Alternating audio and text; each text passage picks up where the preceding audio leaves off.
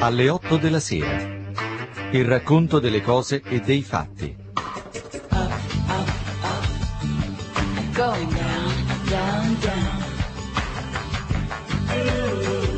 De Gasperi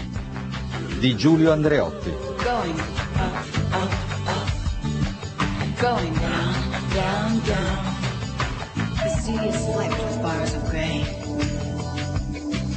50 anni dopo la sua morte merita di essere ricordato, non è molto frequente nella storia italiana, anche perché vi è un susseguirsi di persone, di situazioni, di ambienti e eh, la cosa importante è di tenere vive le grandi linee. Ritengo però che per quel che riguarda il presidente Alcide De Gasperi, pur avendo avuto un periodo di vita pubblica, almeno di vita pubblica governativo romana, di dieci anni, quindi non è moltissimo, eh, debba essere fatta una eccezione per riprendere le fila di un discorso di carattere storico eh, nel grande travolgimento che c'è stato prima da parte del fascismo nei confronti di tutti i partiti democratici e poi la fine, dopo venti anni, del fascismo e la ripresa con eh, alcune eh, linee di continuità e con molte linee di novità. In questo quadro eh, va inserito De Gasperi, che aveva rispetto agli uomini politici italiani, direi una caratteristica particolare, cioè essendo stato fino alle fine della guerra mondiale, della prima guerra mondiale, suddito dell'Austria, eh, non ebbe quelle limitazioni che i cattolici italiani ebbero a causa eh, di Porta Pia, cioè a causa dell'occupazione da parte dell'esercito italiano dello Stato pontificio. Eh, fu un momento lungo di reazione, all'inizio totale, man mano un po' attenuata, ma eh, si può dire che fino al 1929, quando vi fu l'accordo tra Chiesa e Stato, i cattolici italiani ebbero sempre questa posizione di deminuzio, la scelta cioè di obbedire al Papa condividendone la posizione in qualche maniera di esilio civile o invece eh, dedicarsi eh, completamente a pieno diritto e con eh, gli stessi doveri di tutti gli altri cittadini alla vita pubblica. De Gasperi viene nella vita pubblica italiana eh, dopo il ritorno eh, del Trentino all'Italia, anzi la guerra finisce nel novembre del 18, ma le procedure, la burocrazia è formidabile anche nel campo internazionale, le procedure furono tali per cui non poté partecipare alle elezioni del 1919, le, prime elezioni eh, che furono fatte con il sistema proporzionale e che il nuovo partito dei cattolici, il Partito Popolare Italiano, vinse con più di 100 deputati. De Gasperi viene nella vita parlamentare nel 1921, le elezioni del 1921, però già eh, sia per un certo fascino che derivava dal rappresentare l'Italia prima irredenta, sia per una caratteristica che altri non avevano, cioè una esperienza di vita internazionale, di Parlamento eh, austriaco, di eh, Parlamento ungherese, di eh, rapporti con le nazionalità che eh, facevano parte appunto di questa realtà austro-ungarica. La qualificazione di De Gasperi eh, viene da queste sue eh, tipicità e io penso però che più di tutto quello per cui lo stiamo adesso a ricordare derivi dal suo eccezionale temperamento morale e da una linearità che eh, spesso non si ravvisa nel mondo politico. De Gasperi nasce povero. Suo padre è un gendarme eh, in servizio nel piccolissimo Pieve Tesino, eh, nella provincia di Trento, e eh, frequenta gli studi con sacrificio personale, con moltissimo impegno, senza alcun sostegno che potesse agevolare eh, la sua formazione. Però avverte subito una vocazione sociale, molti che conoscono solo De Gasperi Presidente del Consiglio, De Gasperi Ministro, De Gasperi attore di politica internazionale, non sono portati a pensare agli anni di formazione, quando questo studente intanto avverte subito una vocazione sindacale, cioè avverte la necessità di far sì che i più poveri avessero una tutela e tra i più poveri prende a interessarsi e a direi prediligere i tagliatori di legna per i quali organizza anche uno sciopero. Lui, quasi ragazzino, organizza uno sciopero per fare in modo che il periodo di lavoro e il salario fossero meno da fame Subito dopo va a studiare a Innsbruck, che era la sede naturale di coloro che eh, venivano da Trento, e lì eh, vi è una sua forte vivacità nei movimenti studenteschi. La campagna più forte che gli studenti facevano era poi per avere una università a Innsbruck e cercavano di farla con eh, questa campagna anche con eh, quella vivacità che è propria degli studenti. Così per la prima volta eh, negato di conoscere prigioni perché la retata della polizia non guarda troppo per il sottile Va tenuto presente, questo serve anche alla storia italiana di dopo, che eh, il Tirolo è una regione a sé stante. Oggi lo dividiamo in nord Tirolo, Innsbruck, e il sud Tirolo che è il nostro Alto Adige. Ma il Tirolo come tale, sia per la sua storia, Andrea Hofer, non sto qui adesso a prenderla per le lunghe, ma aveva eh, forse in parte là, ma certamente aveva una forte coscienza di autonomia, desiderio di autonomia. Tanto è vero che eh, il governo centrale dell'Austria doveva avere delle cure molto particolari di polizia, di stare attento e la dieta, l'assemblea eh, regionale di cui De Gasperi venne a far parte, non arrivava mai alla sua conclusione eh, naturale perché il, l'imperatore doveva scioglierla per insubordinazione. Anche questo è un inizio di vita di un personaggio che va eh, considerato se eh, si vuole capire come poi procedono le eh, direttive eh, e come sviluppa una vocazione nel momento in cui è non più in una posizione marginale ma in una posizione dominante e in condizione di essere lui a segnare una linea politica e non a dover eh, ritagliare qualche briciola di libertà dalla benevolenza dell'imperatore o eh, delle autorità di polizia periferiche dell'impero. Mancando appunto l'università a Innsbruck è necessario trasferirsi a Vienna. Il problema è molto duro per il Presidente perché la vita a Vienna costa di più e le possibilità di lavoro sono estremamente limitate. Trova per la benevolenza di alcuni sacerdoti e qui comincia una certa protezione che lui viene ad avere dal vescovo di Trento, che poi lo seguirà un po' tutta la vita, mm, anche quando questa protezione dovette consistere nell'azione nei confronti del re d'Italia perché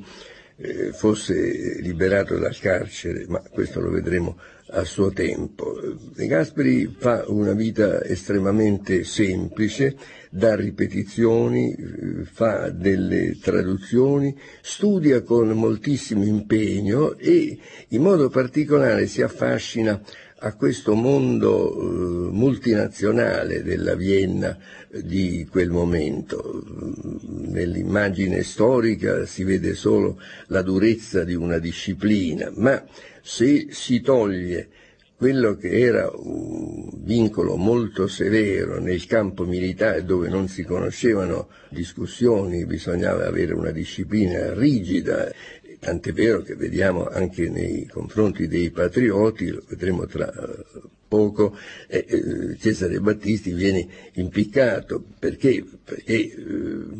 considerato uno che viola le norme militari. Rigasperi è consentito in Parlamento eh, anche di fare delle eh, prese di posizione. Un Parlamento dove arriva, dopo l'esperienza che ho già ricordato di eh, membro della dieta di Innsbruck, Parlamento che arriva eletto dal suo Trentino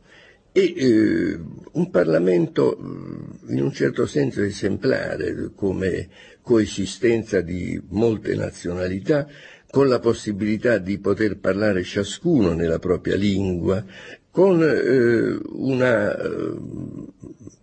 normalmente una metodologia di grande stringatezza, non sono discorsi che hanno ampollosità come da noi per esempio in quel periodo nel Parlamento c'era ancora una tradizione, adesso non so se fosse per prevalenza meridionale da noi di avere eh, molta fioritura di aggettivi, se andiamo a guardare i discorsi di allora, non solo di De Gasperi, ma un po' di tutti, gli aggettivi sono piuttosto pochi. Io mi sono dedicato, dopo la morte di De Gasperi, a uh, far tradurre i suoi discorsi, perché è interessante questo. Lui ebbe delle polemiche, le aveva già avute nel periodo fascista, quando i fascisti, uh, alla ricerca di tutto quello che sminuiva il prestigio dei partiti a loro non favorevoli eh, dava dell'austriacante, metteva in dubbio la eh, fedeltà di carattere nazionale. E già in quel momento c'era stata con una pubblicazione di Gino Giordani, che poi fu uno scrittore cattolico e poi fu anche nostro deputato eh, dopo la liberazione, c'era stato un libro bianco di, che ribatteva queste insinuazioni del tutto infondate, però dopo la morte, dovendo scrivere una biografia, io feci tradurre integralmente gli atti parlamentari austriaci per tutto quello che riguardava la posizione di De Gasperi. E questo ci consente anche di capire una sua caratteristica di una enorme serietà e l'uomo, eh, direi, antidemagogico proprio per costituzione, vorrei dire fisica, e, e questo lo aiuterà poi in un ruolo che si troverà ad avere nella ricostruzione post-bellica, post-seconda guerra mondiale dell'Italia. Nella storia di De Gasperi vi è un viaggio importante fatto a Roma nel settembre del 1914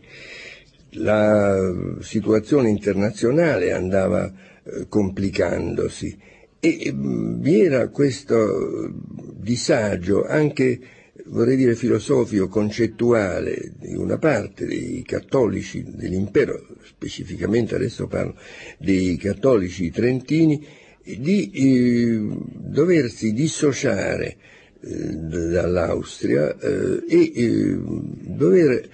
andare verso un qualche cosa che loro ritenevano molto differente da un punto di vista eh, di tendenza di fondo cristiano-sociale. Questo lo ritroveremo poi in De Gasperi, uomo di governo, proprio il grande sforzo di comprensione, di conciliazione con tutto un mondo, eh, chiamiamo laicista, non laico, laicista, cioè un mondo che poi veniva definito massonico, nel quale però si faceva molta confusione tra quelli che erano dei principi di ispirazione anche filosofica contraria basilarmente al cristianesimo e quelle che erano invece le code del contrasto che è stato per la fine dello Stato pontificio. Questa è una tragedia che eh, i cattolici italiani appunto si portavano dietro e che man mano si cercavano strade per uscirne. Il movimento modernista, con tutte le sue esagerazioni, con le sue deviazioni eh, di carattere filosofico e anche teologico, però ha anche una ricchezza positiva in questa direzione. Infatti quando ricordiamo Fogazzaro, ricordiamo Murri, proprio eh, vediamo che eh, c'era questo chiudere pagina sulla questione temporale, cioè il rapporto politico Chiesa-Stato e guardare da cittadini con pienezza di diritti e di doveri quella che era la propria posizione nei confronti dell'Italia. C'è però il periodo di transizione, cioè il periodo della guerra, che è chiaro eh, gli austriaci presero tutte le loro misure precauzionali, fecero intanto delle leve in massa, crearono anche moltissimo disagio in tante delle valli italiane e, poi misero in condizione di non nuocere eh, gli esponenti di carattere politico. De Gasperi fu costretto a andare via dal Trentino e l'unica cosa che poté fare, anche perché godeva di forte prestigio di carattere personale sul piano morale, eh, gli fu consentito di eh, poter eh, visitare gli italiani nei campi di concentramento, nei campi di prigionia e qui si sviluppa con una scarsissima documentazione, perché Gasperi non aveva mai questo punto della documentazione, qui si sviluppa, direi, una reciproca conoscenza però con eh, persone di altre valli, con persone di altre province e eh, si arriva poi al momento forse più drammatico, quando sembrava che l'Austria dovesse spuntarla il momento di Caporetto, il momento in cui eh, le sorti per l'armata italiana erano precipitate eh, in un modo molto duro. E qui emerge, a mio avviso, il vero De Gasperi. Con questo primo excursus sugli inizi della vita di De Gasperi iniziamo un cammino attraverso lo sviluppo della sua attività e eh, lo continueremo se avrete la bontà di ascoltarmi domani sera. Le visite ai campi dei rifugiati. Permisero a De Gasperi di conoscere meglio gli altri italiani di confine, vi erano grandi collettività di istriani, di giuliani. E eh,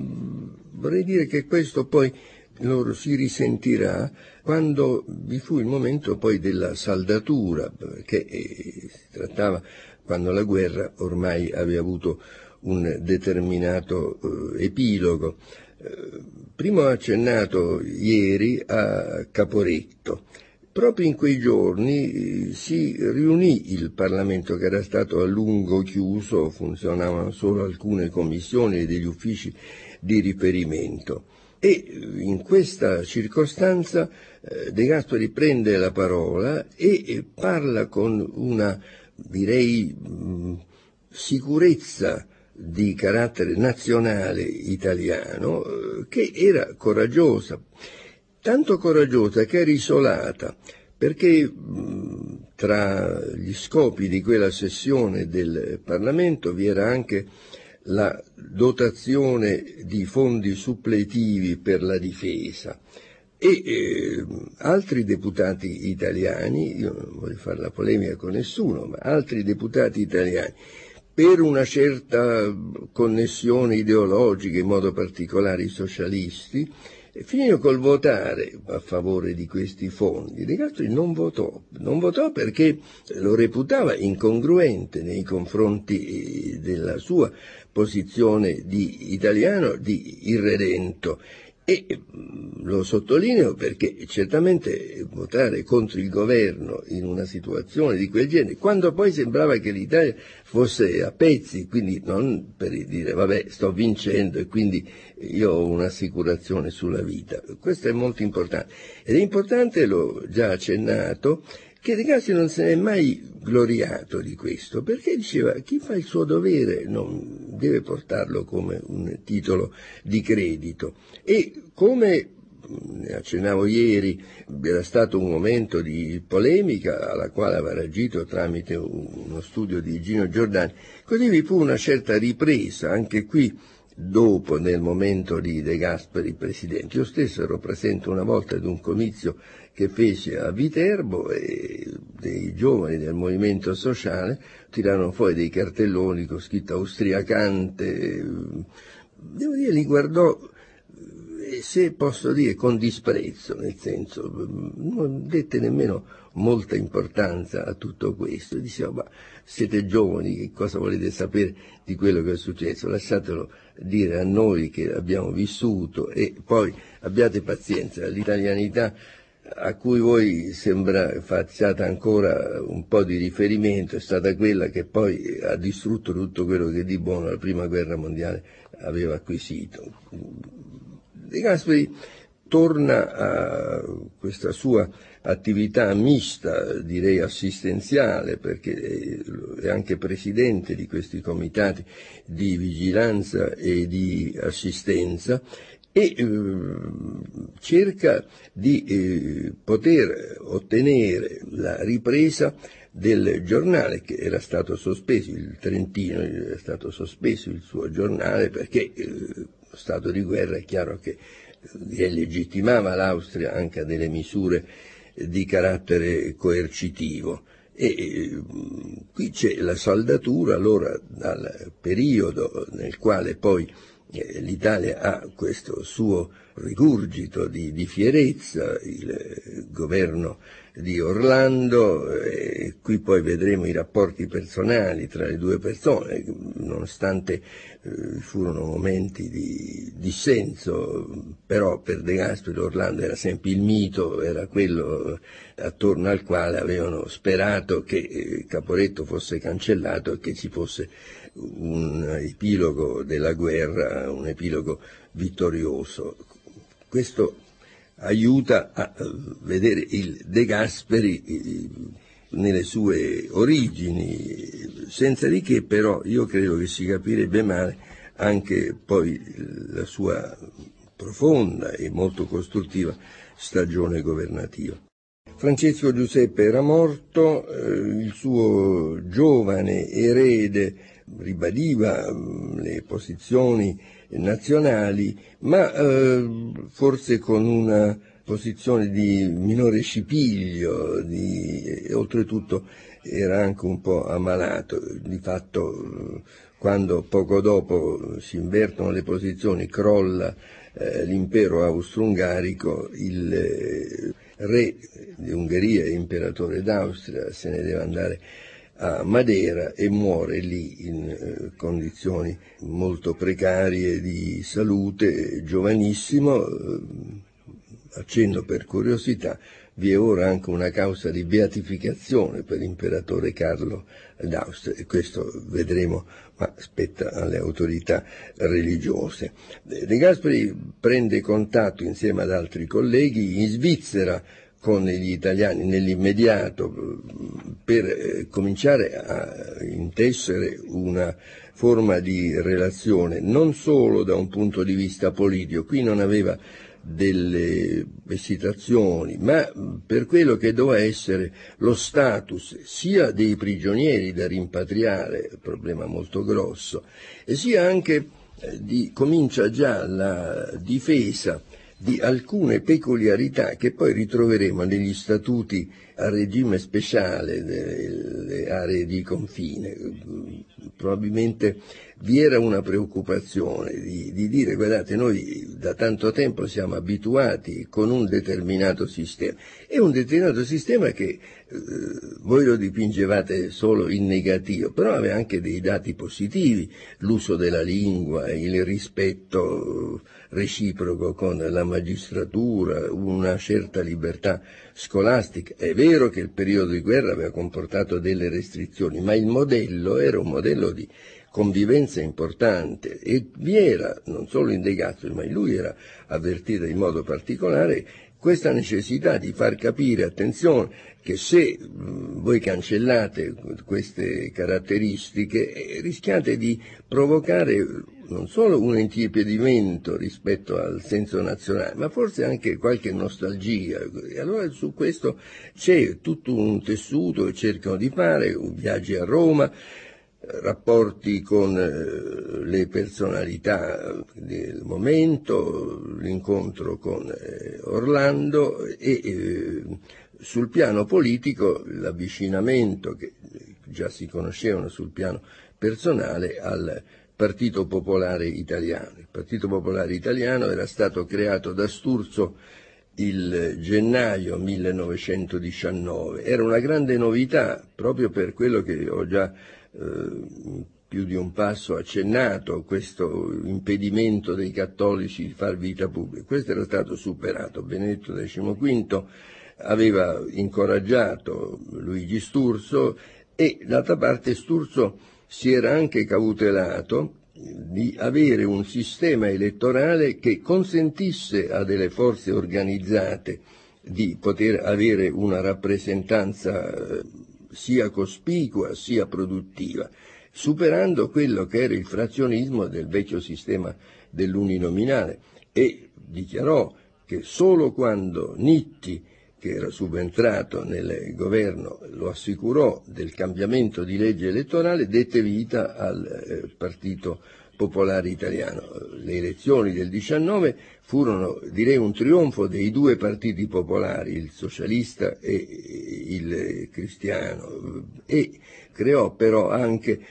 l'inizio di una fase molto difficile di assestamento, perché la guerra aveva distrutto tante cose, aveva suscitato molte aspettative, gli ex combattenti speravano di avere una serie di benefici che era legittimo attendersi dopo i sacrifici che avevano compiuto, ma vi era un insieme di eh, incertezze globali e eh, in questa fase inizia la vita politica sul piano nazionale del presidente De Gasperi. Terminata ufficialmente la guerra, eh, un numero enorme di problemi da risolvere si accavallavano, uno dei quali era lo status dei soldati che erano stati fatti prigionieri e combattevano nelle armate austriache, italiani ma arruolati. Certamente non erano dei volontari, ce ne saranno stati anche, ma era la leva obbligatoria. Non potevano essere, probabilmente era difficile far diversamente, non potevano essere immediatamente cancellate tutte queste posizioni, andavano viste una per una che significò però mandare a gruppi di eh, soldati ex austro-ungarici di lingua italiana di mandarli il più lontani possibile, di mandarli nell'Italia meridionale, in attesa poi di vedere, di esaminare le singole posizioni, di vedere se dovevano essere trattati da nemici, se avevano delle caratteristiche di volontari. Questo creò un fortissimo disagio. Io capisco che era difficile forse far diversamente, perché era difficile fare digerire ai soldati italiani del resto d'Italia che soldati che avevano combattuto contro di loro eh, fossero considerati senza alcuna selezione come eh, nella medesima posizione, eh, non si poteva dire che si era scherzato. Gasi cercò anche dalle colonne del Nuovo Trentino, che aveva potuto riprendere il eh, suo corso di pubblicazioni, e cercò anche in modo così di, di grande forza di convinzione, si rifece nel primo articolo a quello che era stato il suo ultimo discorso nel Parlamento austriaco e disse a quali imprecazioni non ci darebbe diritto l'iniquo servaggio che ha eh, macerato i nostri corpi ed ha torturato le nostre anime fino a ieri, quale parola di vendetta potrebbe apparire evocativa ed eccessiva eh, quando ripensiamo a codesto bel paese che abbiamo eh, costruito eh, e che i nostri padri insieme a noi con uno sforzo di secoli avevano reso così bello ed ora è stato distrutto, quando vediamo migliaia di figli di nostra gente sacrificati ad una tirannide sanguinaria nei campi ancora della Galizia e dei Carpati, cioè questa eccezionalità. Di non era mai retorico, questa è una cosa che poi lo vedremo lungo lo svilupparsi della sua azione, però ci erano momenti in cui bisognava alzare un po' il tiro del eh, discorso e non essere banali, non essere di ordinaria amministrazione. Lui, ripeto, per ragioni giuridiche ancora non erano perfezionate le cittadinanze e non poterono eh, né lui né altri venire al Parlamento italiano, però nell'attività del Partito Popolare iniziò immediatamente e ebbe una posizione di una certa preminenza sia per l'esperienza che aveva, sia per la stima che ne aveva Sturzo e sia perché eh, si avvertiva come eh, l'innesto di questa sana tradizione austro-ungarica, di cui non si doveva guardare solo la durezza militare, ma si doveva guardare la serietà di carattere amministrativo, la capacità di tenere insieme gente delle più diverse estrazioni, potesse giovare proprio nel momento in cui l'Italia si componeva finalmente in tutta la sua interezza. Il biennio 1919-1921 è un biennio molto importante nella vita italiana. Perché? Perché per la guerra a suo tempo la grande maggioranza, o comunque la maggioranza del Parlamento italiano non era stata favorevole e vi era stata una specie di forzatura per eh, consentire poi eh, l'entrata in guerra e eh, tutto il periodo in cui le cose erano andate male eh, non fece che confermare questo stato d'animo. Ho citato già ieri Orlando, Orlando ebbe questa grande funzione di riscatto, suscitò con questo suo grande calore meridionale, suscitò una ripresa, il superamento di un senso di sconforto e, e aiutato anche dalle autorità militari, in particolare Armando Diaz, sì, era avuta la vittoria. Però eh, direi il mondo politico eh, non eh, aveva accettato completamente e con rassegnazione il fatto di dover passare la mano ai grandi partiti di massa. E, questo spiega il perché nel 21 si riforma un governo Giolitti, Giolitti era il decano della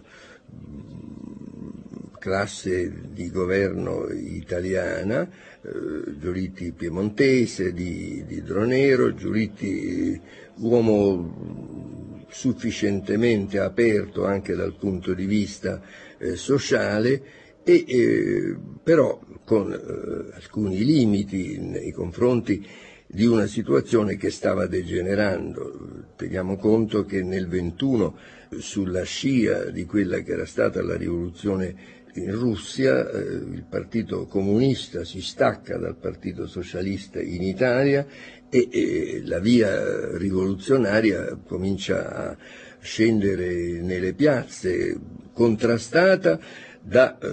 una forza sia di opinione e sia da una forza che all'inizio aveva una consistenza piuttosto esile nelle elezioni del 19 eh,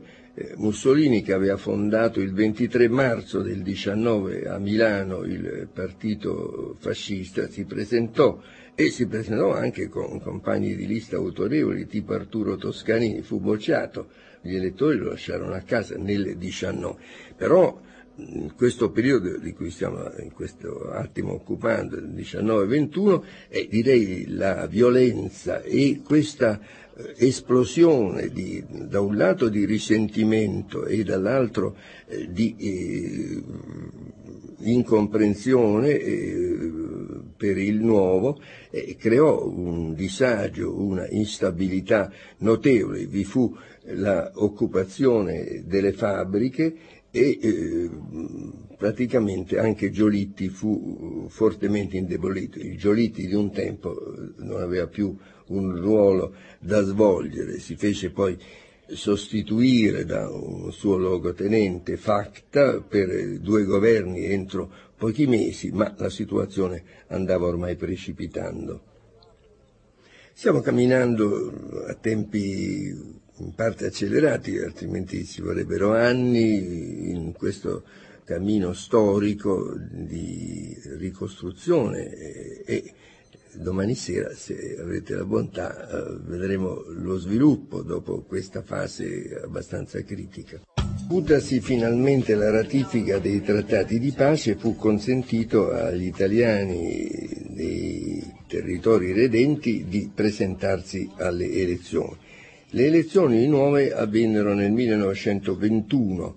in una situazione di piazza molto agitata, di spiriti molto contrastanti e eh, anche con avvenimenti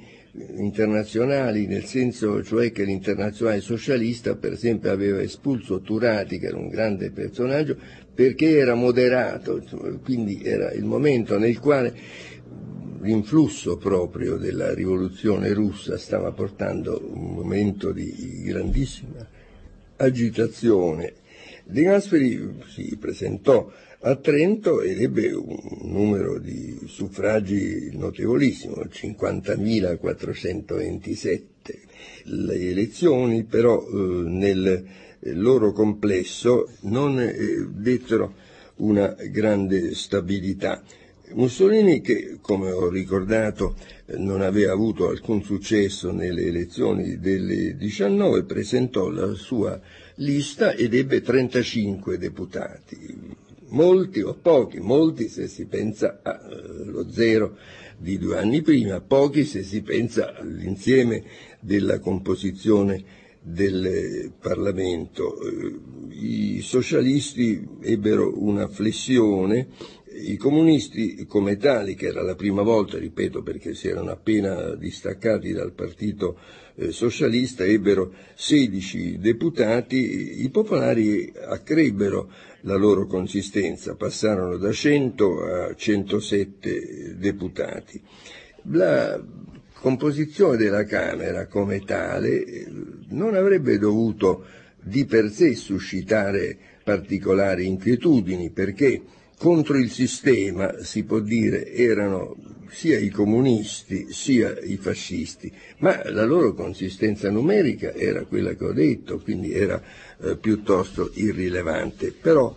guai a farsi soltanto ai numeri e forse fu la illusione questa, perché eh, vi era una grande esigenza di ordine, questo è il male terribile dal quale spesso nascono poi le dittature e fanno piangere poi chi le ha volute. Era un'esigenza di ordine perché vi erano scontri a fuoco tra sinistra eh, e fascisti, vi erano delle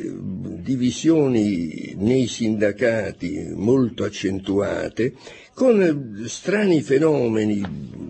momento del governo Nitti quando in un certo senso punisce i sindacalisti bianchi che non avevano aderito allo sciopero delle ferrovie. Vi era veramente una confusione. E chi aveva una mentalità, direi, solo parlamentare, non era preoccupato perché diceva ma i numeri sono questi. E in queste condizioni nasce la marcia su Roma, cioè nasce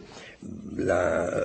militarizzazione del partito fascista nasce una certa adesione, chiamiamo borghese, e anche una certa adesione eh, da parte della corona, perché senza un'adesione della corona certamente i fascisti non avrebbero potuto eh, ottenere alcun risultato. Si arriva al 1922 Poi ci torna un momento perché nella vita di De Gasperi si inserisce in una maniera quasi bizzarra questa eh, parentesi. Si arriva al 1922 quando i fascisti decidono eh, di rompere gli indugi e di marciare su Roma. Questo è io naturalmente procedo per sintesi, non posso indugiarmi in ognuno dei risvolti, ma vi era l'illusione, mi disse il segretario di Sturzo, che era stato con lui in quei giorni della marcia su Roma, che Sturzo aveva detto sì, va bene, ma con questo piccolissimo numero di deputati al primo voto questi saranno dissolti, quindi l'abitudine a credere soltanto nei numeri del Parlamento eh, deviava e portò anche ad una temporanea, sia pure molto breve, adesione del gruppo dei popolari proprio al governo che il re aveva affidato a Benito Mussolini. Mussolini poté fare affidamento su un senso di rassegnazione, cioè da un lato vi era chi diceva va bene quest'ondata passerà e quindi si ritorna ad un eh, normale esercizio di dialettica parlamentare e dall'altro chi era preoccupatissimo di tutto quello che era accaduto nelle città, nelle campagne e, e salutava l'ordine come un qualche cosa di positivo. Però la convivenza dei popolari con eh, i fascisti fu una convivenza che durò eh, lo spazio di poche settimane perché vi era sul fondo una completa eh, differenza, nel senso cioè che i popolari avevano detto eh, noi dobbiamo riportare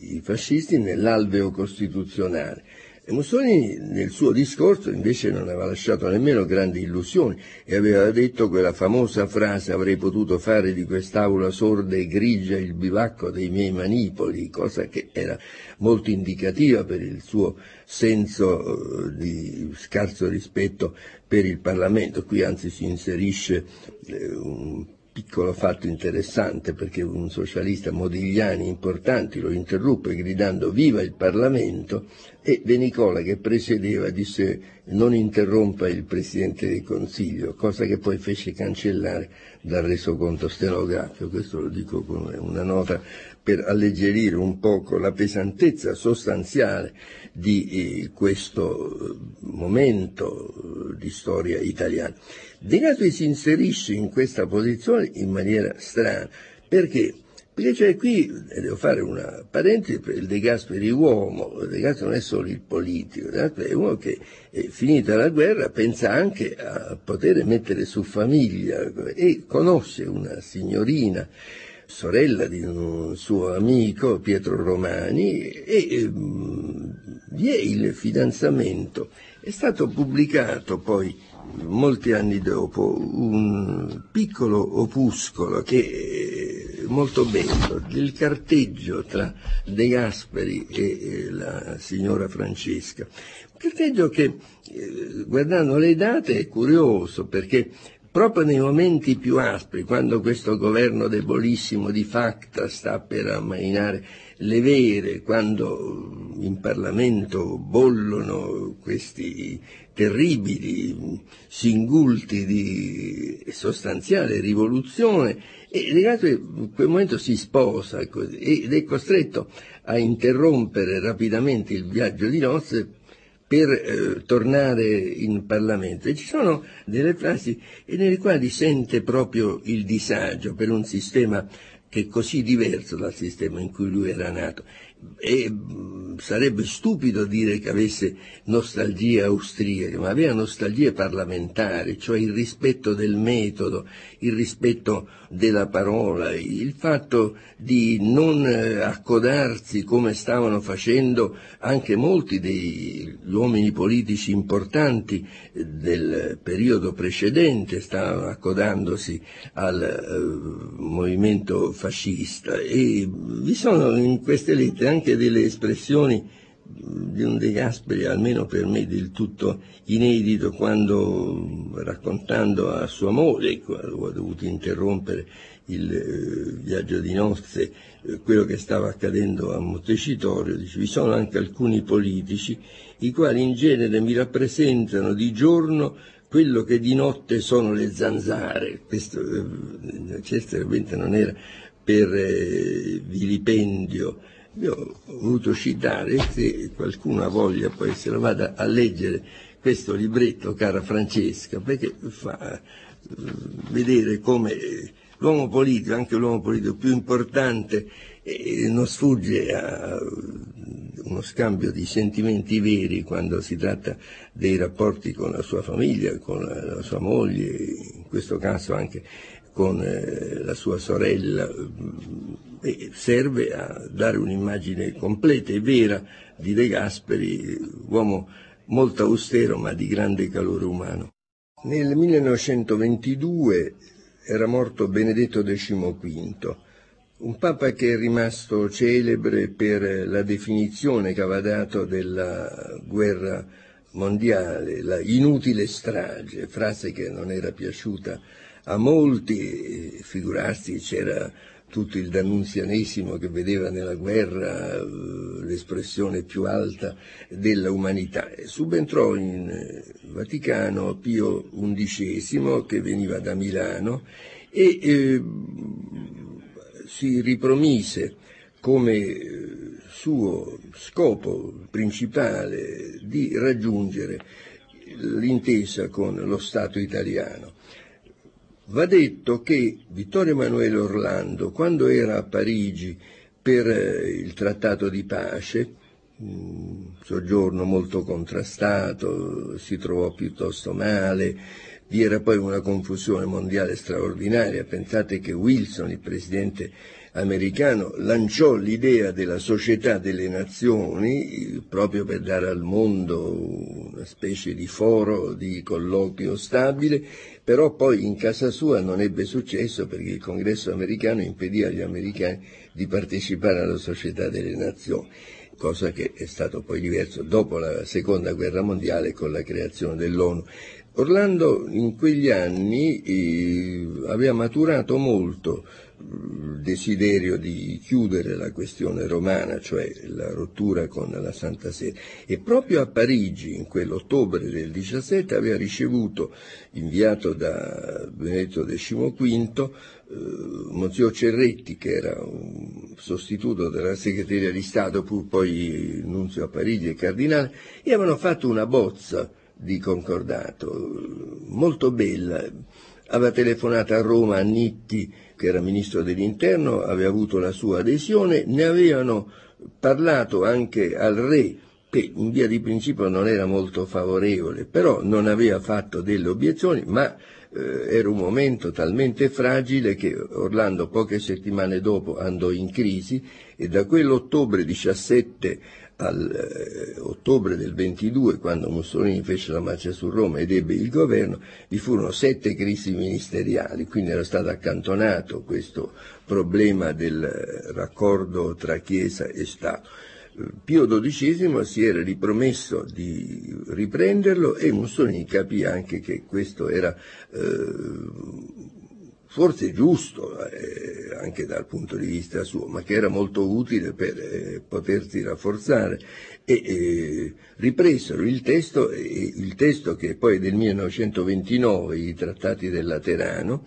è talmente eh, mutuato da quello di Orlando che a un certo momento parla dell'inibizione al clero di iscriversi ai partiti politici, cosa che in quel momento i partiti non c'erano più, c'era uno, quindi questo lo cito perché dimostra che il testo era quello. Comunque su questo punto di chiudere la pagina nel dissenso tra Chiesa e Stato eh, vi fu tutto l'andamento dei primi anni del partito fascista al potere e, e con la milizia, con la forza, con le leggi di carattere eccezionali, nel frattempo si era creata la premessa della dittatura. È un quesito aperto se Mussolini fin dall'inizio avesse l'idea della dittatura o se eh, le circostanze lo avessero poi indotto a stringere i freni fino alla maniera definitiva che fece con eh, la cosiddetta legge Acerbo. La legge Acerbo era la modifica alla legge elettorale eh, secondo la quale chi aveva il 25% dei voti prendeva i tre quarti dei seggi. Era veramente una violazione di un metodo di elezione corretto, però dobbiamo anche dire che dei grandi personaggi come Orlando, come Giolitti aderirono a questo e fecero parte del listone, del listone Asceto. I popolari no, i popolari fecero una lista per loro conto, però eh, naturalmente con eh, le situazioni che vi erano, con il desiderio di non ritornare al disordine, i famosi treni che viaggiavano in orario e così via. Le elezioni furono vinte facilmente con questo sistema eh, dai fascisti, e eh, vi fu un momento però di grande difficoltà nel giugno del 24 perché quando si fece la presentazione della nuova legislatura in Parlamento uno dei deputati socialisti Giacomo Matteotti fece una filippica contro il governo denunciando tutta una serie di falsi e di soprusi che erano stati fatti. Pochi giorni dopo Matteotti scomparve e fu poi ritrovato il cadavere qui se Mussolini abbia colpe personali oppure se avesse detto dategli una lezione o se non avessi impedito questo mm, è un discorso che gli storici non hanno chiuso in maniera definitiva, tantomeno posso farlo io. Certo che però questo rappresentò una involuzione fortissima, eh, i deputati che erano stati eletti eh, non fascisti, più di cento, una parte no, rimasero in aula a fare opposizione in aula, più di cento si ritirarono cosiddetto sull'Aventino per denunciare la anormalità della situazione e una commissione di tre De Gasperi era uno di questi, andò da Re a scongiurarlo di prendere delle iniziative. De Gasperi forse l'unica persona verso la quale io ho sentito dire parole se mi è consentito di disprezzo, fu proprio Vittorio Emanuele III, perché in questa occasione gli lasciò parlare per eh, 20 minuti senza dire una parola, poi si alzò, disse vi ringrazio, riferirò al capo del governo. Quindi era eh, la più grande delusione, dopodiché il Parlamento decise l'espulsione di tutti gli aventiniani e eh, cominciò anche la persecuzione eh, personale di coloro che erano gli oppositori del fascismo. Tra questi oppositori si trovava De Gasperi che fu arrestato con la imputazione di tentato espatrio clandestino e fu arrestato a Orvieto, non aveva il passaporto, non c'era una prova che volesse veramente espatriare, c'era stata una soffiata da parte di, di Graziato che era venuto a conoscenza di questo viaggio che De Gasperi faceva per allontanarsi da Roma e inizia l'avventura giudiziaria del Presidente. Domani vedremo come si sviluppò questa parentesi così triste nella vita di De Gasperi e come però non perdette mai la fiducia nel fatto che gli italiani un giorno avrebbero riconquistato la propria libertà. Estromessi dal Parlamento eh, i deputati popolari e gli altri che avevano fatto parte dell'Aventino si trovarono in una posizione estremamente difficile perché eh, erano vigilati speciali e nello stesso tempo avevano anche l'amarezza di vedere eh, dissolversi un po' il loro entroterra di carattere politico. Vi erano violenze, vi erano forme di intimidazione, vi erano esclusioni dai concorsi, quindi le prospettive di vita erano delle prospettive estremamente chiuse. Per un momento De Gasperi tornò nel Trentino, ma già allora cominciò una persecuzione attiva, era accaduto un attentato a Mussolini a Bologna da parte di un anarchico Lucetti e i fascisti andarono a prendere De Gasperi, lo condussero in eh, provincia di Vicenza e, lo sottoposero a mm, non solo interrogatori ma anche a veri e propri vilipendi. Fu un po' salvato da dai Marzotto che avevano ancora una certa influenza nonostante questo periodo in cui la milizia e i fascisti erano dominanti e eh, poter eh, venire via. De Gasperi venne a Roma e eh, a Roma raccontava che mentre alcuni, anche se lo incontravano, fingevano di non riconoscerlo, però ci furono alcuni, in modo particolare uno che poi fu deputato, Ivo Coccia, che lo prese in casa sua e anzi, ragazzi, con una punta di ironia, sia pure mesta, raccontava come avevano seminato la polizia perché eh, quando stava parlando con Cocce nella sua casa al quartiere Prati venne questa polizia che lo cercava. Coccia mh, capì subito, si mise a parlare con De Gasperi in francese, lo presentò come un suo cliente dello studio eh, francese, gli domandarono eh, se avesse visto De Gasperi, lui disse no, sono mesi ma credo che sia in Trentino, e, però eh, questo fu eh, sufficiente per poter capire che anche a Roma non vi era vita facile. E De Gasperi pensò di andare a eh, Trieste voleva veramente poi andare oltre Trieste, questo non è molto chiaro e anche su questo il Presidente era piuttosto riservato. Sta di fatto che eh, fu arrestato, andò in treno, fu arrestato a Orvieto e fu arrestato con eh, una imputazione, fu arrestato lui, il cognato e la moglie e mm, con una prima imputazione ancora non formalizzata di tentato espatrio clandestino. Eh, gli fu consentito di riandare un momento perché stava morendo suo padre a Trento, ma eh, fu formalizzata poi e gli fu notificata dal capo della polizia Bocchini la imputazione appunto di tentato espatrio clandestino e iniziò il processo. A difendere come avvocato l'onorevole De Gasperi venne da Milano Luigi Meda, una personalità del Partito Popolare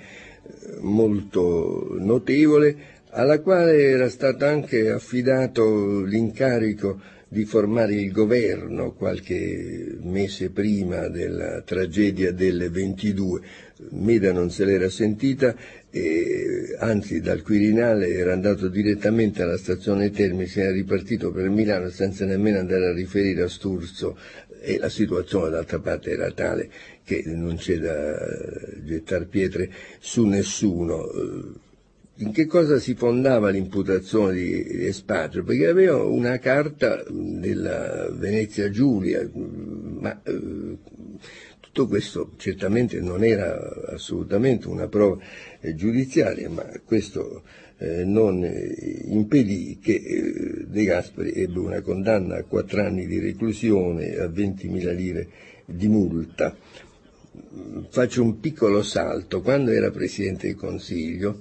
un giorno ci fu l'inaugurazione dell'anno giudiziario e allora c'è tutto un rito nel quale il Presidente del Consiglio viene ricevuto da un consigliere di Cassazione e lo riaccompagna alla macchina. Quando lo riaccompagnò gli disse, ah Presidente, vede, poi noi non ci siamo piegati, dovettero creare un tribunale speciale per condannare gli antifascisti. E Riganti disse, ma sa veramente io sono stato condannato da un tribunale ordinario per tentato espatrio clandestino e non c'era nessuna prova. Poi quando sono in macchina mi disse ma forse ho fatto male a dirglielo perché non, era l'unica volta che ho sentito lamentarsi di questo, non se ne è mai lamentato, però glielo fece proprio scappare questo perché lì era stato, e poi fosse vero che probabilmente non potendosi fidare dell'amministrazione ordinaria della giustizia crearono il tribunale speciale, questo è verissimo, però di fatto quello era un tribunale ordinario che eh, la Corte di Appello confermò questo verdetto e De Gasperi poi poté per un certo periodo godere di un eh, permanere in clinica, dato che vi era stata una forte complicazione di carattere sanitario. Nel frattempo si davano da fare molti per cercare di eh, aiutarlo, in modo particolare il vescovo di Trento, era stato un suo grandissimo amico, era proprio una personalità rimasta eh, nota a Trento anche per il grande coraggio che aveva avuto durante tutto il periodo della guerra. E approfittò anche questo vescovo dell'andata del re per inaugurare un monumento a Trento e gli disse ma voi in fondo tenete in prigione uno che eh, non ha fatto niente, questo è un sopruso e questo gli consentì una attenuazione della sua posizione eh, chiamiamo penale, però era un isolato in patria, il vuoto era attorno a lui, questa era la realtà molto triste perché eh, o per paura o perché ormai la situazione era cambiata, eh, si guardava più al futuro, al presente che non al passato. Gaspi fece per un periodo non eh, breve una vita estremamente grama, si poteva permettere eh,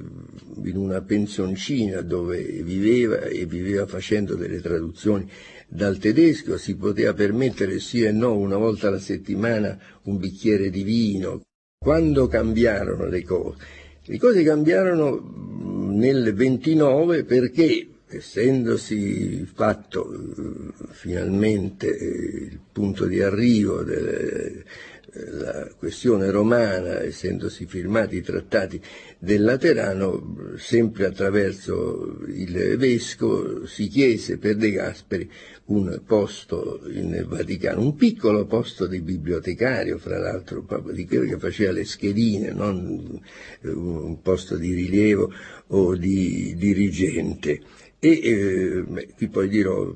fu l'occasione per cui eh, potei parlare e fui individuato da De Gasperi come uno che si poteva occupare poi di vita politica. Però questo fatto di averlo assunto in Vaticano dava fastidio anche a Mussolini e ci fu un passo del nunzio che, invitato dalle autorità di governo, andò a riferire al Papa che Mussolini voleva che fosse mandato via dalla Biblioteca Vaticana e la risposta di Pio XI fu molto bella. Disse che il governo si deve sentire molto debole se ha preoccupazione di un poveretto che sta lì soltanto a riempire le schedine dei libri nella biblioteca vaticana e non dette alcun esito a questa estromissione. Gasperi però era molto emarginato, faceva solo questo suo lavoro, ci fecero fare un lavoro un po' più concettuale cominciando a organizzare una mostra della stampa cattolica, ma per esempio non fu mai ricevuto in udienza privata eh, da Pio XI, mentre uno in un certo senso analogo che viveva in Vaticano, che era il segretario del Centrum tedesco, la Repubblica di Weimar aveva avuto anche lì un governo democratico, i, le due ali, la nazionalsocialista e la comunista, si erano accordate per farlo fuori, e avevano buttato giù il governo di Weimar,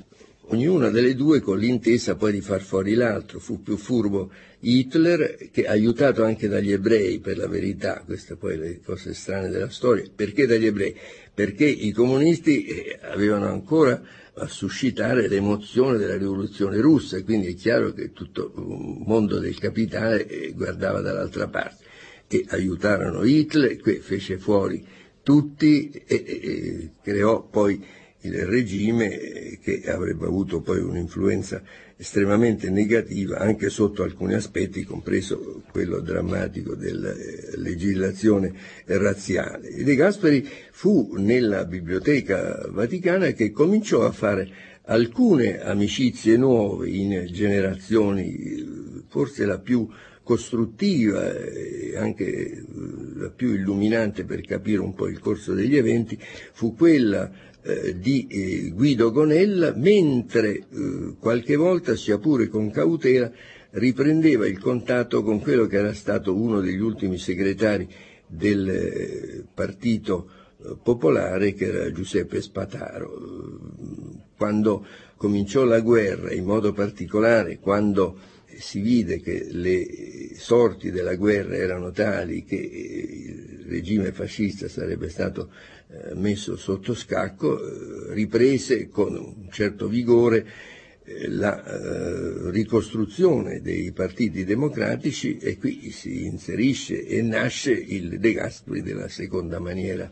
Devo io stesso a De Gasperi in biblioteca un corso delle cose della mia vita che è del tutto imprevedibile. Andavo a cercare eh, la storia della Marina Pontificia di padre Guglielmotti perché avevo deciso di fare la tesi in diritto della navigazione, quando questo brusco funzionario eh, che mi conosceva perché ero presidente della Fusi, io non sapevo chi fosse, e mi disse ma non ha niente di meglio da studiare. E dissi scusi ma lei perché non si fa i fatti suoi veramente? Pochi giorni dopo mi fece chiamare a casa di Spataro e mi disse guarda lascia perdere la Marina Pontificia fai la tesi su qualche cosa che hai già pronto che si fa più facilmente. Vieni a lavorare con noi per eh, la democrazia cristiana. E mi mise a contatto con Guido Gonella che io conoscevo però dalla FUCI e con Guido Gonella avevo fatto il primo esame all'Università di Filosofia del Diritto. Comincia allora questa attività della quale De Gasperi è il centro anche in altre parti d'Italia si muoveva, ci furono delle iniziative anche autonome che poi praticamente confluirono, salvo una, quella dei cristiano sociali di Bruni, stranamente Bruni che in Biblioteca Vaticana era un impiegato ma molto autorevole rispetto al piccolo impiegato De Gasperi, però poi quando ci furono le elezioni della Costituente Bruni ebbe un voto, eh, cioè il suo solo seggio e De Gasperi diventò eh, l'elemento determinante della politica del dopoguerra. Nel periodo della Biblioteca Vaticana, certamente con tutto il riservo che era necessario per non esporre poi la Santa Sede a delle reazioni, però cominciarono una serie di contatti e vi fu anche la festa di San Giuseppe, 19 marzo del 43, una strana riunione in casa di Spataro, nella quale io stesso conobbi tutta una serie di ex deputati mi sono meravigliato poi come potesse accadere che non dessero dei fastidi. Poi capimmo che il capo della polizia,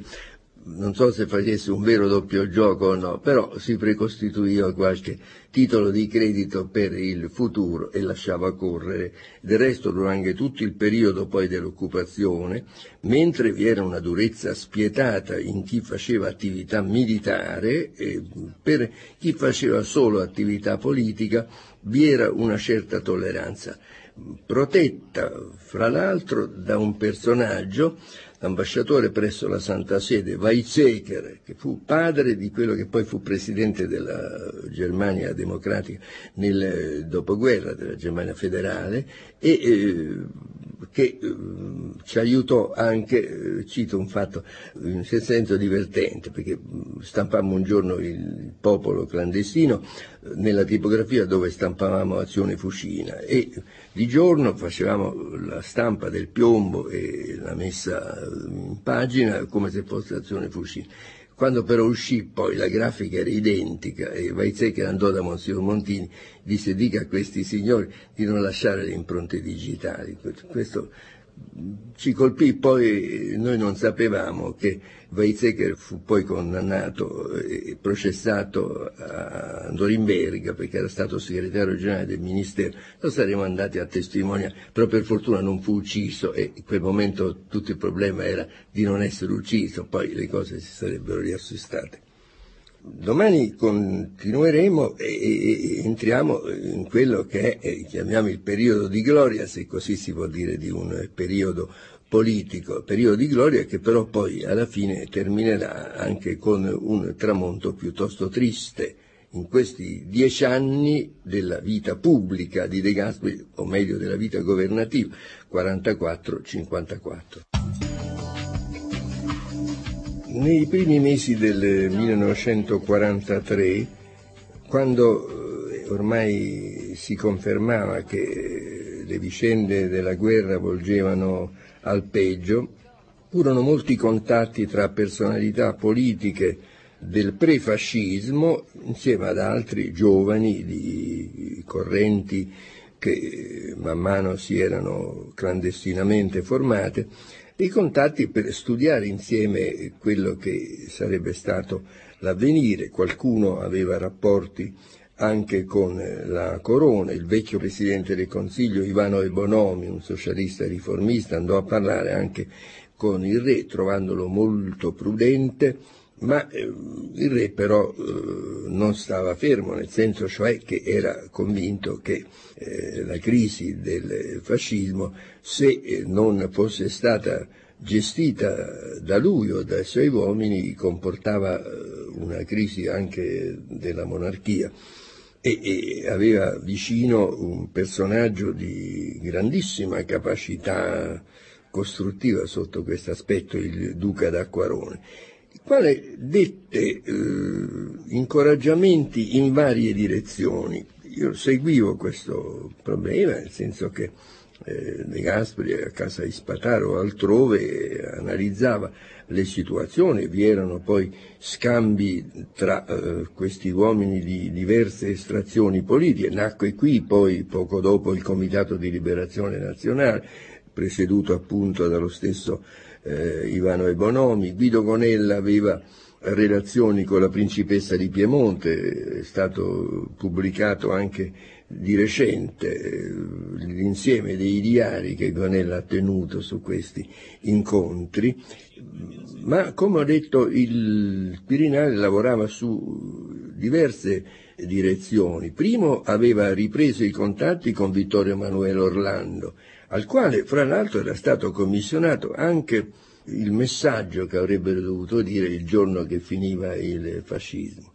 Vi erano contatti con Dino Grandi, Dino Grandi uno dei personaggi istitutivi del fascismo, che però aveva avuto un suo eh, sviluppo di carriera, per dir così, molto personale, ambasciatore a Londra,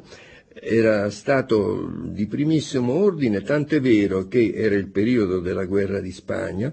gli inglesi si erano serviti di lui per un contatto con Franco per fare una specie di accordo, nel senso cioè che gli inglesi smettevano di aiutare la Repubblica, che loro per ragioni di legittimità eh, all'inizio eh, avevano visto con eh, favore, e a sua volta Franco si impegnava, che ha mantenuto, a non toccare mai il problema di Gibilterra. Il Grandi era visto dal Quirinale come uno di quelli che poteva far cadere dall'interno, così poi fu eh, nel Gran Consiglio il fascismo e allora avere l'incarico di eh, fare un primo governo post-fascista. Tutto questo andò avanti fino a luglio del 43 quando il bombardamento di Roma il 19 di luglio probabilmente fece precipitare la situazione, nel frattempo era stata l'occupazione della Sicilia con eh, grande scorno di quello che era il prestigio eh, nazionale e eh, l'azione allora dei partiti antifascisti ha il suo sviluppo, anche se, ripeto, il re fece in modo nel eh, momento della fine del partito fascista il 25 luglio di escludere tutti i politici dal governo e mise a capo del governo eh, Badoglio che era stato il duca di Addis Abeba, cioè dare l'immagine al mondo che vi fosse del post-fascismo, eh, mettendo però in sella il duca di Addis Abeba, era qualcosa di estremamente contraddittorio. E i partiti, eh, io parlo qui di De Gasperi, ma non solo De Gasperi, furono molto critici per questa soluzione che indebolì fortemente tutto il quadro e fece anche sì che la stessa pubblicazione dell'armistizio fosse fatta nelle condizioni peggiori, dividendo l'Italia in due, obbligando il re ed il governo a scappare nell'Italia meridionale. L'occupazione tedesca eh, di Roma fu immediata perché nel messaggio che, come avevo detto era stato stilato da Vittorio Emanuele Orlando, ma però fu letto da Badoglio quando si dice la guerra continua. Orlando pensava a poche ore di questo artifizio e che nel frattempo una divisione aviotrasportata americana veniva in Italia e le cose sarebbero raddrizzate. Si è poi visto che ci fu un equivoco perché fu proprio il Ministero della Difesa nostro che eh, disse agli americani di non venire. La confusione di quel periodo è stata assoluta. Il ministro della difesa, Sorice, un generale nel frattempo divenuto consigliere di Stato, ha detto a me successivamente che lui ha saputo dell'armistizio l'8 settembre la sera quando il governo stava già scappando ed era il ministro della difesa perché Badoglio non si fidava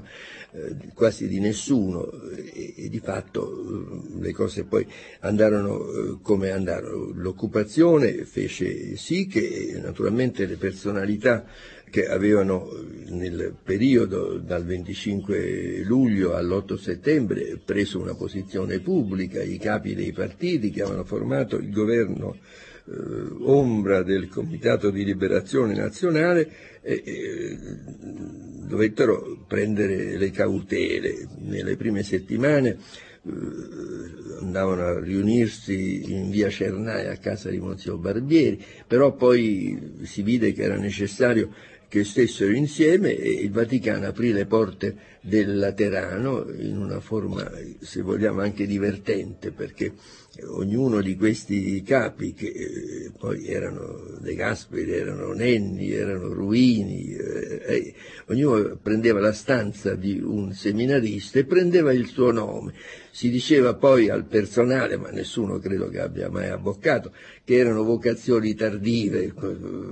Il Laterano fu per alcuni mesi l'epicentro proprio della vita politica. Nel frattempo nel sud, dove il re e il governo eh, si erano rifugiati, si dette luogo eh, ad un rimpasto governativo derivante da eh, un fatto sopravvenuto, cioè il ritorno di Togliatti dall'esilio russo. Togliatti viene e fa cambiare opinione al governo. Il governo era per non avere alcun rapporto vero con eh, il re, non volere collaborare,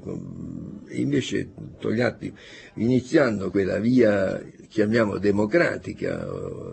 in contrasto con la via rivoluzionaria del comunismo, fece prendere l'impegno che si accantonava il problema istituzionale alla fine della guerra, si dovevano concentrare le forze eh, nella guerra contro i tedeschi e le forze, eh, voleva dire, sia le forze armate dello Stato che poche settimane dopo l'8 settembre, già in dicembre, combattevano nella piana di Cassino, per esempio il, eh, Corpo di Liberazione Italiano, il generale Utili, c'è questo cimitero che eh, lo ricorda in maniera drammatica. In più vi era tutto il movimento dei partigiani nelle diverse città e nelle montagne eh, dell'Italia. Questo porta alla fase che eh, vede eh, lo sbarco eh, di Anzio con grande attesa che fosse ormai immediata la loro entrata in Roma degli alleati. Perché non fu fatto? Questa è una curiosità che pochi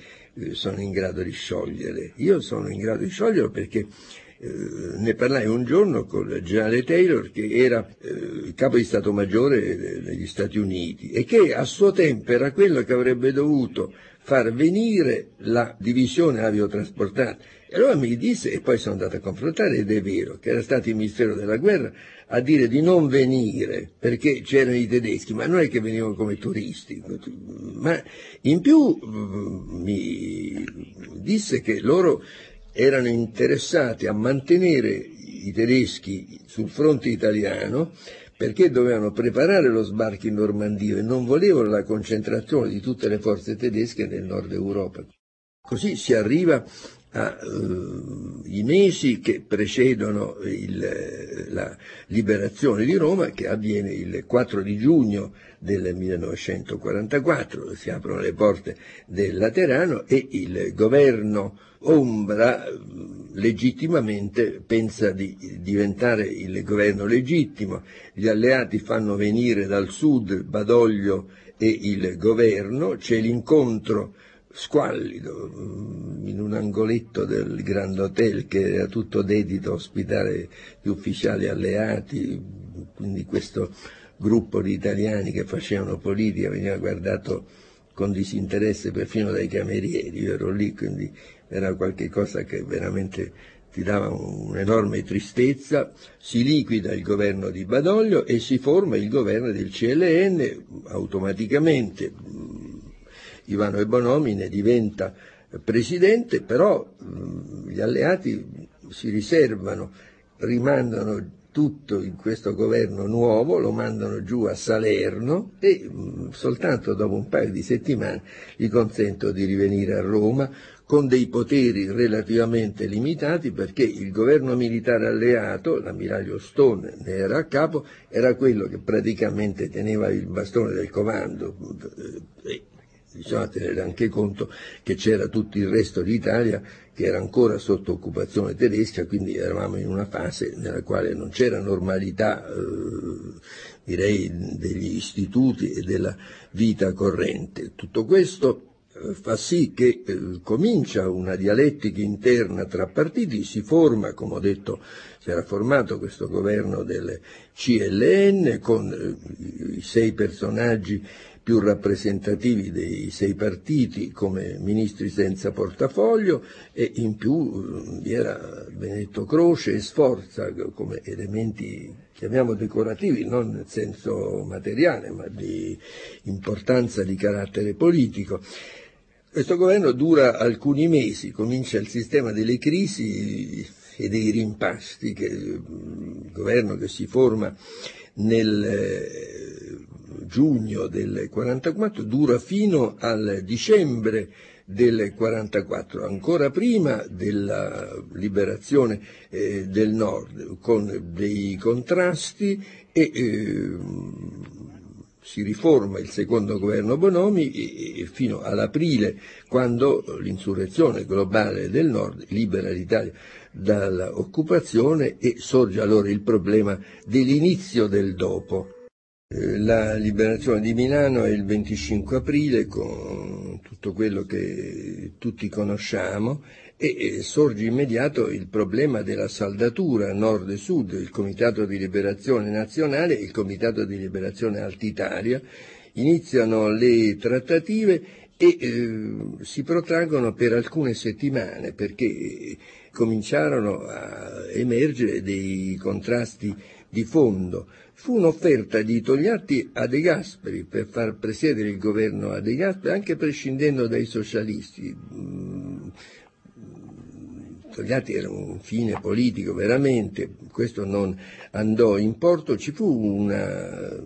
dura contrapposizione con il comitato di Roma che si spostava a Milano, il comitato di Milano che si spostava a Roma, finalmente trovarono uh, l'accordo e De Gasperi lo favorì con una persona neutra, Ferruccio Parri del Partito d'Azione, persona assolutamente integra, persona per bene, che ahimè però non aveva il minimo di esperienza politica, compose il suo governo e, e De Gasperi fu ministro degli esteri del governo di Parri del 1945, giugno 1945. Però Parri aveva due difficoltà primo, ripeto, non conosceva niente dell'amministrazione e aveva poi una diffidenza assoluta, vedeva fascisti da tutte le parti e fece anche delle dichiarazioni dicendo che vi erano movimenti insurrezionali in Italia, che per la verità non era vero, poi era, e De Gasperi ne fu molto amareggiato, aveva dato tutta la collaborazione, anzi quasi con affetto a questo signore così per bene che eh, veniva dal nord e, e il governo andò in pezzi in questa maniera e, furono altri tira e molla, altri momenti di braccio di ferro e quando eh, venne a formarsi nel dicembre del 1945 il primo governo eh, di De Gasperi. Qual era il problema di fondo? Beh, c'era il problema della ricostruzione, intanto l'Italia era in pezzi ed era in pezzi un'Italia che, qualche volta forse è utile ricordarlo, prima ancora della guerra, nei suoi consumi essenziali erano quelli che oggi sono dei paesi che noi chiamiamo sottosviluppati o in via di sviluppo. Quindi non solo c'era da rimarginare le ferite della guerra, ma di costruire un'Italia vivibile. Nello stesso tempo c'era da uh, mettere le basi per avere una Costituzione della Repubblica, cioè lo Stato doveva essere diverso da quello che era fino a quel momento e lasciando che il popolo scegliesse se doveva mantenersi la monarchia, una monarchia costituzionale evidentemente, con un Parlamento dotato di congrui poteri, o se invece doveva essere liquidato. Ci fu un forte contrasto e De Gasperi personalmente si batté contro l'opinione di Sturzo e di molti perché si dividessero le due cose, cioè si facesse un giorno di votazione nel quale da un lato si sceglieva monarchia o repubblica e dall'altro si sceglieva l'assemblea costituente, perché se si fosse lasciato aperto e si dovesse lasciar decidere solo alla Costituente, a parte che sarebbe stato un protrarsi molto rischioso di situazioni incerte, poi si toglieva quella che era la caratteristica che la Costituzione doveva avere eh, di essere la più unitaria possibile, se si era invece a discutere quotidianamente monarchia o repubblica, eh, il lavoro della Costituzione sarebbe passato in secondo piano e nascono qui le premesse per il giugno del 1946 eh, che fu in un certo senso il capolavoro del governo De Gasperi. Lunedì prossimo continueremo, se Dio vuole, questo esame e vedremo, eh, voltata questa pagina storica tra monarchia e repubblica, come si mette mano alla Costituzione e come l'Italia, altro punto di enorme importanza, cerca di entrare di nuovo in una realtà internazionale da cui era emarginata.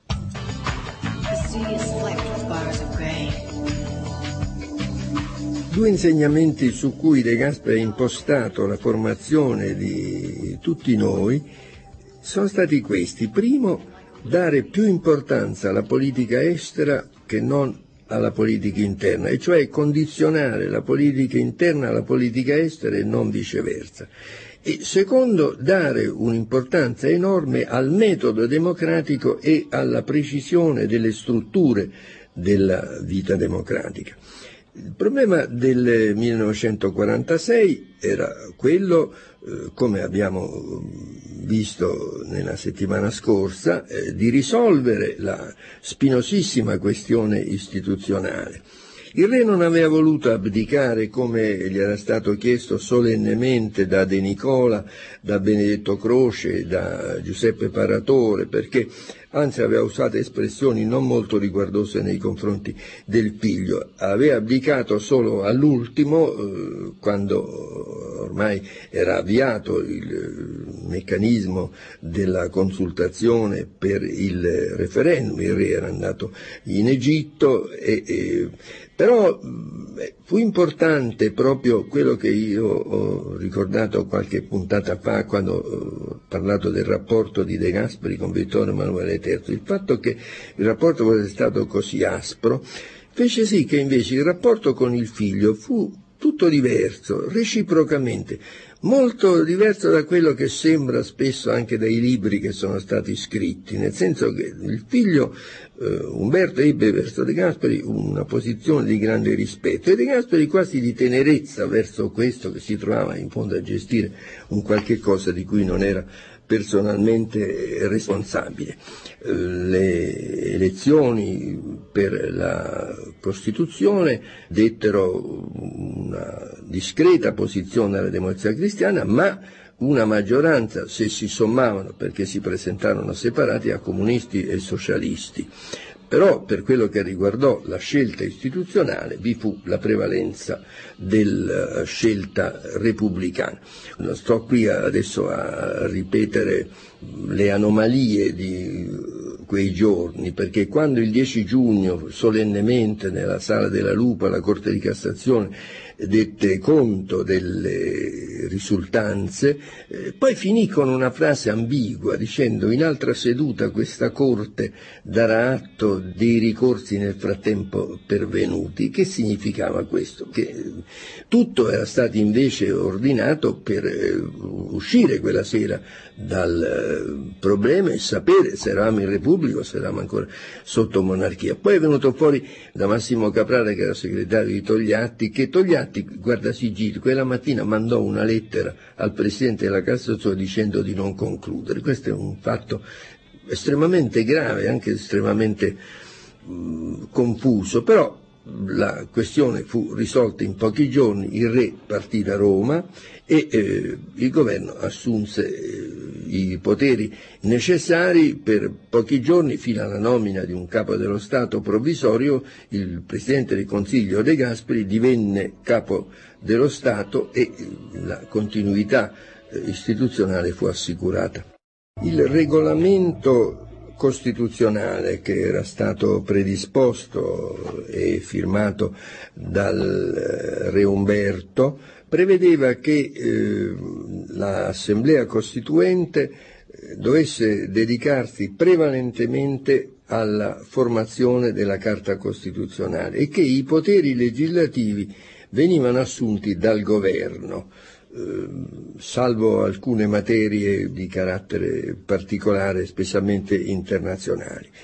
Eh, allora il governo che De Gasperi presiedeva e che ehm, dopo le elezioni eh, ed una breve crisi eh, ricompose con decorrenza da luglio del 46 si dedicò primo a eh, impostare una legislazione che eh, desse al nuovo ordinamento, l'ordinamento repubblicano, una coerenza. Nel frattempo lasciare che l'Assemblea Costituente formasse la Carta Costituzionale utilizzando il massimo possibile di convergenze.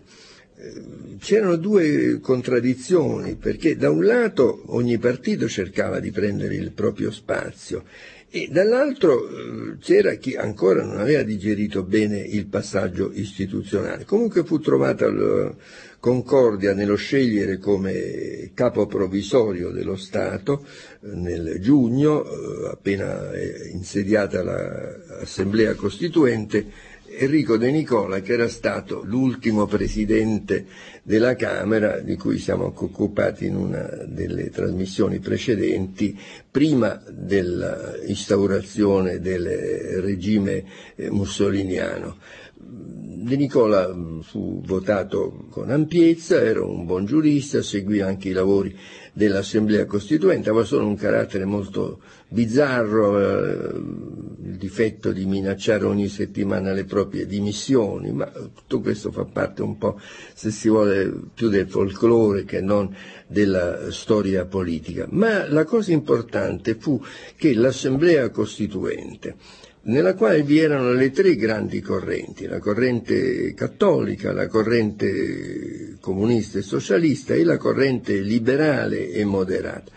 L'Assemblea Costituente riuscì a lavorare mettendo insieme il meglio delle tre correnti. Questo è un fatto che non si ripeterà mai più poi nella vita politica italiana, cioè giorno per giorno si eh, cercavano dei denominatori comuni e non si può dire che esista un articolo che sia il trionfo di una delle tre scuole e la sconfitta di una o delle altre due, no signore,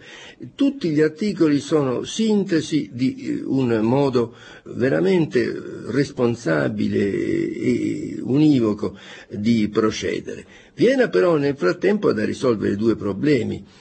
la situazione internazionale dell'Italia e il problema dei rapporti tra Stato e Chiesa. Era necessario che questo fosse risolto con una certa armonia, se non proprio l'armonia totale dell'Assemblea Costituente, ma con una certa armonia. E che qui si ha la necessità, credo da parte di tutti, obiettiva, di riconoscere il grande ruolo svolto da De Gasperi. I vincitori della guerra erano molto duri nei confronti delle nazioni che la guerra avevano perduto e in particolare nei confronti della Germania e nostri. Il eh, trattato di pace veniva eh, redatto da un comitato di 18 stati che eh, non accettava trattative con i perdenti e a fatica De Gasperi riuscì a ottenere di poter andare ad esporre al comitato dei 18 la posizione dell'Italia. Nello stesso tempo vi era la necessità di non rompere la coalizione interna, che durava ancora la coalizione del CLN, proprio perché non vi fossero pretesti da parte di alcuni di trattarci male in quanto eh, parlavamo con eh, voci differenti. Certo la situazione era ingarbugliata perché i comunisti facevano doppio gioco, Togliatti era presente a Parigi quando ci fu il eh, discorso di De Gasperi all'assemblea dei 18, ma non era presente all'assemblea, era andato lì e l'unica ambasciata che frequentava era l'ambasciata sovietica, per la verità. Eh, il popolo italiano eh, sentiva il peso di questa condizione di isolamento e di questa condizione di eh, dover pagare i conti eh, e lo Stato ha sempre una sua continuità, di dover pagare i conti che non erano del fascismo, erano dello Stato italiano, quindi ehm, la posizione del governo era una posizione quanto mai difficile perché doveva cercare di ottenere al massimo possibile e, e, le possibilità però che aveva di fatto erano eh, pressoché nulle. Dove De Gasperi fu estremamente bravo fu per il problema dell'Alto Adige, perché vi era una corrente, in modo particolare degli inglesi, ma molto partecipata, che vedeva nell'Austria la prima vittima di Hitler, perché Hitler aveva occupato l'Austria.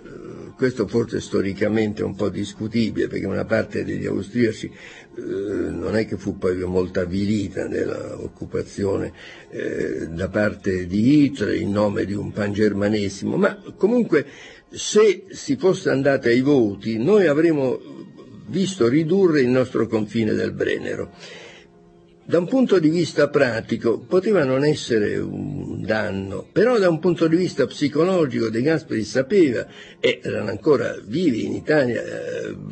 centinaia e centinaia di migliaia di famiglie che avevano avuto con la prima guerra mondiale morti, feriti, invalidi, quindi eh, toccare il confine del Breno significava fra l'altro lasciare un motivo di rivendicazione, questa era la spinta. De riuscì, accordandosi con il ministro degli esteri austriaco Grüber, a fare un accordo e eh, questo accordo fu poi mh, visto dai vincitori come un qualche cosa che li esonerava dal dover prendere posizione in questa materia. Questo fu, ripeto, un momento decisivo, l'accordo dava alla minoranza di lingua tedesca e a quella di lingua ladina delle possibilità di riconoscimento della loro cultura, anche di possibilità di attività legislative e fu un esempio, se uno riflette a tutto quello che è accaduto in Jugoslavia dopo la fine del regime eh, di Tito e la lacerazione che vi è stata, eh, capisce che cosa sarebbe accaduto se rimaneva aperta la questione dell'Alto Adige o se avessimo avuto delle penalizzazioni noi in quel momento. Comunque il trattato di pace doveva essere poi approvato dall'Assemblea Costituente. Quando parlo di trattato di pace uso un termine improprio dal punto di vista nostro, perché noi non trattammo, noi dovemmo accettare il trattato di pace. E vi era una forte opposizione, anche per orgoglio, compresi alcuni personaggi importanti, tipo Vittorio Emanuele Orlando, che eh, non rendendosi conto della realtà e in parte anche prigioniero di una figura storica di cui egli era portatore, fece all'Assemblea Costituente che doveva dare un voto al governo per autorizzarlo a controfirmare questo atto di accettazione e, mm, e non fu il solo, Orlando avvilì De Gasperi, parlò di cupidigia, di servilità, ma anche altri furono contro, però era necessario eh, questo boccone amaro e, e il voto alla fine si ebbe. De Gasperi aveva mantenuto, nonostante la situazione internazionale stesse lacerando il quadro e quindi rendendo pressoché impossibile la nostra collaborazione con i comunisti, fece il possibile per mantenere questa collaborazione sia per il momento di questo voto all'Assemblea Costituente, sia per il momento del voto sui rapporti tra Stato e Chiesa perché se si apriva o se si riapriva un dissenso in questa materia era anche qui una lacerazione in un momento in cui avevamo invece bisogno di un minimo di concordia. Fu un giorno quasi drammatico il 25 marzo del 1947 perché sulla carta noi eravamo in minoranza nel richiamare i trattati del Laterano nella Carta Costituzionale, però nella stessa giornata, con eh, l'embargo fino alle 6 di sera, Togliatti avvertì De Gasperi che i comunisti avrebbero votato a favore, cosa che era assolutamente eh, non prevedibile e l'embargo valeva anche per i suoi, perché disse anche i miei lo sapranno stasera, allora c'era una disciplina che in altri momenti non si è conosciuta, ma eh,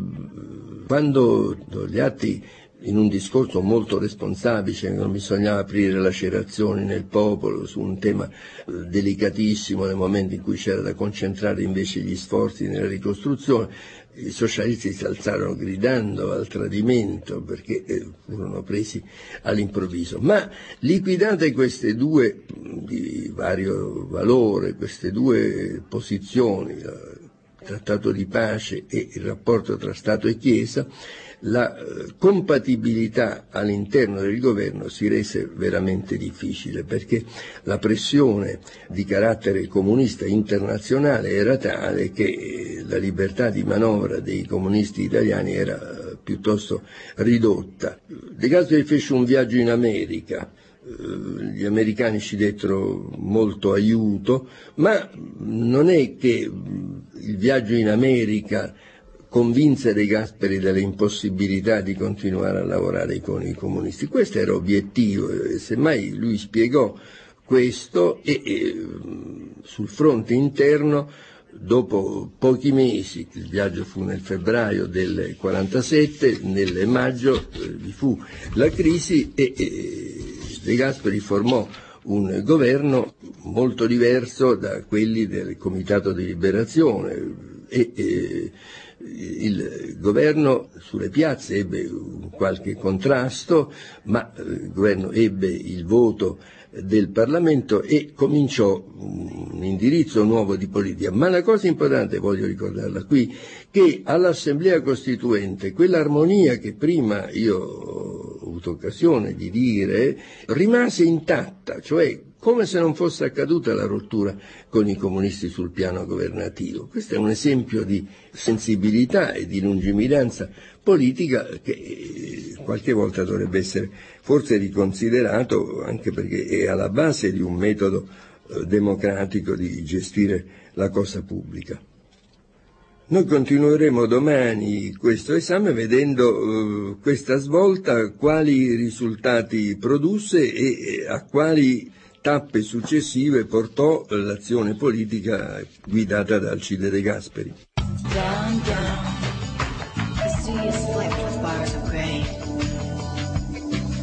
Il governo del maggio 47 ebbe alcune novità essenziali, a parte la non partecipazione dei partiti di sinistra, la presenza di uomini come Luigi Einaudi. Luigi Einaudi, professore di grande spicco all'Università di Torino, autore di articoli importanti nel Corriere della Sera, era rientrato dopo l'esilio del periodo dell'occupazione tedesca dalla Svizzera ed era divenuto governatore della Banca d'Italia. Una personalità così eccezionale poteva anche abbinare i due incarichi, cosa che non sarebbe mai più accaduto dopo, essere cioè ministro del bilancio e governatore della Banca d'Italia. Il prestigio anche internazionale di Einaudi eh, giocò molto perché eh, la situazione monetaria italiana era una situazione tremenda, nel senso cioè che eh, il valore della nostra lira era più o meno polverizzato, in più vi era stata la emissione di lire da parte del governo militare alleato, quindi questa doppia circolazione, e era un aspetto. La prospettiva del governo fu posta su tre indirizzi. Il primo, preparare la prima legislatura, cioè si era ormai a pochi mesi dal termine del lavoro della Costituente e si doveva varare la legge elettorale e arrivare alle elezioni per il primo Parlamento, Camera dei Deputati e Senato della Repubblica. Secondo, occorreva, direi, abbinare dei programmi magari estemporanei di eh, ricostruzione immediata delle distruzioni eh, operate durante la guerra con delle linee di sviluppo che facessero crescere il eh, tono della nostra economia e questo in una linea anche di grande comprensione sociale. Ma eh, incombeva, tra l'altro, in modo molto preminente una eh, collocazione di livello internazionale. L'Italia pagava ancora duramente il eh, prezzo per l'isolamento con il quale eh, il periodo fascista l'aveva collocata. Forse converrà dire subito che per entrare nelle Nazioni Unite noi abbiamo dovuto soffrire e patire molto. Noi siamo entrati nell'ONU soltanto nel 1955, quindi sette anni dopo il periodo del termine dell'Assemblea Costituente. La prospettiva delle elezioni era eh, da affrontarsi prima di tutto, come ho detto, con una legge elettorale salvo qualche piccola voce dissenziente, la concordia nell'adottare il sistema del proporzionale fu spontanea e molto diffusa. C'era poi un piccolo problema una tantum, cioè nell'assemblea eh, costituente sedevano personaggi di grandissimo spicco, appartenenti al passato e eh, alcuni eh, che avevano come carta di credito politico i lunghi anni sofferti in prigione per eh, ragioni di persecuzione. Allora si stabilì una norma transitoria che per la prima legislatura nel Senato della Repubblica sarebbero entrati come senatori di diritto tutti questi costituenti diciamo eccellenti e eh, vedremo poi quale fu l'effetto pratico. La Costituzione fu varata in tempo utile, entrò in vigore il primo gennaio del 1948 e tutto da quel momento fu eh, dedicato alle elezioni che eh, si svolgevano naturalmente da parte della sinistra in uno spirito di ricerca, di rivincita dalla loro estromissione dal governo e da parte della democrazia cristiana e dei partiti di centro invece per consolidare questa linea e, impostarla su programmi molto precisi, molto accessibili anche dalla gente. L'Italia non votava, salvo le elezioni per la Costituente, ma l'Italia non votava dal 1921 elezioni vere, quelle del 24 erano state, come ho già detto, piuttosto sofisticate con quell'enorme premio di maggioranza. La situazione internazionale stava prendendo un risvolto di una preoccupazione enorme. Un'iniziativa di Mosca in un certo senso ci aiutò. Mosca chiamò a raccolta i partiti comunisti dell'Europa occidentale in una riunione che doveva rimanere riservatissima e dalla quale uscì un vero e proprio strumento di coordinamento politico e di azione tra questi partiti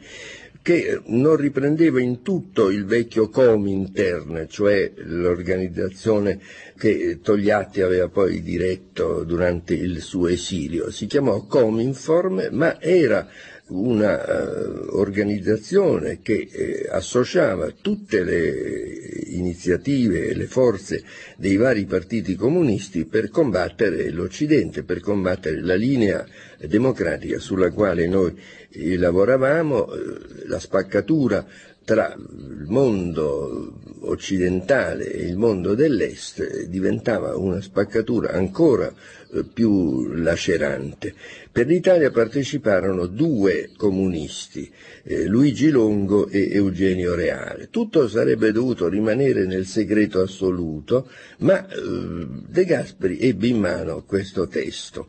Lo ebbe, posso dirlo, dal direttore di un giornale di quel momento, Realino Carboni, che dirigeva il Momento Sera. Quale dei due, posto che eh, furono uno dei due a darlo, io non lo so, però la sicurezza che il testo era quello.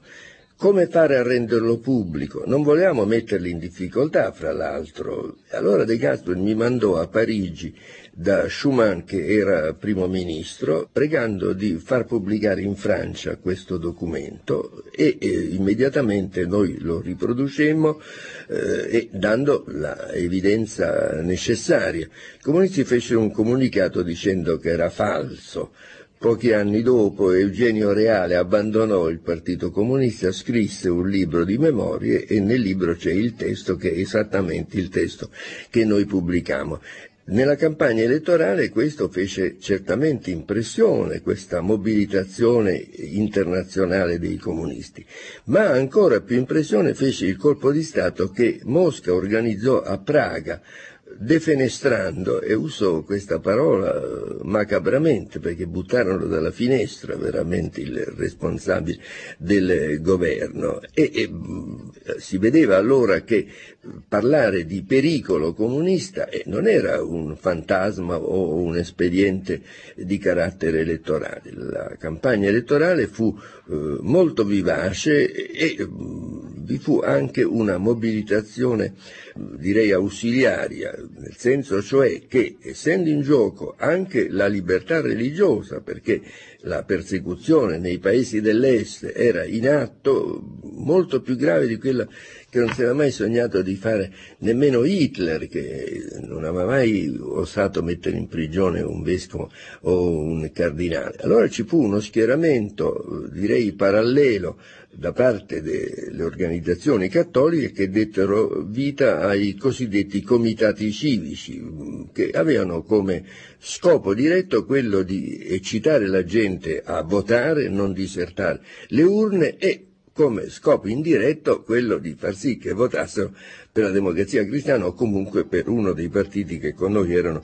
collegati nel governo. La campagna elettorale fu molto vivace, De Gasperi vi partecipò con un entusiasmo, vorrei dire, giovanile, manifestazioni di piazza erano enormi in un senso e nell'altro, la tensione era molto forte fu la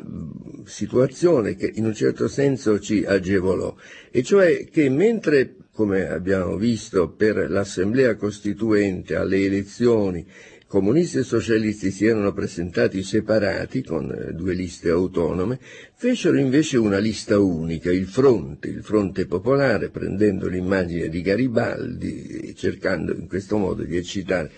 uno spirito direi risorgimentale e di mettere in ombra per quanto possibile le caratteristiche eh, comuniste proprio perché eh, il peso di Mosca eh, non era considerato un elemento che aiutava nella raccolta di voti. Il risultato fu straordinario sia come partecipazione e sia come risultati. La democrazia cristiana ebbe la maggioranza assoluta che però per eh, la ragione che ho detto prima e l'esistenza nella prima legislatura di un numero che era circa un centinaio di senatori di diritto, al Senato noi non avevamo maggioranza numerica. Tant'è vero che io, che dal maggio del 47 ero sottosegretario alla presidenza, fui incaricato da De Gasperi di curare in modo particolare i rapporti con eh, i senatori e metà della mia giornata la trascorrevo a Palazzo Madama in un modo molto gratificante perché avere a che fare con eh, Orlando, avere a che fare con Nitti, avere a che fare con eh, Paratore, con Croce era qualcosa da un lato mi intimidiva, ma dall'altro eh, lei mi esaltava nella eh, vivacità di un eh, rapporto politico. Le linee del governo erano prevalentemente concentrate verso due obiettivi. Una eh, riforma che desse il senso vero di una trasformazione sociale e la collocazione di politica estera rafforzata e chiara. Le riforme furono eh, individuate in modo particolare in eh, due settori. Il latifondo, cioè dividere le grandi proprietà agrarie e dare la terra ai contadini con adeguati sussidi per poterla poi mettere in valore e la cassa per il mezzogiorno, cioè dare per la prima volta uno strumento legislativo e con adeguati finanziamenti per far sì che il Mezzogiorno d'Italia riducesse la propria disparità di livello rispetto a quello che era il Nord che aveva potuto cominciare 50 anni prima il processo di industrializzazione quando morì De Gasperi, una frase molto bella la disse un comunista importante, Giorgio Amendola, disse non avremo più un Presidente del Consiglio capace in pochi mesi di mettere in piedi un progetto di riforma eh, e di farselo approvare dal Parlamento e di metterlo in atto. Queste furono naturalmente poi con eh, controindicazioni anche, perché chi perdeva la terra eh, non è che diventava un entusiasta, e anche la politica verso il sud, nel nord non c'era la Lega allora, però una certa diffidenza nei confronti dell'Italia meridionale e eh, vedere specialmente dare dei privilegi per la crescita dell'Italia meridionale era abbastanza diffusa, quindi furono due controindicazioni che però non fecero affatto modificare a De Gasperi quello che era il suo preciso indirizzo, l'aveva detto prima delle elezioni, e una delle sue massime era quella, eh, bisogna nelle elezioni promettere sempre un po' meno di quello che si è sicuri di poter mantenere. In un mondo nel quale vi era questa sfida di Mosca, è chiaro che occorreva al massimo possibile una concentrazione di forze per difendersi. Uno strumento fu il patto atlantico, il patto atlantico che era imperniato sull'associazione di forze militari tra Stati Uniti d'America e Canada da un lato e i paesi dell'Europa occidentale dall'altro, con una finalità precisa di essere sempre un po' più forti degli altri per scoraggiarli ad attaccarci, cioè di dissuasione, si chiamava deterrenza e eh, devo dire che all'inizio eh, questo fu considerato eh, pretestuoso, che non fosse vero, che era invece un modo per voler andare contro le aspirazioni del popolo, ma l'avvenire avrebbe dato poi ragione. Dopo molti anni il patto atlantico ha, ha avuto il suo successo, non ha mai dovuto sparare un colpo di cannone e, e l'Unione Sovietica si è dissolta. Eh, certamente De Gasperi questo non lo vide, però era assolutamente convinto. Ci furono delle difficoltà psicologiche, perché il mondo cattolico all'idea di un patto militare era piuttosto refrattario furono superate in un modo brillante su suggerimento a De Gasperi da parte di Mozio Montini, che era molto amico di De Gasperi, a sua volta era figlio di un deputato popolare che era stato una delle vittime dell'epurazione che il fascismo aveva fatto di tutti i parlamentari non obbedienti, fu suggerito di far venire l'ambasciatore italiano a Washington, Alberto Tarchiani, che era persona politicamente appartenente al vecchio partito d'azione, un uomo laicista profondo, e farlo parlare col Papa, spiegare al Papa che cosa era veramente il Patatante. E questo ebbe una capacità straordinaria di far capire al mondo cattolico quanto fosse necessario e che il patto era un patto difensivo e serviva alla pace, non era un patto che portava verso avventure. L'opposizione al patto atlantico da parte della sinistra fu atroce, non c'è stata mai in Parlamento una lotta così dura, durò tre giorni e tre notti, ma De Gasperi volle che fosse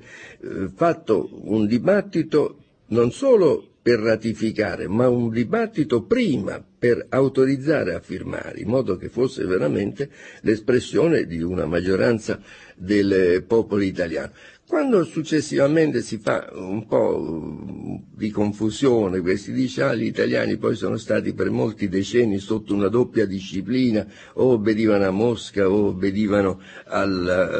forza degli Stati Uniti, ma manco per sogno. Da un lato vi era il patto atlantico, era un patto che lo Stato italiano aveva firmato, che il popolo italiano aveva confermato e quindi era una obbligazione di carattere internazionale la uh, solidarietà invece tra partiti comunisti era un fatto interno di partito, quindi non si può assolutamente equiparare questo uh,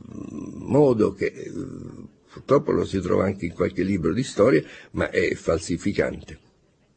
Domani sera riprenderemo questa scorribanda e, spero che almeno nelle linee essenziali si dia la sensazione precisa di quello che fu un momento di svolta veramente per la nostra nazione. Due persone nel governo dettero a De Gasperi per quello che riguarda la politica estera una collaborazione di grandissimo rilievo. Il ministro degli esteri Carlo Sforza, Carlo Sforza veniva dalla diplomazia, era stato in esilio nel periodo fascista ed era tornato con grande prestigio e il ministro della difesa Randolfo Pacciardi. Pacciardi aveva le carte in regola in questo senso, che aveva durante la guerra di Spagna militato insieme alla sinistra, militato contro Franco, quindi il fatto che due persone così rilevanti affiancassero De Gasperi in questa linea nuova, questa linea occidentale, questa linea di difesa, ci dava anche nel rapporto con gli altri paesi una carta piuttosto notevole, ma vi era una grande armonia nel governo, in modo particolare accanto a eh, persone eh, che avevano una competenza specifica nel campo economico, vi erano persone che eh, avevano culturalmente un grandissimo rilievo, quindi l'impatto esterno del governo era un impatto notevole. Vanoni, Pella, La Malfa, persone che conoscevano bene i problemi economici, quindi questi due binari della politica economico-sociale e della politica estera eh, avevano la possibilità di essere gestiti sotto la guida politica di De Gasperi, ma in modo molto penetrante e molto efficace. E man mano si ricostruiva una certa amicizia con una linea che deve essere sottolineata. L'anno precedente vi era stata una iniziativa, forse la prima iniziativa di Unione Europea, il patto di Bruxelles che era stato fatto, ma De Gasperi giustamente non fece aderire perché? Perché era fatto in una posizione di grande diffidenza, anzi di grande ostilità nei confronti della Germania. Ora De Gasperi diceva guardate la storia non si deve ripetere, la Germania ha avuto la sua tragedia perché sul senso di essere stata trattata male dalla fine della prima guerra mondiale era poi nato eh, tutto il rivendicazionismo eh, di Hitler e mm, diceva attenzione io non so di che colore sarà la camicia dei tedeschi tra dieci anni, ma se noi non integreremo fortemente la Germania nel campo politico e nel campo economico, certamente non sarà una camicia democratica. E qui viene allora la precisa richiesta che anche noi facemmo che eh, bisognava lavorare con la Germania e che anche la Germania doveva al più presto possibile, risolti i suoi problemi diplomatici del trattato di pace, entrare a far parte del patto atlantico. Nelle campagne sulle piazze la vita non era facile, l'opposizione era molto attiva, eh, contestava e direi le condizioni obiettive anche erano tali da rendere facile questa attività eh, che poi eh, giuridicamente si chiamava eversiva. Mi spiego, prendo eh, la zona di Giuseppe Di Vittorio, il grande comunista leader eh, del sindacato rosso, e la zona Cerignola e tante altre zone della Puglia e altrove, avevano una tale eccedenza di braccianti che per dare loro tre giorni al mese di lavoro occorreva un decreto del prefetto, l'imponibile di manodopera si chiamò. Questo va detto perché eh, certamente l'opposizione ha eh, un vigore di carattere politico, ma quando eh, direi la base su cui si lavora è una base nella quale veramente vi era una posizione di enorme disagio e, e la situazione era molto complicata. Certamente il messaggio che veniva dato con le riforme era un messaggio di serietà, un messaggio di mantenimento di eh, fedeltà a quelli che erano i programmi costruttivi della democrazia cristiana e degli altri partiti che lavoravano eh, con noi. Però di tanto in tanto eh, succedevano incidenti e occorreva per difendere l'ordine pubblico una mano molto ferma. Qui si pone uno dei collaboratori più forti di De Gasperi, Mario Scelba. Scelba era stato da giovane un segretario di Luigi Sturzo, non aveva mai piegato e aveva fatto una vita grama nel periodo fascista perché era sempre rimasto in una posizione di grandissima fermezza democratica e eh, Scelba eh, creò una polizia che era una polizia efficiente, naturalmente era eh, uno dei punti di, di lotta più, più, forti, ma, ma mm, la celere che era però una necessità perché se la situazione naufragava eh, tutto si sarebbe messo in avaria, il risultato delle elezioni sarebbe stato nullificato. Scelba veramente riuscì a dare, siccome nessuno poteva eccepire sulla sua personale fedeltà democratica e sulla sua linearità costante di antifascista, pur essendo odiato, pur essendo oggetto di campagne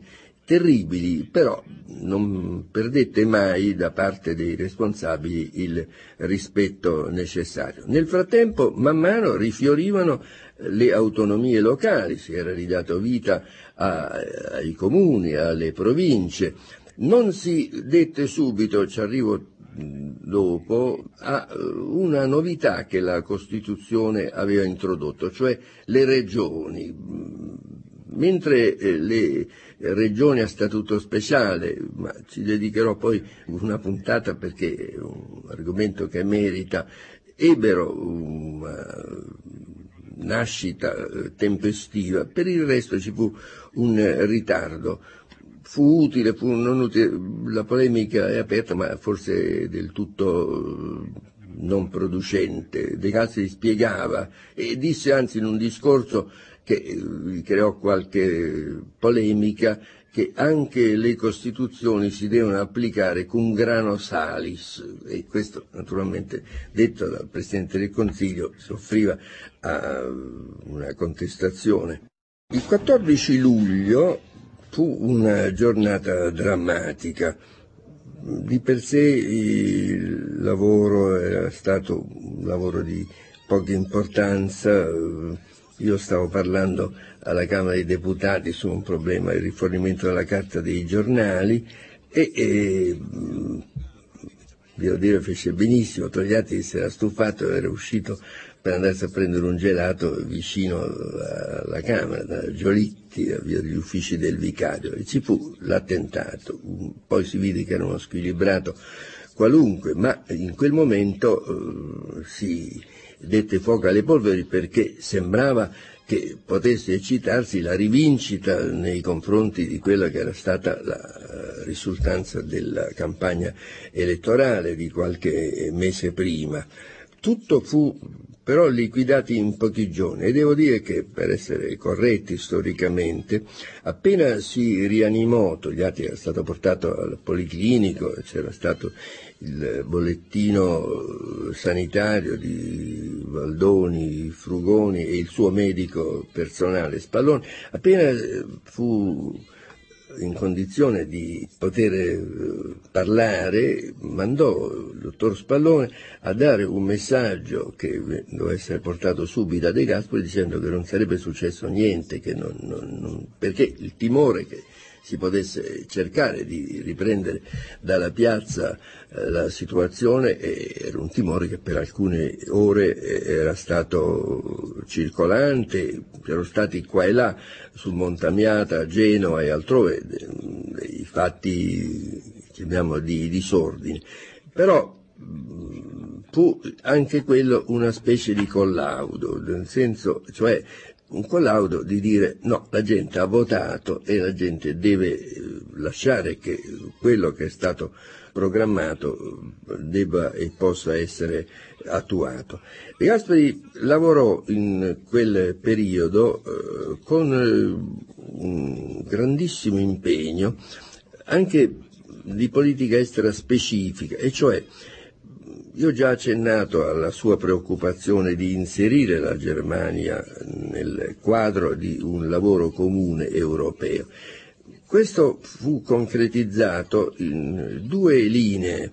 Una prima nella comunità del carbone e dell'acciaio. Carbone e dell'acciaio erano eh, gli argomenti per cui Francia e Germania erano direi storicamente contrapposte e, e la guerra probabilmente la prima o la seconda, non come unico fatto, ma come fatto molto incisivo, nasceva proprio eh, da questa realtà di eh, dominio sul carbone e sull'acciaio. Allora la creazione di una messa a fattore comune di un organismo che eh, avesse anche una rappresentatività politica eh, fu eh, da De Gasperi insieme a colleghi francesi, a colleghi tedeschi ideata la CECA, la Comunità Europea del Carbone e dell'Acciaio, con un'assemblea rappresentativa che fu anche il primo nucleo di vita europea. Vi era poi il problema militare, che doveva succedere? Eh, ho detto prima di questa idea di alleanza interatlantica delle forze, ma come si doveva strutturare all'interno dell'Europa la eh, realtà difensiva militare? Da idee miste di De Gasperi in particolare in questo caso di francesi nacque l'idea di un esercito europeo, di una comunità europea di difesa.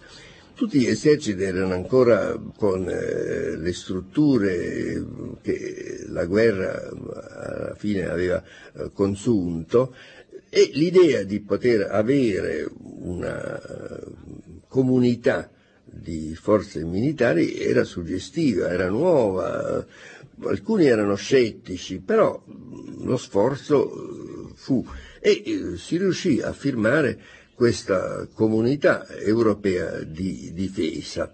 nel 1951. Cominciò però da un lato una fortissima opposizione da parte comunista e socialista, del resto in tutti i paesi ci fu da parte delle sinistre legate a Mosca perché eh, si pensava che questo eh, volesse dire rafforzare in via stabile l'Occidente ed era così, ma in modo particolare vi era una diffidenza nei confronti dei tedeschi, perché eh, si temeva che i tedeschi allora potessero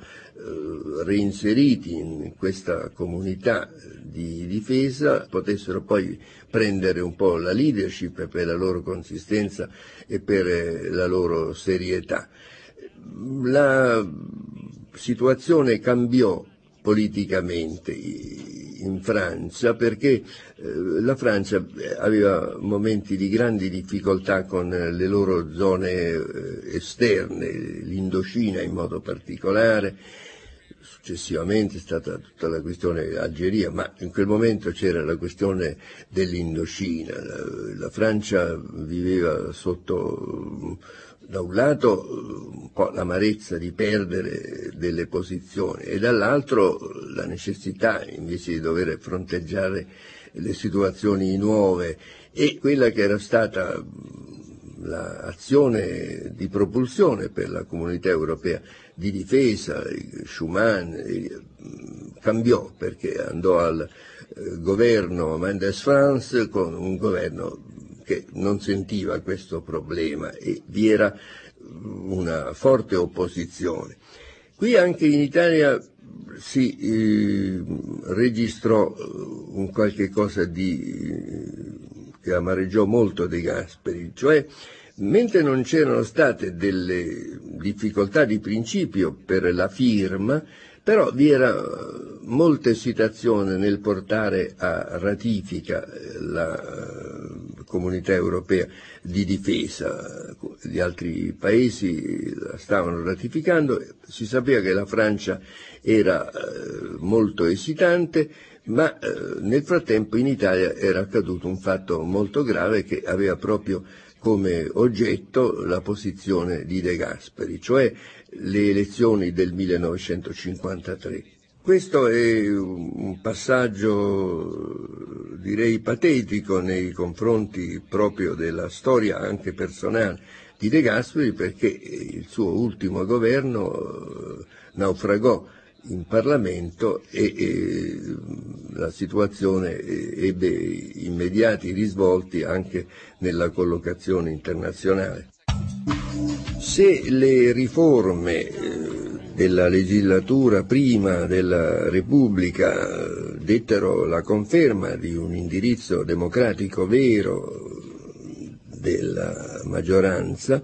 Eh, però i colpiti non è che stavano con le mani in mano e c'era una reazione piuttosto forte. In più le speranze che si erano accese erano forse superiori a quello che poteva essere realizzato dal governo e man mano eh, si vide che eh, proprio eh, quello che era stato il massimo di concentrazione di favori che eh, nell'aprile 48 aveva portato al risultato quasi trionfale eh, non poteva essere ripetuto. si vide che nelle elezioni amministrative si perdeva quota e questo creò molto nervosismo, in modo particolare nei partiti minori del governo, che spinsero molto per una riforma elettorale. Fu una campagna eh, molto dura, si stabilì eh, un premio di maggioranza. Per carità, non si poteva richiamare il premio di quello che era stata la legge Acerbo, che con un quarto si prendevano i tre quarti del Parlamento. Qui però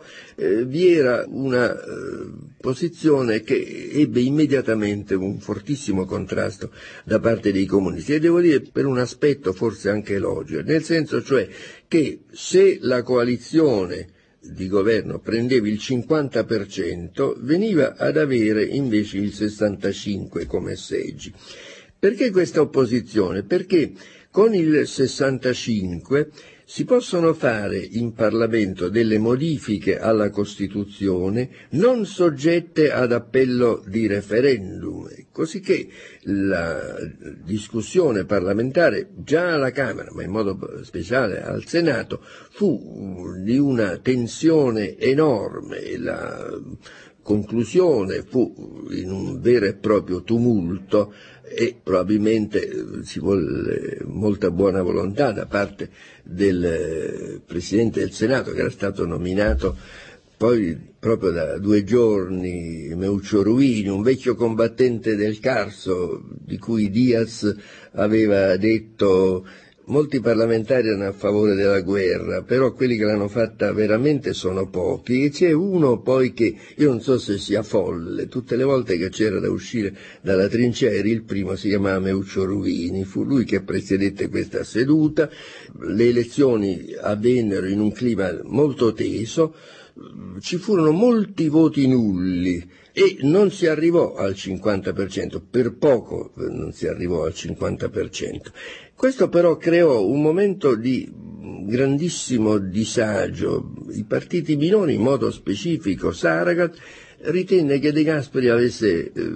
fatto degli accordi segreti con Nenni, che non era vero, ma nemmeno all'uno per mille. Però eh, si mise sotto la tenda, non volle partecipare alle discussioni per fare il governo e mm, De Gasperi avrebbe voluto ritirarsi. Fu Einaudi, Presidente della Repubblica, che lo pregò dicendo beh alla fine tanto dovranno poi votare. Invece non votarono. De Gasperi, il suo ultimo governo, lo vide sconfitto in Parlamento. Fece un appello ai monarchici perché eh, potessero dare un po' di sollievo, ma i monarchici non accettarono perché ritenevano che De Gasperi volesse in un certo senso superare l'estate e poi ritornare alla coalizione con i partiti tradizionali. De Gasperi alla fine di luglio del 1953 fu sconfitto in Parlamento e fu molto amara per lui questa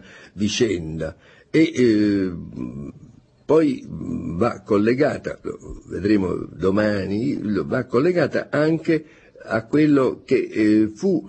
il mancato voto italiano proprio per la comunità europea di difesa. La sfiducia De Gasperi era stata votata alla fine di luglio del 1953 e eh, l'incarico di formare il governo fu dato dal Presidente della Repubblica al Ministro del Tesoro direi in una veste quasi tecnica, cioè di eh, preparare il bilancio e di superare un momento di impossibilità di accordo tra i partiti. De Gasperi non solo non fu contrario, ma anzi, per esempio,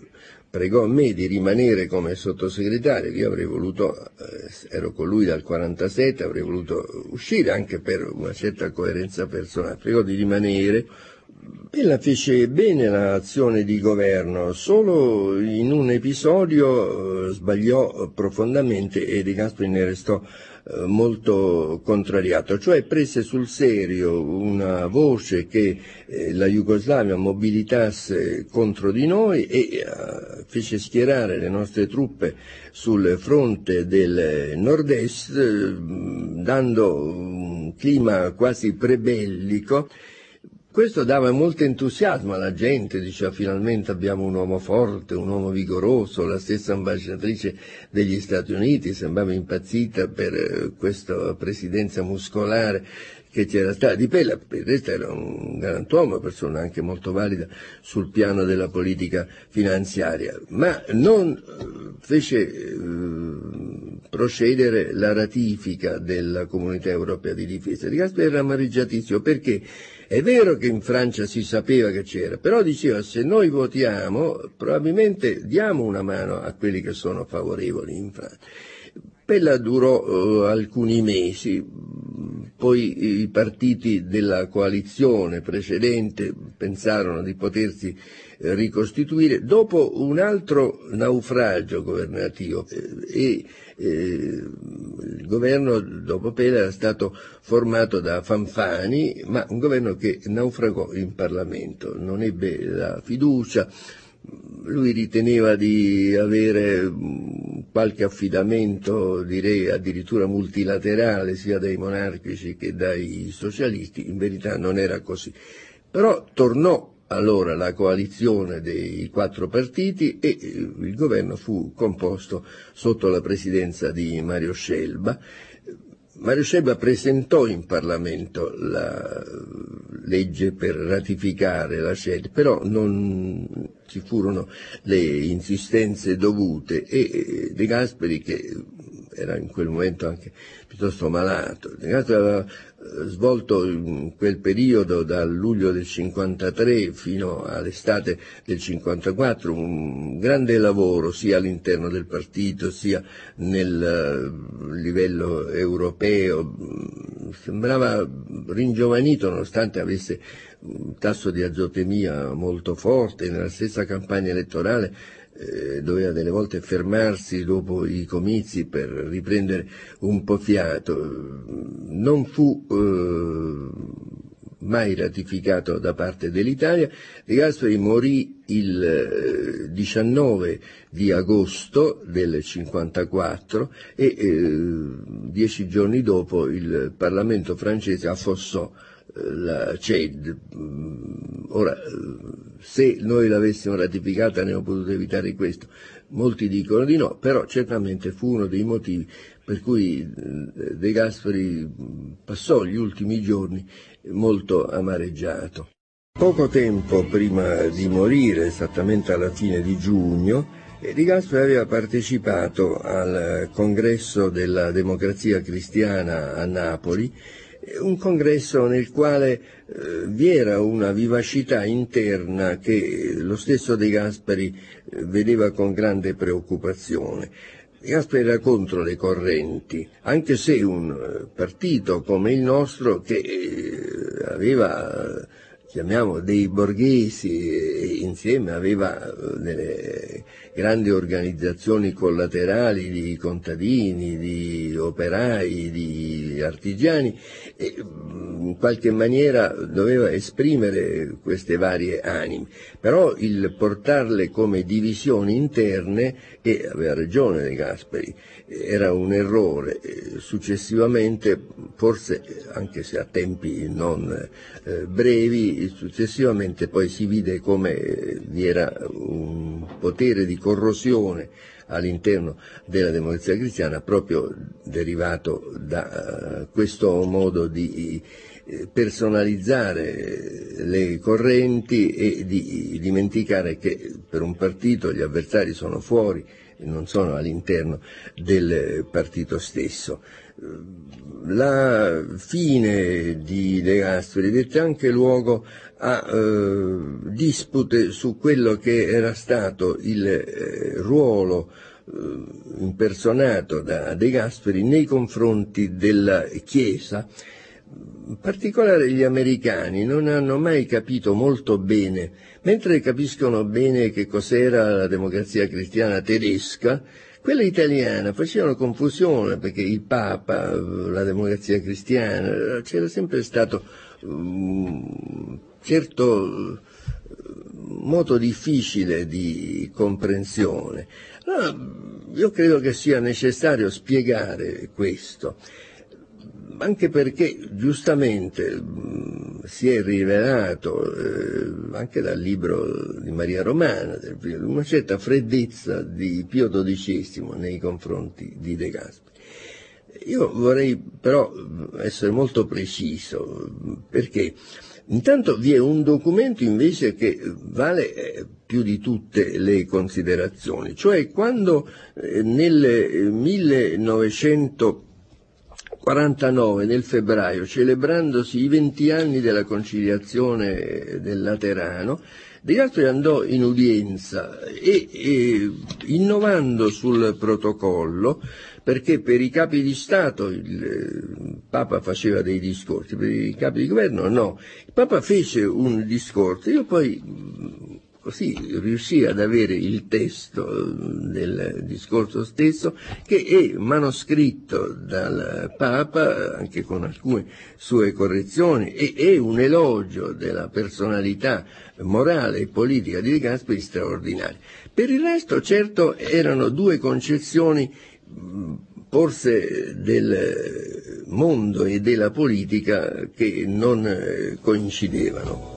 Non è possibile descrivere la fisionomia politica di De Gasperi eh, senza vedere quello che lui ha seminato e che poi è stato coltivato ed è stato portato a compimento. In modo particolare questo riguarda eh, l'Unione Europea, che era stato uno dei grandi sogni e che aveva avuto quel primo tentativo eh, a parte la comunità del carbone e dell'acciaio, nella eh, comunità europea di difesa, che però andato in naufragio era poi rimasto così come una specie di sogno piuttosto vago, ma quando fu ripreso il lavoro per eh, cercare di concretizzarlo in un campo possibile, cioè nel campo economico, direi l'ombra positiva di De Gasperi era presente in tutte le riunioni, anche persone non eh, democratiche cristiane. Il ministro degli esteri Gaetano Martino eh, si rifaceva eh, frequentemente a quello che era stato l'insegnamento di De Gasperi, cioè eh, di mettere per un momento da parte quelle che erano intese europee di carattere militare, fermo restando quello che è l'impegno comune nel patto atlantico, ma di dar vita ad una comunità economica. Questo si realizzò nel marzo del 57, quindi certamente eh, Gasperi non era più vivo, però nessuno non abbinò in quel giorno nel Campidoglio quando si firmarono i trattati di Roma, il, la comunità europea eh, economica e eh, la comunità dell'Euratom, eh, non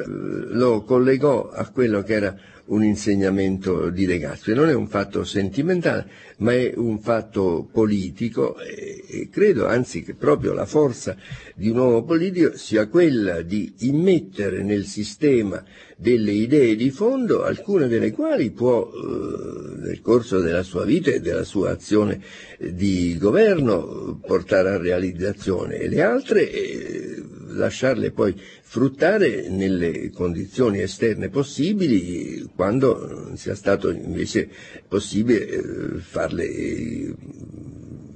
arrivare a compimento nell'immediato, cioè la continuità sostanziale di una linea politica ed è la linea politica di De Gasperi.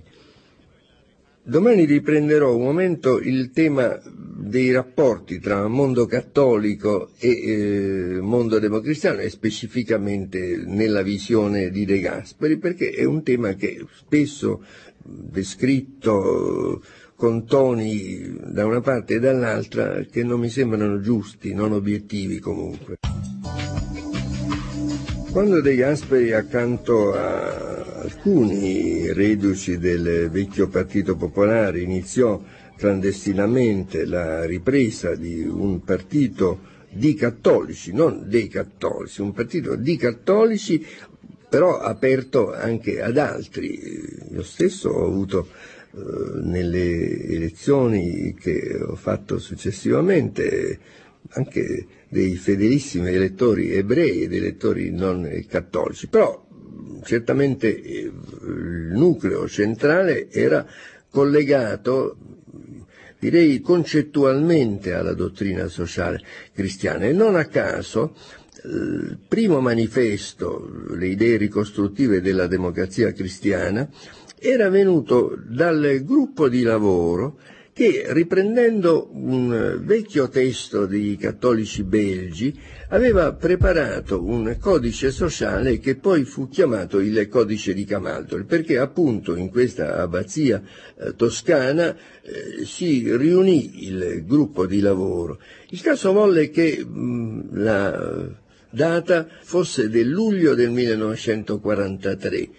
quindi eh, due giorni dopo che si era iniziato questo lavoro venne il bombardamento di Roma. Io stesso, per esempio, che non perché scientificamente valessi qualche cosa, ma ero stato immesso in questo gruppo di lavoro perché presidente degli universitari cattolici, eh, dovetti riprendere la strada, venire a Roma a vedere che era successo a mia madre e eh, la settimana si svolse e eh, concluse, guarda, stranamente si può dire, con il 25 luglio, il giorno in cui Grandi eh, fece approvare eh, dal Gran Consiglio del Fascismo l'ordine del giorno con il quale Mussolini fu poi messo in pensione, eh, con quel modo così un po' approssimativo perché il decreto del re dice viste le dimissioni, per la verità le dimissioni non ha mai date eh, Mussolini, però sono piccoli accorgimenti. Comunque per rimanere nel eh, nostro tema, vi è un indirizzo che è un indirizzo che contrasta sia con quello della fiducia illimitata nel libero mercato, che le cose si adattino automaticamente, eh, lasciando che eh, la libertà eh, si attui nella maniera più piena anche nel mondo economico, sia invece quelle di un dirigismo che poi portava all'esasperazione nei partiti eh, che si ispiravano alle dottrine dell'Est e che all'Est poi non avevano certamente prodotto benessere né sviluppo di carattere economico. Questa eh, coesione, direi, tra un indirizzo sociale cristiano e un indirizzo politico di cattolici che si rimettevano insieme e che facevano appello anche a molti giovani perché si associassero e rappresentò quella che è una linea che è caratteristica. C'era chi questa linea la favoriva e chi invece pensava che fosse più giusto che anche dei cattolici praticanti e militanti potessero appartenere se non a tutti i partiti ma almeno a due partiti contrapposti, uno di carattere più conservatore e uno di carattere più innovativo. La linea di De Gazzoli fu invece la linea che prevalse ed era stata una linea invece di mm, possibile raccolta in un eh, fattore comune. C'era però un punto delicato, cioè la collaborazione con eh, forze che invece erano culturalmente e anche direi dottrinalmente eh, non solo laiche, ma alcune laiciste, cioè militanti contro il nostro modo di vedere. Però la situazione politica era tale che occorreva trovare su precisi programmi comuni di governo l'intesa con queste forze. Fu il grande sforzo che De Gasperi compì e qualche volta eh, ebbe da parte del Vaticano anche della incomprensione, sulla quale però non bisogna esagerare. Dopo la mobilitazione che nell'aprile del 48 aveva prodotto il risultato così brillante che poi aveva consentito di iniziare una politica sia interna che estera di grande costruttività e man mano che eh, però si raffreddava la situazione e che mm, anche la destra riprendeva una certa consistenza. La destra estrema, il movimento sociale, una consistenza limitata, ma la destra monarchica una consistenza invece di un certo rilievo, specie nell'Italia meridionale. E la preoccupazione di De Gasperi qual era? Di far capire che questa raccolta eh, in nome della monarchia non era assolutamente produttiva dal punto di vista politico, perché nessuno si poteva illudere nella restaurazione e questo era abbastanza pacifico. Però se si toglievano consistenti appoggi alla democrazia cristiana e si creava consistenza a sua volta al partito monarchico rilevante, di fatto poteva venire a beneficiare la sinistra per eh, una legge dei numeri e eh, De Gazzi di questo era stato molto preoccupato. E mm, posso dirlo, del resto anche una volta l'ho scritto, mi mandò una volta a trovare il re che era a Neuilly, a Parigi, ospite di amici, per eh, spiegare dicendo guardate che eh, qui si rischia di far vincere la sinistra in Italia se continua questo logorio eh, a danno della democrazia cristiana.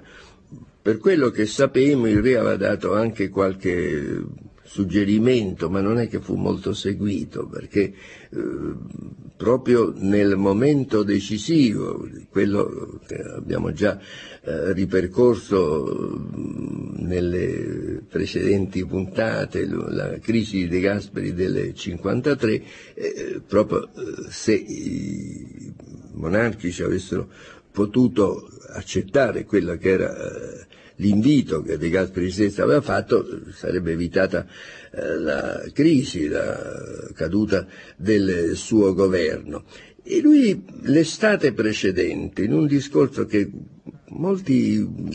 hanno dimenticato, forse perché è un discorso fatto il 31 di agosto, la gente eh, sta al mare, ai monti, no? ma a Predazzo celebrava eh, lui i 50 anni della sua vita politica e fece un discorso nel quale fece una distinzione netta tra monarchici e missini, dicendo con eh, i gambalati, li chiamava così, io non posso avere assolutamente alcun rapporto, sarà un errore mio, ma dopo tutto quello che abbiamo passato in Italia, quello è un capitolo chiuso. Mentre invece con gli altri può essere fatto un discorso perché non si tratta di un problema di restaurazione, ma si tratta però di valori comuni di un tipo di società nel quale si può non essere in disaccordo. Questo è um, qualche cosa che gli creò un po' di opposizione da parte anche interna di democrazia cristiana e anche su questo forse conviene fare un momento di riflessione, eh, ricostruendo, come stiamo facendo, la fisionomia di De Gasperi, perché eh, torna ancora eh, frequente questo contrapporre i giovani più arditi a De Gasperi che sarebbe stato più accomodante, che sarebbe stato proprio per questa sua mano tesa in quel momento al partito monarchico sarebbe stato invece più transigente. All'interno della democrazia cristiana vi era stato ad un certo momento un gruppo di prevalenza milanese, Università Cattolica o comunque del nord, eh, imperniato su Dossetti e su Fanfani, che avevano preso una posizione eh, molto polemica nei confronti della democrazia cristiana così come era. C'era una disputa, fra l'altro, tra partito organizzato e partito di opinione. Gasperi era più del partito di opinione ci fu una volta una frase che forse abbiamo capito poi molti anni dopo, quando ci sono state molte polemiche. Disse, eh, signori miei, però i partiti organizzati costano Partito organizzato però eh, secondo la spinta di questo gruppo eh, che contestava era a loro avviso necessario in quanto il Partito Comunista era organizzato, era collegatissimo alla Confederazione eh, Generale Italiana del Lavoro e, e ora anche nella visione de Gasperiana c'era invece il senso di collateralismo con eh, la Confederazione dei Sindacati Liberi, con i coltivatori diretti, ma però sempre con una forma non così rigida e non eh, eh così strutturata. Certamente avere in ogni borgata, in ogni eh, comune, avere una presenza organizzativa eh, poteva fronteggiare meglio quella che era la vivacità eh, degli avversari. Ci fu un po' di scontro, Gasperi però cercò di mediare fece anzi al congresso di Venezia della democrazia cristiana, aveva invitato questi giovani, venite alla stanga, usò questa espressione, tra questi giovani vi era, adesso non parlo poi tanto di età anagrafica, ma parlo di visione, vi era la Pira. Pira era un personaggio, una santissima persona, però era un personaggio sotto questo profilo scomodo, la Pila diceva se una cosa è giusta va fatta e i mezzi poi si devono trovare per forza. E si trovò qualche volta in contrasto con l'azione di governo. E ricordo anche un Consiglio nazionale molto vivace nel quale De appunto diceva, signori, quando eh, si hanno idee è una cosa stupenda, però per poterle realizzare occorrono dei mezzi e i mezzi non sono mai illimitati. E ci fu questo tipo eh, di disputa, ognuno ha un suo temperamento, poi nella nostra eh, famiglia così variegata, anzi forse questa vivacità dava anche mm, una certa lucentezza, un certo eh, splendore, eh, però mh, mm, siccome ancora adesso sorge, poi mh, Dossetti lasciò, Dossetti, ma lasciò perché divenne sacerdote, ora siccome noi ci ha insegnato che il Signore si chiama i sacerdoti, insomma, la vera vocazione di Dossetti secondo me era quella, con alcune intuizioni notevolissime, per esempio sul problema del Medio Oriente, anche culturalmente, Dossetti aveva delle idee straordinarie, la Pira sui suoi convegni che metteva insieme palestinesi ed israeliti, insomma, era una, direi, un'anticipazione di quello che sarebbe stata una linea di carattere generale, però eh, erano eh, così delle posizioni direi un po' estreme e mm, il centrismo di De Gasperi invece era una realtà non tattica ma concettuale. Quali erano i rapporti di De Gasperi con eh, gli altri partiti mm, e con le persone, anche quelle che collaboravano con lui al governo, erano di grande rispetto e eh, in modo particolare c'era una linearità che era così marcata che forse è rara nel mondo politico e non era facile ad essere compresa. Per esempio quello che abbiamo visto fu il motivo immediato della crisi del suo ultimo governo, cioè la rivolta di Saragat che riteneva che De Gasperi avesse una simpatia, una specie di feeling nei confronti di Nenni, eh, cominciava a dire erano stati insieme al Laterano, quindi si parla, e che non è assolutamente, a parte che erano due caratteri completamente opposti. Poi non è vero, perché è vero che De Gasperi aveva ricevuto Nenni quando Nenni tornava l'anno precedente da Mosca dove aveva ricevuto il premio Stalin, però gli riferì una cosa sintomatica, cioè che lui aveva detto a Stalin io mi batto per un'Italia neutrale. E Stalin aveva detto, ma guarda che l'Italia per la sua storia e per la sua collocazione geografica non può essere neutrale. L'essenziale è non essere oltranzisti nelle alleanze. Allora questa frase, che poi divenne il cavallo di battaglia di Nenni, l'oltranzismo atlantico,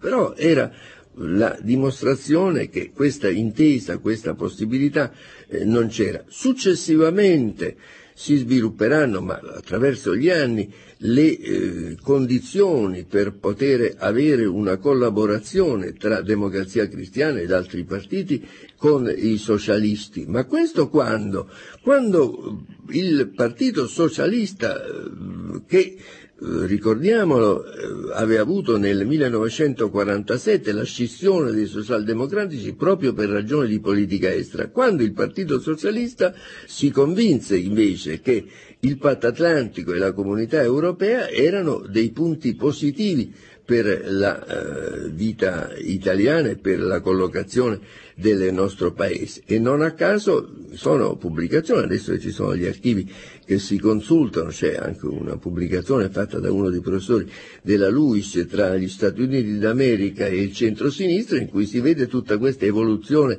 eh, dei socialisti, che certamente al momento di De Gasperi non c'era in maniera assoluta e eh, del resto anche nei confronti dei comunisti fu possibile poi, eh, in anni molto successivi, 1976, in un momento di grandissimo disagio, sia finanziario per eh, lo Stato italiano, sia per la presenza delle Brigate Rosse, fu possibile far uscire i comunisti che dal 1947 erano all'opposizione dei governi e con un'intesa parziale, l'astensione, la non sfiducia si chiamò, ma perché? Perché presero l'impegno a eh, votare un documento, cosa che fecero, secondo il quale Comunità Europea e Patto Atlantico sono punti di riferimento fondamentali della politica estera italiana. Allora anche in questo io vedo una continuità nell'azione di De Gasperi, tant'è vero che direi quello che era stato il motivo di un contrasto aspro di piazza, un contrasto concettuale, un contrasto fatto anche in un certo tipo di mondo intellettuale di sinistra, poi si vide invece che la linea giusta era quella di ritenere che questi punti fermi sono dei punti fermi, però a maggior ragione, visto retrospettivamente, viene giudicato in modo negativo quello che fu eh, il siluro fatto a De Gasperi nel momento nel quale avrebbe potuto ancora rappresentare, purtroppo la sua salute era poi logorata, ma avrebbe potuto ancora rappresentare il punto di riferimento della politica italiana e della politica estera italiana in modo particolare. Lunedì prossimo eh, riprenderemo questo discorso avviandosi verso una conclusione cercando di riepilogare un po' le grandi linee di quello che può essere in un certo senso un messaggio che eh, De Gasperi dà non solo cronistoricamente ma forse per eh, poter valutare delle situazioni politiche senza alcuna finalità di carattere immediato ma come direi inserimento di una linea culturale politica eh, nel quadro dello sviluppo di una situazione sia interna e sia esterna della nostra nazione.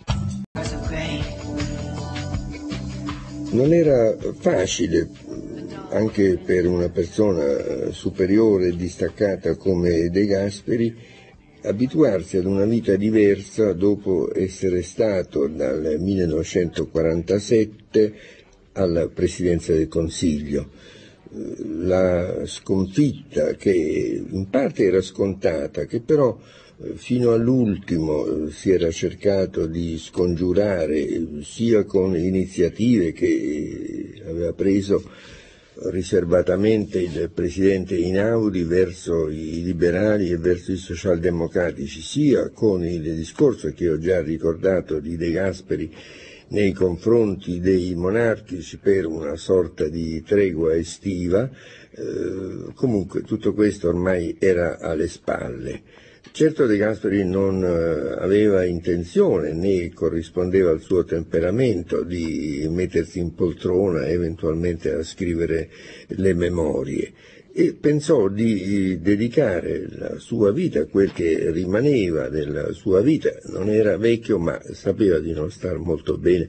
in salute, l'ho già detto, i comizi delle elezioni di quel 1953 li aveva fatti spesso con uno sforzo fisico straordinario e doveva subito dopo fermarsi un momento e distendersi con un sudore freddo e un impallidimento eh, molto preoccupante. Lui pensò di eh, dare la sua opera in due direzioni. Uno, eh, portare al campo internazionale l'esperienza e la sensibilità che lo distingueva e in cui si era tanto impegnato e nello stesso tempo dare alla democrazia cristiana, al suo partito, un contributo per evitare che scivolasse in un frazionismo molto pericoloso, era il suo cauchemar questo di vedere sorgere le correnti all'interno della stessa democrazia cristiana. Fu immediatamente offerta a lui la presidenza dell'assemblea parlamentare della comunità europea del carbone e dell'acciaio, cioè quella struttura che era stata messa in piedi per dare una concreta collaborazione ai due grandi paesi che eh, probabilmente si erano due volte scontrati in guerre micidiali proprio per un contrasto di fondo di interessi economici imperniati non in modo marginale proprio sul carbone e sull'acciaio. De Gasperi prese volentieri questa eh, presidenza, anche se poté ricarvisi poco, ma eh, era un po' una specie di coronamento della sua vocazione di carattere internazionale e nello stesso tempo aveva la possibilità di eh, ritrovarsi con eh, uomini di generazioni come la sua, alcuni, ma delle nuove generazioni, anche di giovanissimi, ai quali voleva eh, confermare, se già lo avevano, o instillare un grande amore per la politica internazionale e una coscienza europea concreta che era eh, un po' il suo cavallo di battaglia. Eh, riuscì eh, con qualche sua soddisfazione in questo campo internazionale, meno facile fu il suo apporto al far uscire la democrazia cristiana da una fase molto disagiata e polemica. Abbiamo già visto come la democrazia cristiana, nata prevalentemente sulla radice di quello che era stato il Partito Popolare e sugli uomini che erano rimasti lealmente eh, immuni da contaminazioni della dittatura, eh, con l'apporto che questi uomini, in modo particolare De Gasperi, avevano tenuto molto ad acquisire eh, di giovani, eh, giovani universitari, ma anche giovani eh, nei sindacati, giovani nelle associazioni rappresentative. Vi era stato un momento difficile quando eh, il gruppo chiamiamo dei fanfaniani, di Dossetti, in qualche maniera possiamo anche dire dell'Università Cattolica di Milano, si era posto in una eh, attitudine polemica verso i vecchi, non è tanto poi questione di anagrafe, e vi era stato lo sforzo di De Gasperi per acquisire questo gruppo in un quadro generale di collaborazione, la sua frase venite alla stanga a lavorare. Vi era poi stata la crisi personale di Dossetti, una crisi religiosa in fondo, perché, eh, ripeto, se è vero che è Gesù che sceglie i suoi sacerdoti e, e, e, la vocazione vera di Dossetti era quella del sacerdozio, il resto erano importantissimi ruoli che aveva potuto svolgere, ma non la sua destinazione, per così dire, eh, definitiva da un punto di vista terreno. Orbene, eh, De Gasperi ritenne con grande sacrificio, non certo per eh, avere un, nel suo curriculum una medaglietta democristiana in più, di potersi offrire in quel momento di disagio, perché il fatto di eh, aver avuto una sconfitta parlamentare con il governo che era di De Gasperi ma era di democrazia cristiana come sua presidenza e eh, provocava eh, disagio, provocava anche avvilimento e nello stesso tempo vi era la necessità di dare al governo che si era formato, un governo tecnico che eh, Pella, ministro del Tesoro, presiedeva con il compito di predisporre il bilancio per l'anno successivo e vedere poi che cosa politicamente fosse possibile di ricostruire o di costruire grande amarezza ebbe De Gasperi perché eh, la sua eh, rielezione a segretario politico della democrazia cristiana a scrutinio segreto come USA eh, non fu unanime ma ci furono 22 schede bianche. Qui c'è stato sempre un palleggiamento di paternità tra queste schede bianche. Io credo che non sono omogenee ci sono alcuni dei vecchi che non perdonavano a De Gasperi proprio di essere stato eh, esagerato nell'apertura eh, nei confronti dei giovani di cronache sociali, nei confronti di Fanfani e dei suoi amici. E c'erano poi dei giovani che invece pensavano che eh, con eh, De Gasperi di nuovo a Piazza del Gesù si restaurasse un po', in un certo senso, il primato dei vecchi del partito. Comunque con grande umiltà De Gasperi non eh, rinunciò, nonostante questa votazione contrastata, a eh, assolvere a quello che era il suo compito di segretario del partito. Nei confronti del governo fu inventata una frase di governo amico, che naturalmente può essere visto come il bicchiere mezzo pieno e il bicchiere mezzo vuoto, eh, come fosse la filosofia del bicchiere in De Gasperi in quel momento, io eh, penso di saperlo. De Gasperi ritenne che nella fase eh, nella quale si era rotta la coalizione, un uomo come Pella fosse l'ideale anche per il suo stretto collegamento con il Presidente della Repubblica Inaudi. Secondo l'opinione di De Gasperi, non era tanto importante che trionfasse un indirizzo di nuovi o un indirizzo di vecchi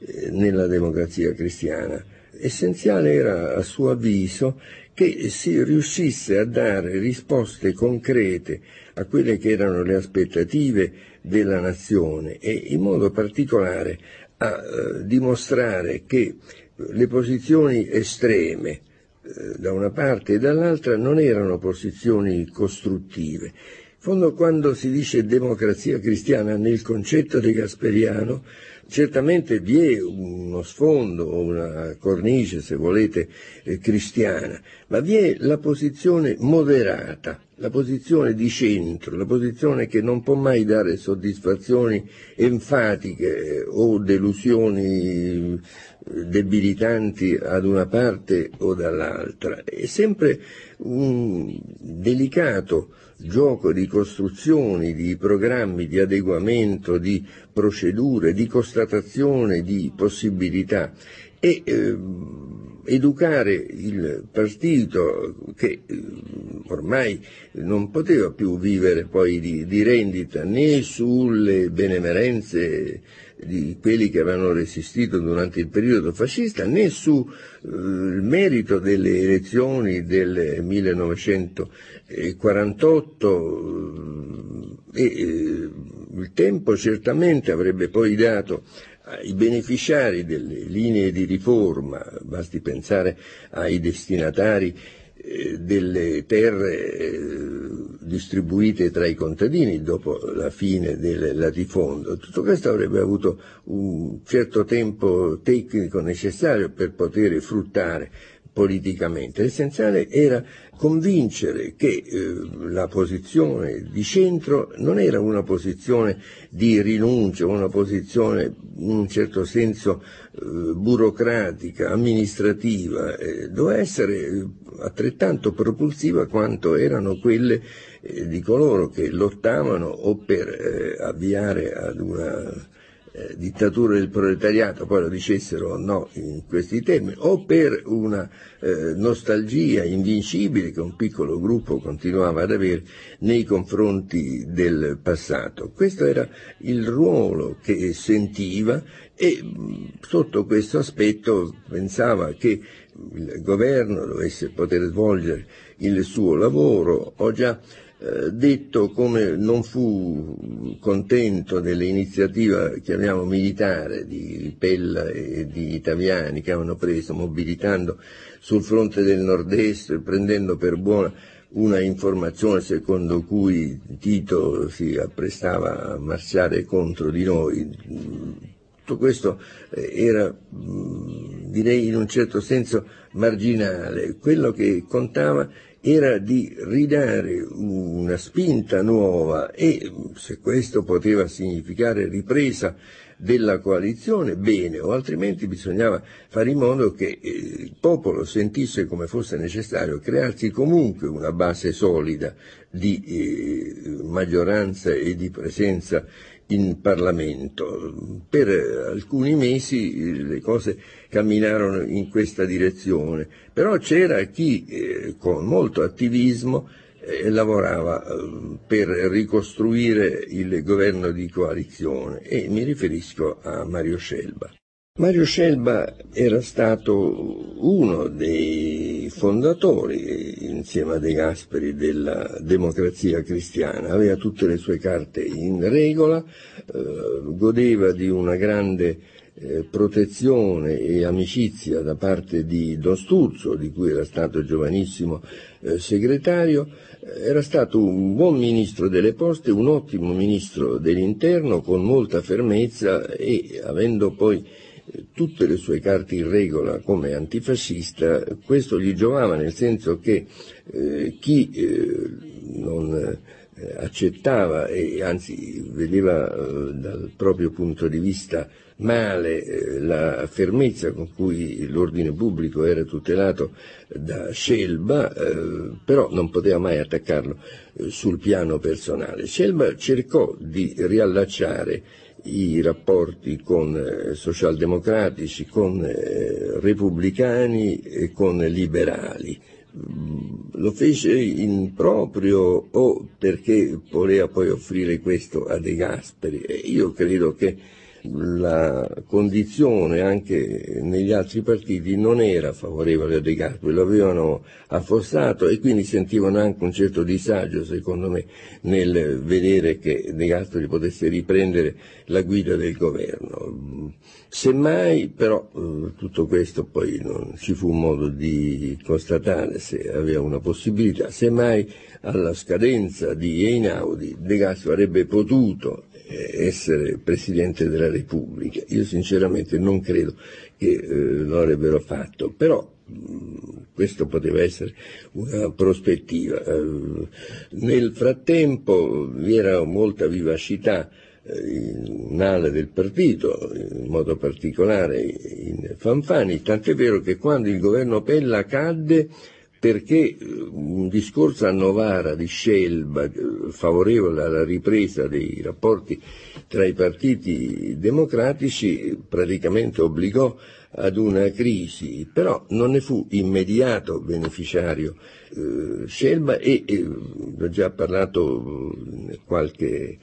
puntata fa, eh, Fanfani ritenne di poter formare un governo che ebbe però invece la stessa sorte dell'ultimo governo De Gasperi.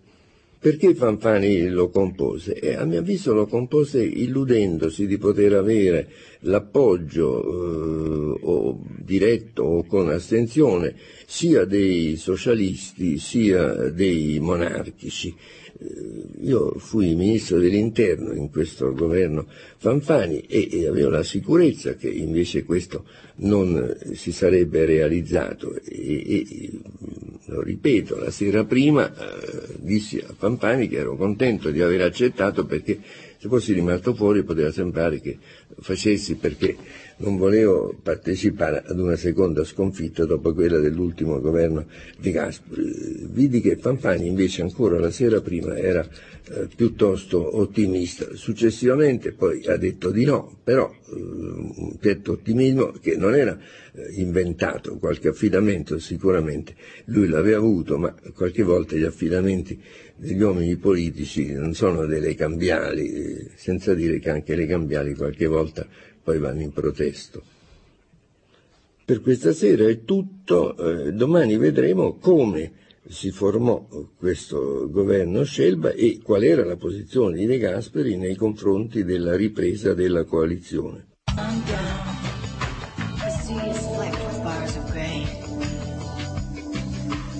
L'esito delle consultazioni che in pratica Scelba faceva per eh, comporre un governo riprendendo la formula del quadripartito andò a buon fine dopo eh, il siluro che il Parlamento dette al tentativo di Fanfani. Scelba aveva eh,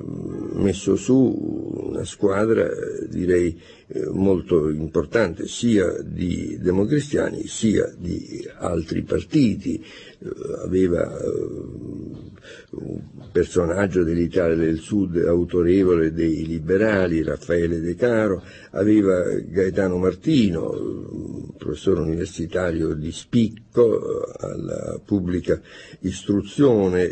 aveva un piemontese liberale di grande valore, Villabruna, al eh, Ministero dell'industria, aveva un socialdemocratico Vigorelli, reduce dalla Repubblica dell'Ossola del periodo della liberazione e, e aveva anche da parte della democrazia cristiana una partecipazione sia di vecchi uomini, Umberto Tupini, Pietro Campilli, sia anche di persone un po' nuove, anche se non nuovissime, come Fernando Tambroni che andò alla Marina Mercantile.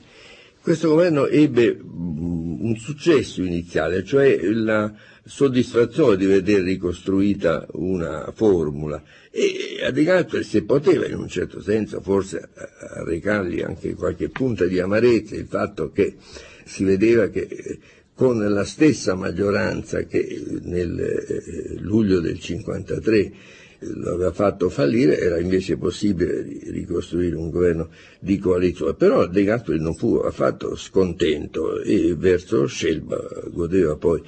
anche di, non solo di amicizia, ma anche di ammirazione per il lavoro che eh, Scelba aveva fatto. Si domanderà perché allora nel governo del 53 eh, Scelba non c'era, Scelba era rimasto fuori, così. De Gasperi aveva offerto di andare alla difesa, ma lui non aveva voluto eh, e probabilmente pensava anche di essere una carta di riserva eh, legittima eh, e non eh, contro De Gasperi.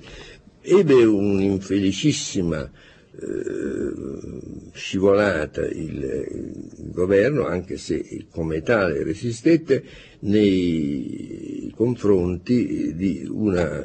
iniziativa che era stata presa, eh, che fu il primo episodio di un utilizzo, direi, dello strumento giudiziario per eh, una finalità di carattere politico, cioè la denuncia di un figlio del ministro degli esteri Attilio Piccioni come responsabile dell'uccisione di una donna che era stata trovata cadavere nel litorale di Torvaianica e, e questo creò attorno a Piccioni che dovette dimettersi, ma anche attorno al governo un clima di sfruttamento da parte dell'opposizione, devo dire proprio vergognoso, anche perché eh, poi eh, non tardò molto quando la magistratura poté compiere i suoi accertamenti, si vide che Piero Piccioni non c'entrava minimamente. Ritiratosi Piccioni dal governo, eh, Scelba eh, offrì e il Presidente nominò ministro degli esteri Gaetano Martino, che era stato, come avevo già detto, nel governo come ministro della pubblica istruzione. Vale forse la pena di fermarsi un momento su questo caso Montesi, perché il caso Montesi nasce da eh, una giovane che, invaghita di un personaggio così, di questi tra gli affari e, e i bordi della politica, come questo marchese Ugo Montagna, era stata eh, sua amica per alcuni mesi, poi si erano lasciati e lei fece un memoriale, eh, il quale ne fu dato una copia a me e una copia a Fanfani. Il memoriale cominciava con queste parole. Ugo Montagna se li intendeva con Claretta Petacci. Mussolini non faceva niente perché aveva paura di Ugo. Al padre Dall'Olio, gesuita, che venne a portarla a me, io dissi, padre, queste sono le cose che a Roma, diciamo, servono la notte di Natale per fare l'ora di andare alla messa, ma le pare che si prenda sul serio una storia. E Fanfani l'ha preso sul serio. Dico subito che sono convinto, se lo direi, che non ci fu una macchinazione politica, ma Fanfani forse più rigoroso di me, più rispettoso, siccome poi nel memoriale si diceva male del capo della polizia, c'era tra carabinieri e pubblica sicurezza un solco che eh, bisognava stare attenti a non rimanerci prigionieri. Sta di fatto che poi ci fu eh, l'indagine, eh, due cose rapidissime, venne a casa mia, ero in vacanza a Castel Gandolfo, il giudice Sepe che aveva fatto questa indagine, venne e mi disse guardi, eh, io voglio farle leggere quello che oggi ho depositato e ci tengo perché non voglio passare per antidemocristiano, anzi dice sia l'altro anno, cioè il 53, sia nel 48 io ho votato per lei, lei non lo sa, ma ho votato per lei qui a Roma. Allora io dissi, ma scusi, ma c'è la prova che Piccioni conoscesse questa ragazza? E lui disse, eh, ma lei conosce Piccioni, compositore di jazz, amante di Alida Valli. E disse, ma che vuol dire? Se vendeva corone in piazza della Minerva, allora era una persona non sospettata. Sta di fatto che il tribunale non solo vide che non c'entrava Piccioni, ma dovette constatare che c'era stato anche un falso nella indagine fatta dai carabinieri cioè c'era, perché era stato coinvolto anche il questore di Roma, Polito, c'era un verbale in cui si diceva che da una finestra si era visto Polito che entrava nella casa di una ragazza di vita, amica del uh, Montesi, eh, che si chiamava uh, la Bisaccia, e eh, poi dal sopralluogo si vide che tra questa finestra e il cancello del posto dove abitava la Bisaccia c'è un intero edificio, quindi non si può vedere assolutamente niente. Devo dire che valeva la pena di, di fermarsi un momento perché ritorna ciclicamente questa storia del caso Montesi. Comunque il governo poté andare avanti lo stesso e l'intoppo vero se lo trovò eh,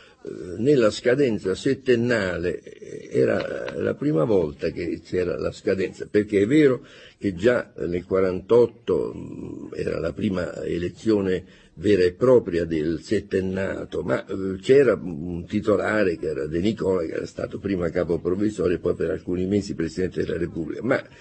per un settennio era la prima volta che ci trovavamo a votare e eh, le idee non erano per niente conformi all'interno della democrazia cristiana. De Gasperi nel frattempo era morto, De Gasperi era morto nell'agosto del 54, qui io mi riferisco al maggio del 55 quando noi eh, avevamo questa sessione eh, straordinaria dell'Assemblea che doveva eleggere il successore di Luigi Einaudi.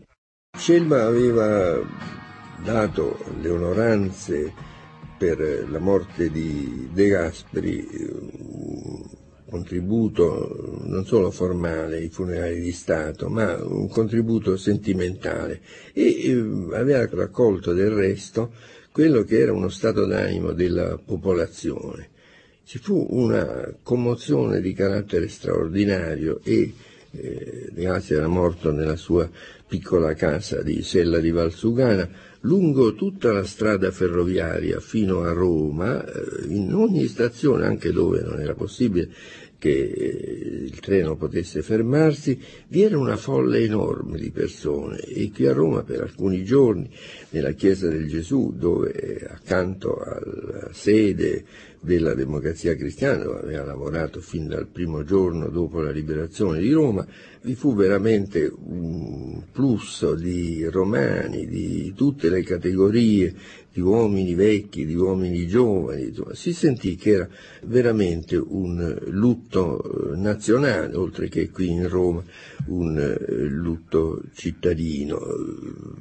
L'eredità di De Gasperi era del resto nel discorso che anche in quella occasione fu ristampato e diffuso anche in occasione eh, dei funerali nell'agosto del 54.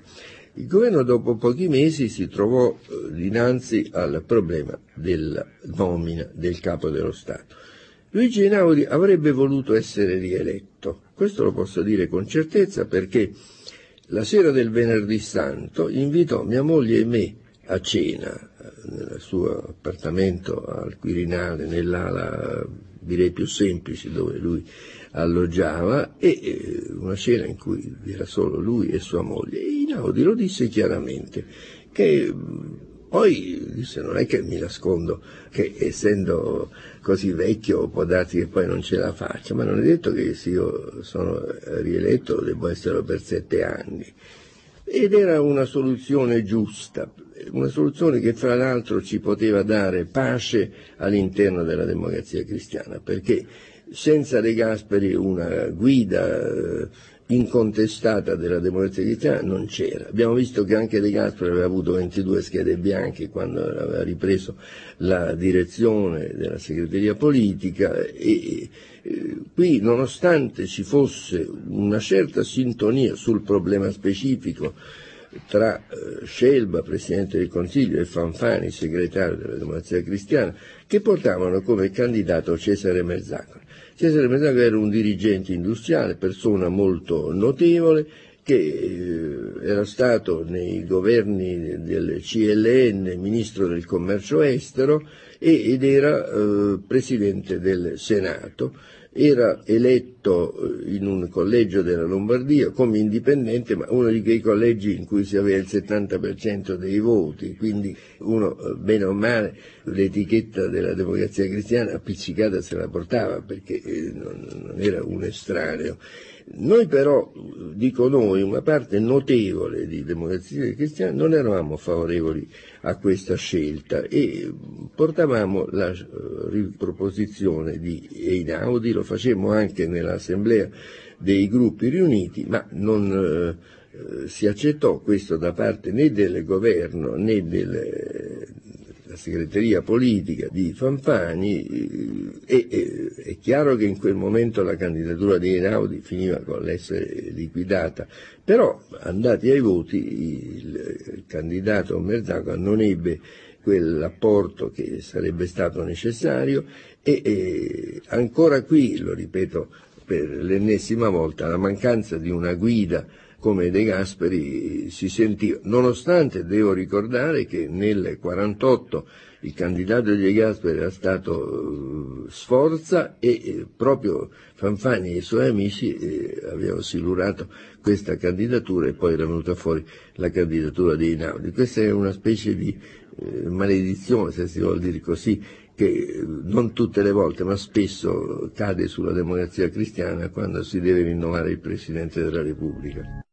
le correnti o comunque la parte della democrazia cristiana che si erano opposte alla candidatura di Merzagora avevano dovuto constatare l'impossibilità di fare rieleggere Luigi Einaudi, proposero eh, la nomina del Presidente della Camera Giovanni Gronchi. Giovanni Gronchi, che eh, era una personalità di spicco della democrazia cristiana, considerato sempre un po' in alternativa a De Gasperi, Gronchi stesso diceva che aveva una poltrona dorata, che era quella di Presidente della Camera, era stato prima per un piccolo tempo al eh, governo come Ministro dell'Industria, ma eh, alla Camera eh, aveva eh, riscosso un notevole successo anche con l'opposizione. Noi che avevamo molto libero, nel senso per esempio che essendo convinto che l'Algeria marciasse verso l'indipendenza, eh, riceveva i rappresentanti del fronte algerino, ogni volta provocando la reazione dell'ambasciata francese, ma non per una politica che era eh, dispettosa nei confronti della politica estera della nazione, ma per eh, alcune caratteristiche del suo modo di far politica, che del resto erano sempre state e che avevano creato questa personalità così forte era inevitabile che il governo che si era impegnato fortemente nei confronti di Mezzagora eh, risentisse di questa sconfitta e eh, il governo fu allora formato dal presidente Segni. Segni era un po' il simbolo della democrazia cristiana riformatrice, il simbolo della riforma agraria, un personaggio eh, di grande prestigio, professore universitario, aveva rappresentato la democrazia cristiana nel congresso di Bari, cioè il primo congresso antifascista quando ancora l'Italia era divisa in due e Roma era sotto occupazione tedesca, quindi aveva anche una caratura eh, politica eh, molto notevole. E, e io in quel governo fui invitato dal presidente Segni eh, a far parte e, e feci il ministro delle finanze con eh, molta vicinanza a Ezio Manoni, persona di enorme spicco che avevamo nella democrazia cristiana, con il quale ero a contatto per ragioni diverse, insomma, avevo, sia pure in una piccolissima funzione, fatto parte della eh, redazione del codice di Camaldoli, cioè l'aggiornamento del codice di Malin, che era il testo base della sociologia cristiana. Il governo Segni ebbe una vita in parte tranquilla, in parte agitata perché si risentiva molto di questa eh, diversità di, di, di, comparti all'interno eh, della democrazia cristiana. Però il governo Segni poté eh, con eh, l'impegno molto forte del eh, ministro Gaetano Martino in modo particolare, poter dar vita a quella che fu la grande rivincita eh, che anche moralmente fu fatta in nome di De Gasperi eh, rispetto alla sconfitta che si era avuta con la comunità europea di difesa, cioè nel marzo del 1957 il governo Segni dal Campidoglio di Roma poté eh, lanciare con la firma del eh, Trattato della Comunità Europea e dei trattati di, mm, del, della Comunità per l'Energia Atomica, eh, poté veramente aprire la strada a quella che fu la grande politica europea che sta tuttora avendo gli sviluppi che tutti conosciamo. E proprio collegato a questo indirizzo di carattere internazionale, eh, domani riprenderemo per un momento l'attenzione su quello che era stato De Gasperi nella comunità per il carbone e l'acciaio. Going down, down, down.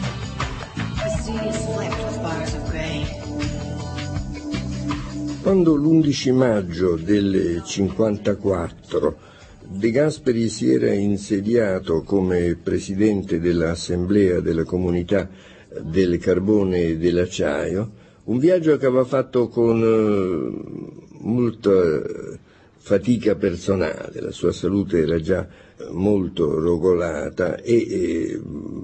Vedemmo del resto poche settimane dopo all'ultimo congresso della democrazia cristiana a Napoli che lavorava sulle forze, però fu un viaggio che eh, doveva fare, che credo che eh, sarebbe morto di dolore se fosse stato bloccato, perché era in un certo senso la conclusione di un suo indirizzo di politica internazionale. E in questo suo eh, discorso inaugurale proprio dà la spiegazione che il carbone e l'acciaio sono direi, l'aspetto materiale di questo indirizzo di ravvicinamento tra i due paesi tradizionalmente ostili, ma che doveva essere visto molto di più il cammino successivo e parlò di una solida base, di un ulteriore sviluppo. Quindi quando il governo cominciò a lavorare per eh, la comunità europea, cioè visto che non era andato bene eh, il disegno di mettere insieme le forze sul campo militare e che invece quello di coordinare l'azione sul carbone e l'acciaio camminava, eh, si eh, fece in un certo senso eh, il grande salto di dire creiamo la comunità economica e vi fu il lavoro preparatorio che eh, direi ad ogni seduta il nome di De Gasperi veniva fuori, quindi nel rievocare De Gasperi non è che si fa una forzatura a protrarne la presenza anche oltre la sua vita fisica. In un incontro a Messina furono lanciate le basi definitive e, come ho detto, il 25 marzo a Campidoglio fu firmato questo grandissimo documento della comunità europea economica e della comunità nucleare. Subito dopo però ricominciarono un po' le crisi, perché? Perché si era una difficoltà di eh, coesistenza tra la sinistra e i liberali. La sorte dei liberali è curiosa perché ci sono momenti nei quali tutti si levano il cappello riconoscendo che sono i portatori del meglio che c'è nella tradizione risorgimentale. Poi però dei momenti in cui invece eh, si vuole eh, confondere conservazione, eh, reazionarismo con i liberali. E allora eh, i liberali uscirono dal governo e eh, c'è però, mi piace ricordarlo, se qualche giovane che vuole studiare la comunità non dimentichi questo, il discorso che Gaetano Martino, che aveva dovuto lasciare il Ministero degli Esteri, ma che fece in Parlamento durante la ratifica del Trattato di Roma, è un discorso particolarmente bello. Nel frattempo la democrazia cristiana, fermo restando il ricordo fortissimo di De Gasperi, però risentiva di questo lutto, nel senso cioè che essendo venuto a mancare una figura di così alta rappresentatività non eh, vi era una successione pacifica. E, e tant'è vero che si doveva anche ricorrere, cosa che si fece per un periodo piuttosto piccolo, meno di un anno nel 1957, a un personaggio della eh, vecchia democrazia cristiana, Adone Zoli, il quale fra l'altro ebbe però un vantaggio, nella vita delle volte le cose sono strane, essendo nato a Predappio, poté risolvere il problema della salma di Mussolini e farlo inumare regolarmente nella sua città senza che nessuno potesse dire niente. Zoli era un antifascista noto, quindi sommando le due cose antifasciste Predappio gli fu consentito quello che eh, probabilmente a nessuno di noi sarebbe stato consentito senza provocare chissà quali reazioni. Ad ogni ricorrenza anniversaria della morte di De Gasperi, eh, sia a Roma, nella Basilica di San Lorenzo al Verano, quella basilica che era un po' il simbolo perché eh, aveva avuto forti danneggiamenti dal bombardamento di Roma nel 19 luglio del 43, ma era anche il simbolo perché vi è sepolto Pio IX, che era il Papa che per protesta nei confronti dell'occupazione di Roma da parte delle truppe italiane aveva inibito ai cattolici di fare vita pubblica. Allora San Lorenzo è in un certo senso un po' il simbolo di questo superamento dopo che vi è stato sepolto di Gasperi. Nei giorni sia qui sia a Sella di Valsugana e a Trento veniva rievocato e eh, non solo con la preghiera che sono eh, le forme poi più giuste, ma perché forse allontanandosi da quella che può essere una certa emotività che si ha quando un uomo è vivo così, si cominciano a vedere un po' le linee della sua azione con maggiore forza e in modo particolare, come ho detto, la creazione di questa comunità europea eh, veniva ad avere eh, questo sigillo di una eh, coerenza con quella che era stata la dottrina politica a cui De Gasperi si era ispirato. Nel frattempo la situazione interna di democrazia cristiana vedeva anche eh, in parte avvicinamenti, in parte eh, posizioni di prese di stanza, però Fanfani, che è persona di notevole valore, ebbe la possibilità di formare, dopo il governo Azzoli, di formare lui il governo e questa volta eh, senza incidenti di blocco iniziale come era accaduto nel 1954. Per quello che vale, io nel governo Fanfani rimasi e passai dal Ministero del Finanza al Ministero del Tesoro, lo stesso corridoio del palazzo, quindi senza operazione di sgombro. Il governo Fanfani ebbe sicuramente la possibilità di riprendere una certa attenzione sulla eh, democrazia cristiana direi un po' tradizionale, Fanfani è un uomo anche di grandi programmi, il piano delle case, le valorizzazioni delle zone di riforma fondiaria per crearne eh, una produttività eh, sempre più accentuata, la politica degli enti di riforma con l'ausilio di un uomo importante nella democrazia cristiana che fu Giuseppe Medici ebbe in questo periodo un notevole impulso. Poi qui tralascio il modo un po' ondulato con cui noi abbiamo la formazione e la dissoluzione eh, dei governi, ci fu un ritorno al eh, governo Segni e, e io questa novità ministeriale su designazione dello stesso Segni e per volontà di, del Presidente Gronchi cominciai un'esperienza che per me era nuova, l'esperienza di Ministro della Difesa, che poi sarebbe stata l'esperienza ministeriale più lunga che ho fatto nel corso della mia vita. Io avevo il timbro di Gasperiano, sono lontano le mille miglia dal valore di, di, De Gasperi, però io sono formato a quella scuola e, e De Gasperi mi ha valorizzato lui, mi ha immesso lui in questo circuito eh, dove poi sarei rimasto forse più a lungo di quello che fisiologicamente si dovrebbe eh, rimanere. Il ricordo di De Gasperi però era sempre vivo e mi colpiva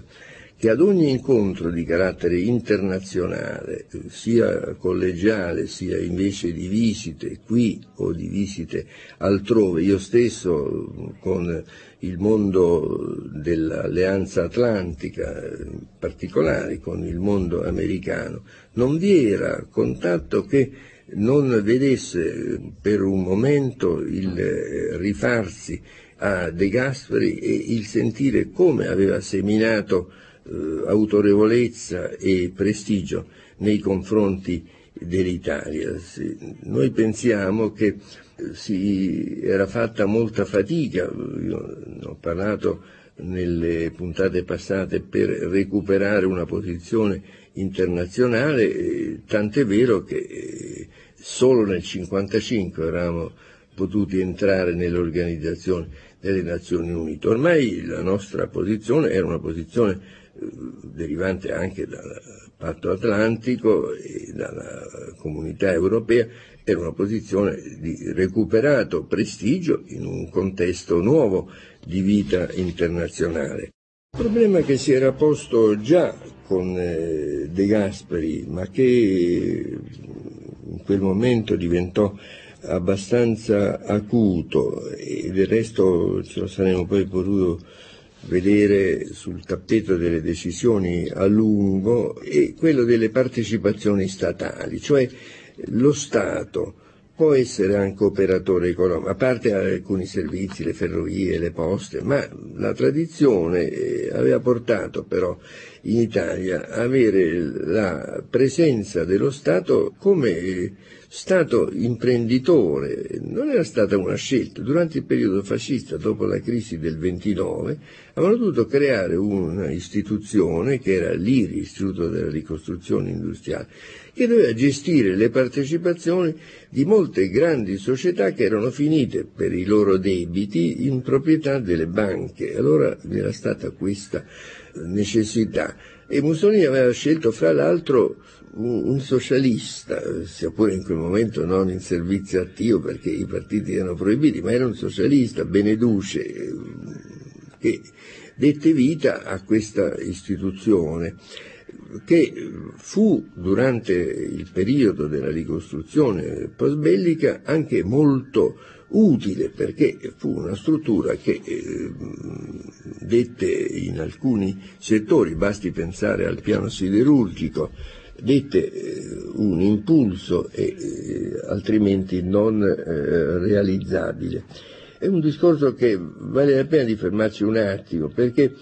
ci sono delle tesi massimaliste che sono sbagliate, cioè non è vero che il privato è bello e il pubblico è brutto o viceversa. Oggi l'IRI praticamente è stata messa in liquidazione, la società eh, internazionale oggi vede non bene queste partecipazioni governative, però dobbiamo anche stare molto attenti sia per ragioni di carattere storico, sia mm, per eh, vedere poi la tutela dei nostri interessi, a non cadere in eh, trappole fondamentaliste eh, di questo campo. Noi abbiamo avuto in quel momento anche uomini che venivano dall'IRI, Mario Ferrari Gradi, che era stato tra i collaboratori di De Gasperi proprio su questo tema di politica economico-finanziaria, uno degli elementi più importanti, non è un mistero, l'ultimo discorso che De Gasperi fece, non fortunato perché come sappiamo non ebbe il voto, ma era un discorso molto elaborato e quella parte fu preparata da Mario Ferrari Agradi. Ho voluto ricordarlo perché, ripeto, qualche volta si ha un po' una deformazione di carattere storico di eh, questo istituto che invece fu un istituto importante, come del resto per analogia, e qui è strettamente ricollegato a De Gasperi, come io ho già ricordato, quando per la grandissima stima che De Gasperi aveva di Ezio Manoni, De Gasperi dette il necessario credito e la necessaria fiducia a Enrico Mattei con la politica energetica italiana che anche quella fu una svolta molto importante, ostacolarissima sotto molti aspetti perché andava a turbare un certo status quo del mondo petrolifero internazionale che però a mio avviso non può che essere considerata in un modo molto positivo. E fa parte proprio di quelle eredità di grandi linee, di grande respiro che De Gasperi aveva cercato di immettere nel circuito delle programmazioni di carattere politico, sia in generale sia anche all'interno della classe dirigente della democrazia cristiana. Le situazioni politiche eh, spesso però poi si avvitano su delle difficoltà, i contrasti di persone si sommano ai contrasti di idee, l'influsso di forze esterne e in modo particolare quella che fu una novità, cioè di dare un'importanza determinante alle coalizioni. Insomma, finora erano sempre state importanti le coalizioni, però si dava più importanza ai programmi. Qui invece si invertì un po' la tradizione dei Gasperiana e l'importanza era data più a chi realizzava i programmi che i programmi stessi e questo provocò un momento di disagio che eh, si ripercosse anche in eh, attimi, se si vuole, ma di grandissimo rischio per la stabilità nazionale. Sullo sfondo della vita politica italiana nel 1959-60 eh, vi era il rapporto tra il Presidente della Repubblica Giovanni Gronchi e eh, le forze politiche, in modo particolare con la democrazia cristiana. Gronchi era un libero battitore, come abbiamo visto era stato eletto Presidente della Repubblica portato non dalla direzione della democrazia cristiana, ma dai dissidenti, per dire così, e dai eh, non democristiani. Gronchi pensò ad un certo momento di poter avere un'influenza maggiore. Gronchi era stato per alcuni momenti trattato un po' male dai governi, per esempio il ministro degli esteri Gaetano Martino diffidava di Gronchi e gli aveva messo eh, vicino eh, un ambasciatore come eh, consulente diplomatico, ma anche come uomo che doveva frenarne eventuali eccessi, che poi non, non c'era nessun bisogno, non è vero, l'idea di vedere un Gronchi filo est europeo, un Baggianà, non è mai esistita. Comunque allora Gronchi pensò di poter avere il governo del Presidente, per dir così, senza enunciarlo come avrebbero poi fatto successivamente altri. E eh,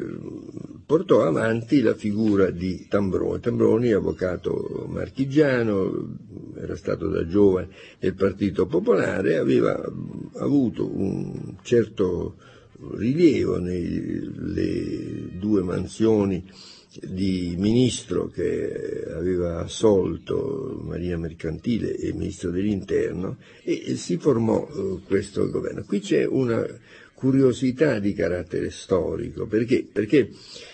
era di nuovo un governo che partiva senza avere sulla carta al momento dell'incarico già la sicurezza della maggioranza che lo avrebbe sostenuto. Perché partì ugualmente?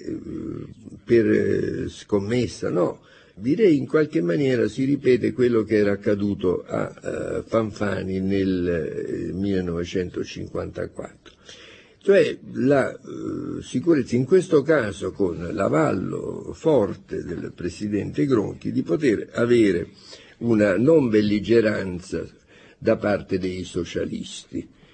E questo è eh, documentabile anche, pochi lo sanno, dal fatto che la bozza di discorso inaugurale che Tambroni aveva predisposto fu sottoposta a Nenni e ci sono anche delle correzioni fatte da Nenni. Però poi Nenni è andato al gruppo parlamentare a sostenere questo appoggio a Tambroni, ebbe un rifiuto e eh, da uomo politico molto eh, duttile e recettivo di quelle che erano le possibilità, passò ad essere un grande avversario di Tambroni, la destra cercò di sostituirsi in un momento nel quale questo era non solo immaturo ma anche controproducente,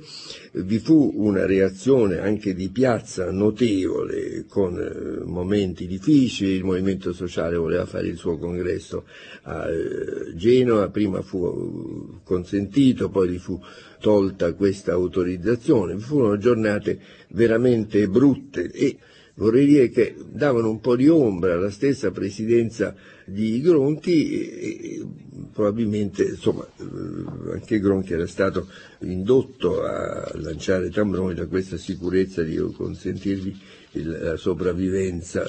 Sono giornate che non vorrei adesso drammatizzarne, però furono giornate di grandissima tensione nelle quali si rischiò di vedere un po' sgretolare la situazione italiana, cioè la piazza poteva veramente riprendere una funzione, cosa che da molti anni non era accaduto come rischio. E qui allora ci fu poi una certa abilità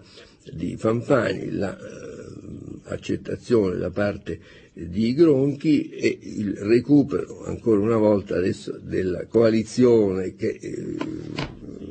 si ritenne indispensabile per poter superare questa parentesi del eh, governo Tambroni e nel luglio del 1960 Fanfani tornò ad essere Presidente del Consiglio e la situazione per un po' di tempo un anno e poco più, non è molto, ma fu normalizzata. Quanto c'è sempre di De Gasperi o non c'è di De Gasperi nello svolgersi che stiamo vedendo man mano della vita ministeriale e politica italiana, continueremo domani sera ad esaminare. Tambroni aveva formato il suo ministero non certo per eh, fare atti antidemocratici, anzi, secondo il disegno di Gronchi, che era il suo patron, avrebbe dovuto portare avanti una politica ancora più democratica, ancora più popolare. Però eh, nella vita pubblica contano non solo le sostanze ma anche le immagini. Quindi quando Fanfani, mettendosi di nuovo d'accordo con eh, i partiti delle vecchie coalizioni democratiche, eh, fu pronto per fare un governo, tutti tirarono un sospiro e, e, anzi per un po' di tempo Tambroni fu visto un po' come una bestia nera, il che non è giusto, ripeto, perché un desiderio involutivo, un desiderio reazionario non c'era stato, semmai era stato proprio il contrario, però nella vita pubblica spesso contano anche le impressioni. Eh, Fanfani ricostruì il eh, ministero e eh, per un po' di tempo riuscì ad andare avanti anche per il suo metodo, il suo dinamismo e eh, Tambroni fu certamente molto amareggiato, fu messo da parte ma eh, non creò eh, difficoltà formali al governo di Fanfani. Però il potere all'interno della democrazia cristiana, ripeto, De Gasperi era stato un fatto unico,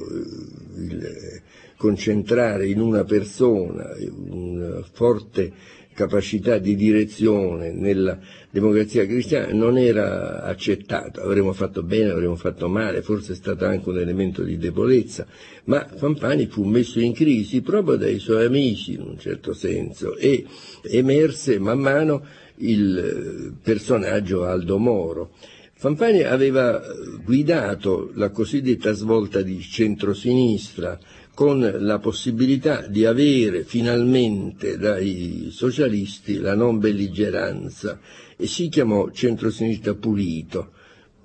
Io polemizzai perché non era giusto dire questo, perché allora che voleva dire che se i socialisti invece dell'astensione davano il voto e entravano non era più pulito, mi sembrò un errore. Comunque però fu una svolta che fu eh, superata. Ci fu però, um, ecco, tra Fanfani e Moro una specie di, di corsa adesso a chi apriva di più ai socialisti. Nel congresso della democrazia cristiana io utilizzai un'immagine che veniva dalla pubblicità e che eh,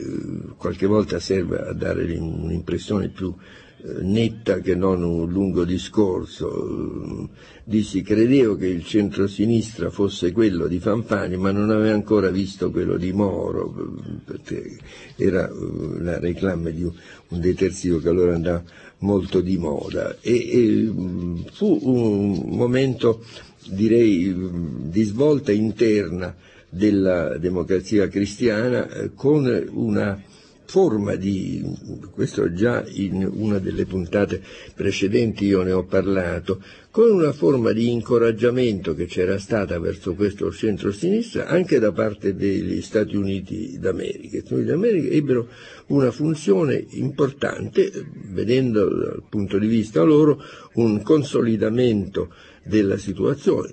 Io non ero favorevole nel senso cioè che io ritenevo che se ci fosse stata disgraziatamente una guerra, avere nell'alleanza di governo i socialisti, ma avere contro la Nato i comunisti ci metteva in una posizione di una estrema debolezza. Comunque, per fortuna, la guerra non c'è stata e eh, vi è stato poi tutto un cammino che eh, non è possibile per i nostri limiti di ricerca in queste puntate approfondire ulteriormente tutto quello che è stata la linea Moro che purtroppo poi fu troncata dall'assassinio di Aldo Moro eh, dopo la virulenza delle Brigate Rosse e dopo eh, il tentativo da parte di Berlinguer di portare i comunisti su una piattaforma di una certa indipendenza dall'Unione Sovietica. Fino ad ora abbiamo visto nei dieci anni dopo la morte di De Gasperi quale è stata l'ulteriore uh, fase di un pensiero che De Gasperi aveva abbozzato o quali sono state eventualmente le linee diverse che eh, i successori nella guida del governo e nella guida del partito avevano introdotto. Vorrei adesso direi fare un momento marsi indietro per rispondere a alcuni quesiti. Chi era De Gasperi? Il primo quesito riguarda la religiosità di De Gasperi. De Gasperi era certamente uomo di grandissima fede, di costumi integerrimi, di correttezza straordinaria e eh, vi fu un episodio nel quale mi manifestò il suo modo di vivere il cristianesimo, cioè il giorno in cui in piazza San Pietro il Papa Pio XII faceva la proclamazione del dogma della Maria Assunta. E altri disse quasi a bassa voce, così, speriamo che questo non sia di ostacolo nel cammino di riunione con i protestanti. Poi forse preoccupate di avermi creato un problema o che io non lo interpretassi correttamente, mi disse guarda però che eh, se il mio libro di meditazione è l'imitazione di Cristo, guarda che io da ragazzo non andavo mai a letto, anche se ero stanchissimo, senza aver prima recitato il rosario. Questo vuol dire che ha un po' di possibilità di far capire, non ostentava la sua religiosità. A messa andava per conto suo, la domenica spesso andava con la sua famiglia anche a San Pietro perché abitavano lì vicino, ma anche in alcune cose che erano collettive manifestazioni religiose, gli uomini cattolici avevano organizzato un primo venerdì del mese per i parlamentari, Di Gasperi non era presente, mentre invece volle che il giorno prima dell'assemblea costituente vi fosse una grande cerimonia eh, religiosa, il Veni Creator, lo motivò con eh, la frase che poi era stata di Benedetto Croce, che aveva illustrato il perché non possiamo non dirci cristiani, che era la sua, dirò tra parentesi, Benedetto Croce, con il quale poi più volte polemizzò, perché nella storia d'Europa invece Croce eh, ha nei confronti della Chiesa una posizione estremamente polemica. Di Gatto aveva grande amicizia con Montini, ma lì eh, forse più che il sacerdote, senza assolutamente eh, dire che non valesse questo, ma era con il figlio del suo amico Montini, deputato popolare, e l'uomo che, essendo poi in segreteria di Stato un personaggio, poteva anche contare nei confronti di quello che era il movimento che i cattolici cercavano di rimettere in piedi come post popolare come democrazia cristiana, dei sacerdoti con cui De Gasperi ebbe eh, invece dimestichezza sul piano puramente sacerdotale, vorrei eh, ricordarne due, padre Caresana, parroco della Chiesa Nuova, padre del Bono, della stessa congregazione del eh, padre Caresana, però in tutta la sua vita eh, l'elemento base, quello che fu il suo mentore da ragazzo e che poi gli fu estremamente vicino quando ebbe i suoi guai di carattere politico, fu il vescovo di Trento, Monsignor Endrici, insieme ad alcuni sacerdoti di Trento eh, che sono importanti nel senso che le lettere che De Gasperi scambiò con loro eh, negli anni successivi sono punti di riferimento essenziali per comprendere anche il eh, De Gasperi religioso e il De Gasperi politico religioso. Per De Gasperi la famiglia fu un punto essenziale di riferimento. Possiamo conoscerne anche eh, degli aspetti nuovi, io l'ho citato una volta in queste serate volume pubblicato delle lettere a Francesca, lo scambio di lettere con la fidanzata, in cui c'è un De Gasperi del tutto inedito. La sua famiglia di origine è una famiglia estremamente semplice e la sua famiglia acquisita è una famiglia che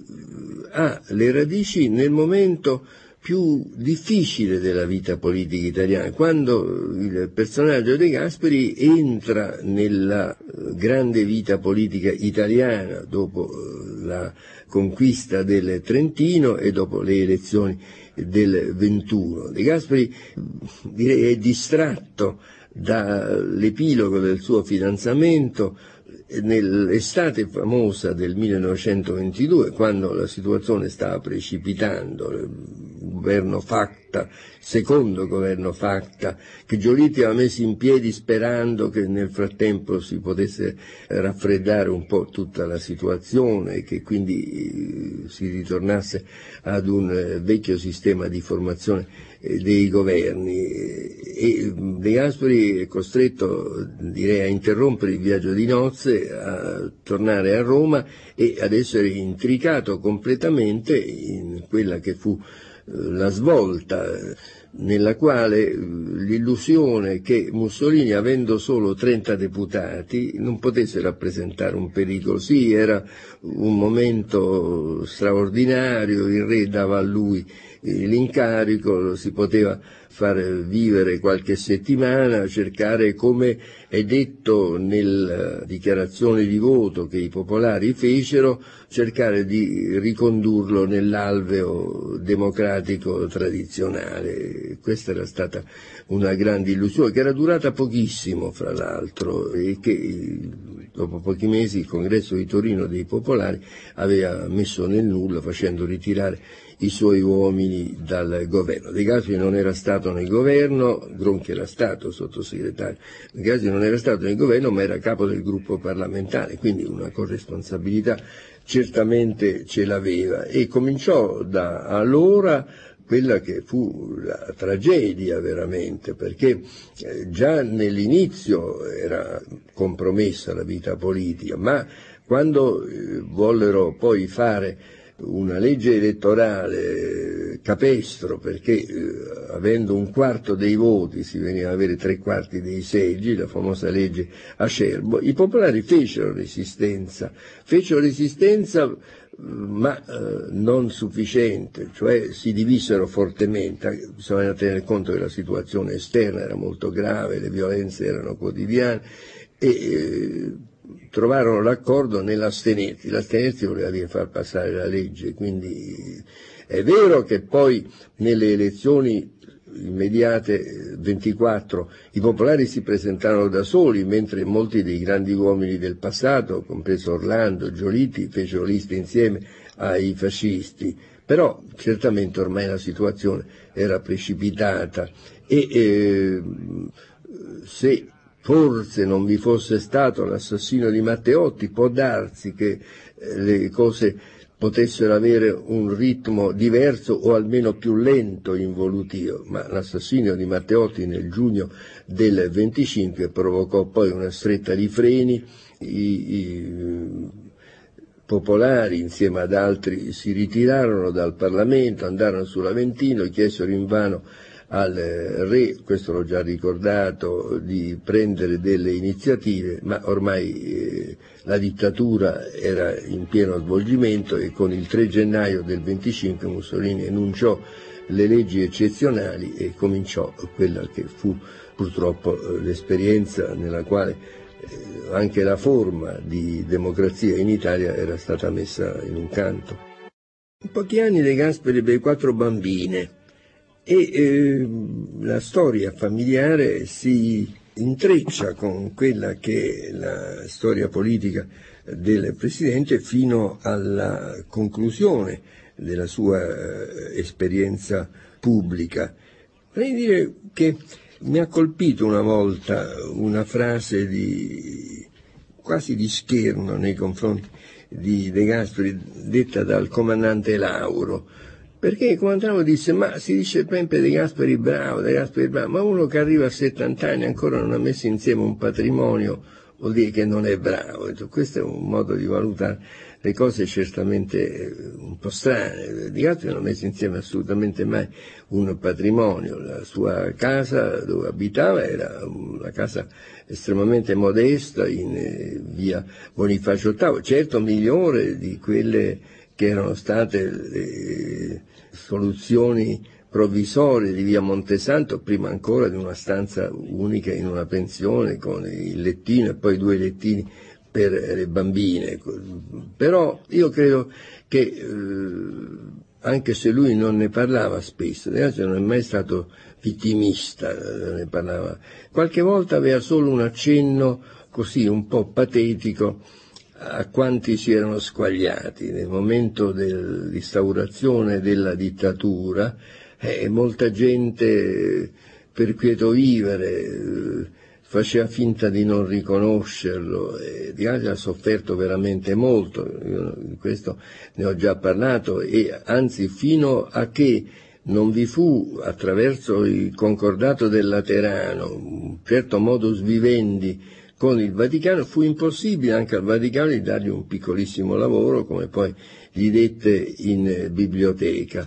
Se noi guardiamo le lettere che De Gasperi ha scritto, qualche volta su queste c'è proprio il senso di amarezza, questo eh, rifugire di persone che pure potevano anche non temere un granché e eh, il fatto poi di dover affrontare la vita con un disagio eh, assoluto, la vita sostenuta solo dal poter fare poche traduzioni, in particolare lui lavorò alla traduzione di alcuni volumi della storia dei papi del Pastor e eh, con la preoccupazione di dover fronteggiare una situazione qui in una Roma eh, divenuta ostile. Questo mm, fa molto pensare veramente perché io eh, ritengo che alcuni avrebbero potuto aiutarlo anche senza eh, compromettersi in maniera, però non gliel'ha mai voluto ragazzi, non, non ha mai, anzi alcuni di questi, io so che se li incontrava in chiesa magari all'uscita facevano finta di avere molta fretta oppure non stavano nemmeno all'ultimo Vangelo per non incontrare le e non farsi vedere, tanta era la paura. Poi che serpeggiava non ne ha mai voluto De Gasperi di prendersi delle rivincite oppure eh, direi punirli o non gratificarli anche perché alcuni di questi lascio, sarebbe sbagliato che facessi dei nomi, sarebbe sbagliato secondo l'insegnamento che dava De Gasperi, però questo è importante, cioè un quadro di vita che ha conosciuto la semplicità del, del, del, ragazzo, del piccolo sindacalista, dello studente che va ai moti per l'università di Innsbruck, che, che si arrabatta nella vita difficile di una Vienna molto costosa fra l'altro e eh, che poi ha avuto momenti di grandissimo fulgore, momenti di riconoscimento internazionale di grande rilievo, quindi ha conosciuto l'alfa e l'omega di un, tutto un itinerario molto complesso. Io penso che tutto questo serva a poter eh, dare un'immagine di quello che è stato De Gasperi e quindi quando si dice che è veramente una persona irripetibile non è un modo così direi derivante solo da affetto o tantomeno un modo retorico di esprimersi. Domani continueremo in questo excursus nel mondo di De Gasperi e io spero veramente che eh, si riesca alla fine di darvi un'immagine, in modo particolare per i giovani, un'immagine precisa perché deve essere non solo un personaggio storico, ma deve essere un personaggio guida.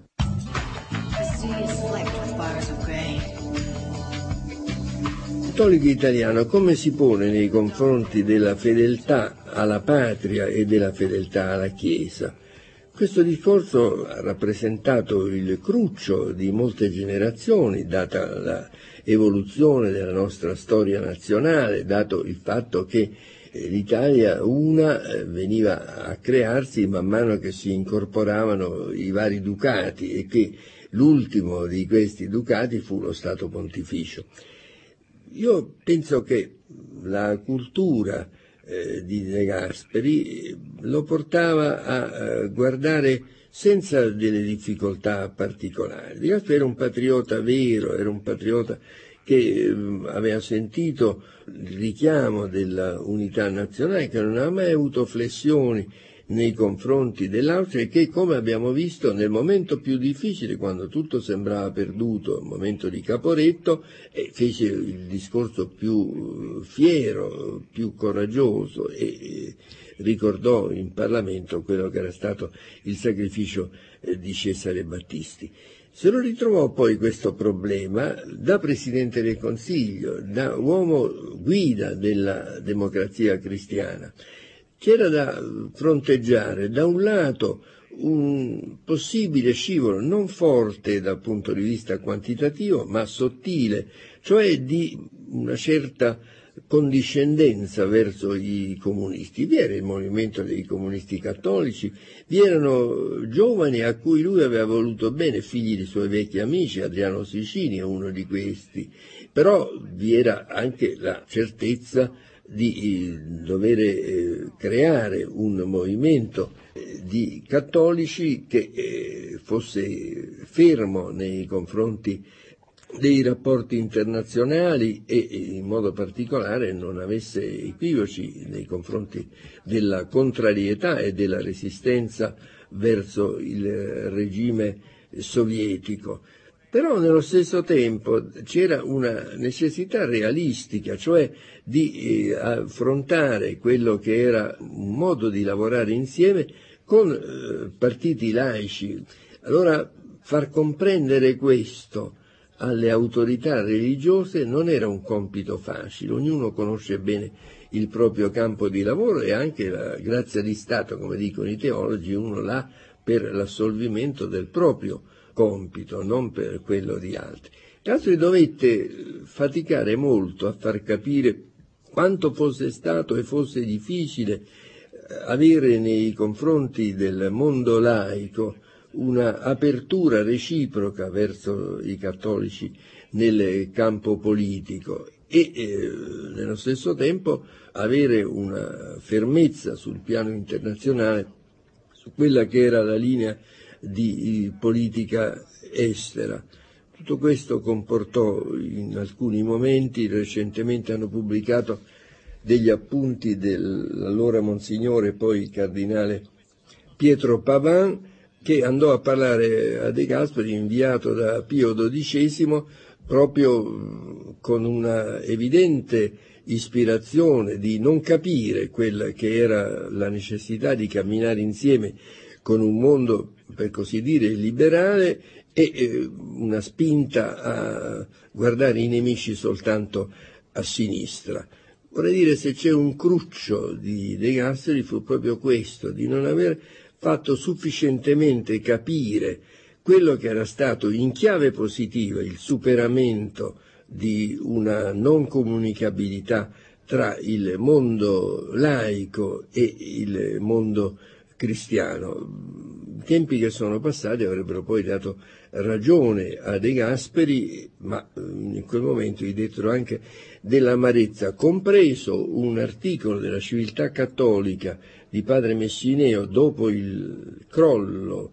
del governo ultimo di De Gasperi, per il quale fu particolarmente amareggiata, anzi mi aveva detto di fare un articolo contro, io pro bono passis, poi dissi che era meglio soprassederci e di fatto questo articolo non è venuto mai fuori. L'Italia non è una nazione come tutte le altre, nel senso cioè che nel suo territorio si ospita anche non solo uno Stato, la città del Vaticano, ma la centrale della Chiesa Cattolica. Qui San Pietro venne, fu ucciso e instaurò la serie dei papi. Chi non tiene conto di questo è portato a valutazioni o in un senso o nell'altro non positive. quando si trattò di creare un partito di cattolici, non dei cattolici, e mh, De Gasperi si rendeva bene eh, ragione di non implicare corresponsabilità della Chiesa, ma nello stesso tempo di poter fare affidamento sul sostegno degli ambienti organizzati cattolici, tenendo nel proprio programma punti fermi che coincidevano. Questo portò a momenti facili ma anche a momenti difficili. Qui non possiamo per brevità ripercorrere tutta una storia, però è importante che eh, la fermezza democratica, cioè quello che non è metodo di lavoro ma è sostanza di politica,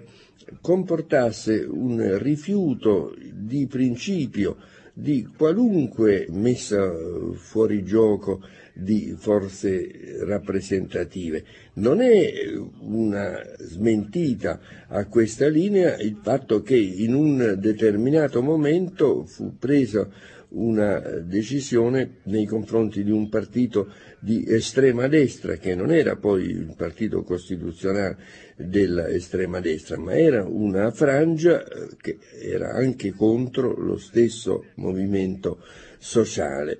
Questo va detto per inquadrare bene un punto. De Gasperi era un anticomunista, ma era un anticomunista democratico. Io penso che quando si ricostruisce la sua fisionomia, si inquadra la sua azione e si prescinde da questa specificità, eh, si è portati a dare un giudizio o di debolezza o qualche volta anche di giochi non troppo chiari. Contemporaneamente, questo è essenziale nella linea de Gasperiana, il rapporto dell'Italia con l'Unione Sovietica doveva prescindere da quello che era il fatto dell'influsso che il Partito Comunista dell'Unione Sovietica aveva sul Partito Comunista Italiano e in periodi non brevi sul Partito Socialista Italiano. Noi eravamo un governo che trattava con il governo e questo fa sì che tutta la storia di decenni, sia durante il periodo di De Gasperi sia dopo, vede una eh, serie di relazioni, ad esempio con un personaggio storico del governo sovietico, Andrei Gromyko, assolutamente corretto nei confronti dell'Italia.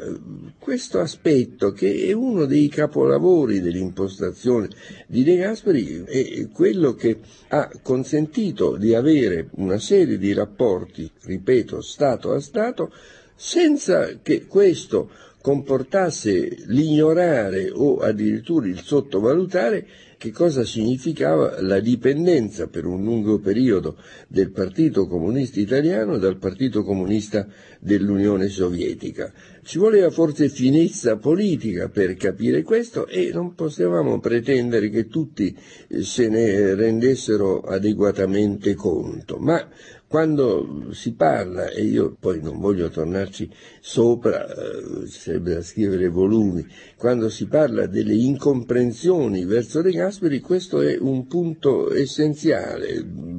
chi eh, ritiene invece che si trattasse di debolezza o di duplicità eh, non ha capito niente allora e non capisce niente adesso di quello che è stato De Gasperi per la vita politica italiana e anche oltre la vita politica della nostra nazione.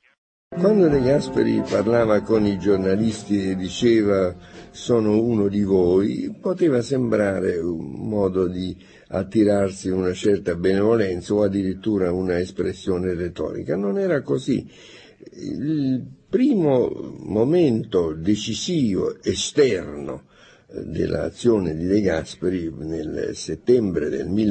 1905, aveva 24 anni, fu proprio la direzione del eh, giornale La Voce che a Trento i cattolici avevano messo in piedi per esprimere il loro punto di vista in un contesto molto turbolento, nel senso cioè che la propaganda eh, anche di altri, ma dei socialisti, questo sul piano politico. Poi la propaganda, direi, tedeschizzante su un piano invece della nazionalità eh, rendeva necessario avere delle posizioni eh, piuttosto chiare. E De Gasperi eh,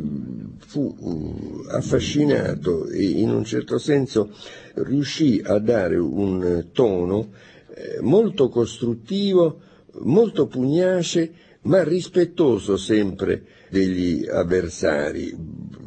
Chi erano questi avversari poi? Si trovò a dover competere con un eh, oriundo, perché non apparteneva al Trentino, ma veniva dalle Romagne, un propagandista socialista molto attivo, profondamente anticlericale, che si chiamava Benito Mussolini. La storia personale di De Gasperi ha questa eh, parentesi, se vogliamo, del momento non lungo della permanenza di Mussolini in Trentino. Vi sono cronache di eh, comizi eh, che finivano poi con contraddittori, un comizio di Merano è ricordato, nel senso cioè che eh, il cavallo di battaglia di Mussolini era che i cattolici non erano abbastanza nazionali e che quindi avevano accettato una specie di modus vivendi con la realtà austro-ungarica.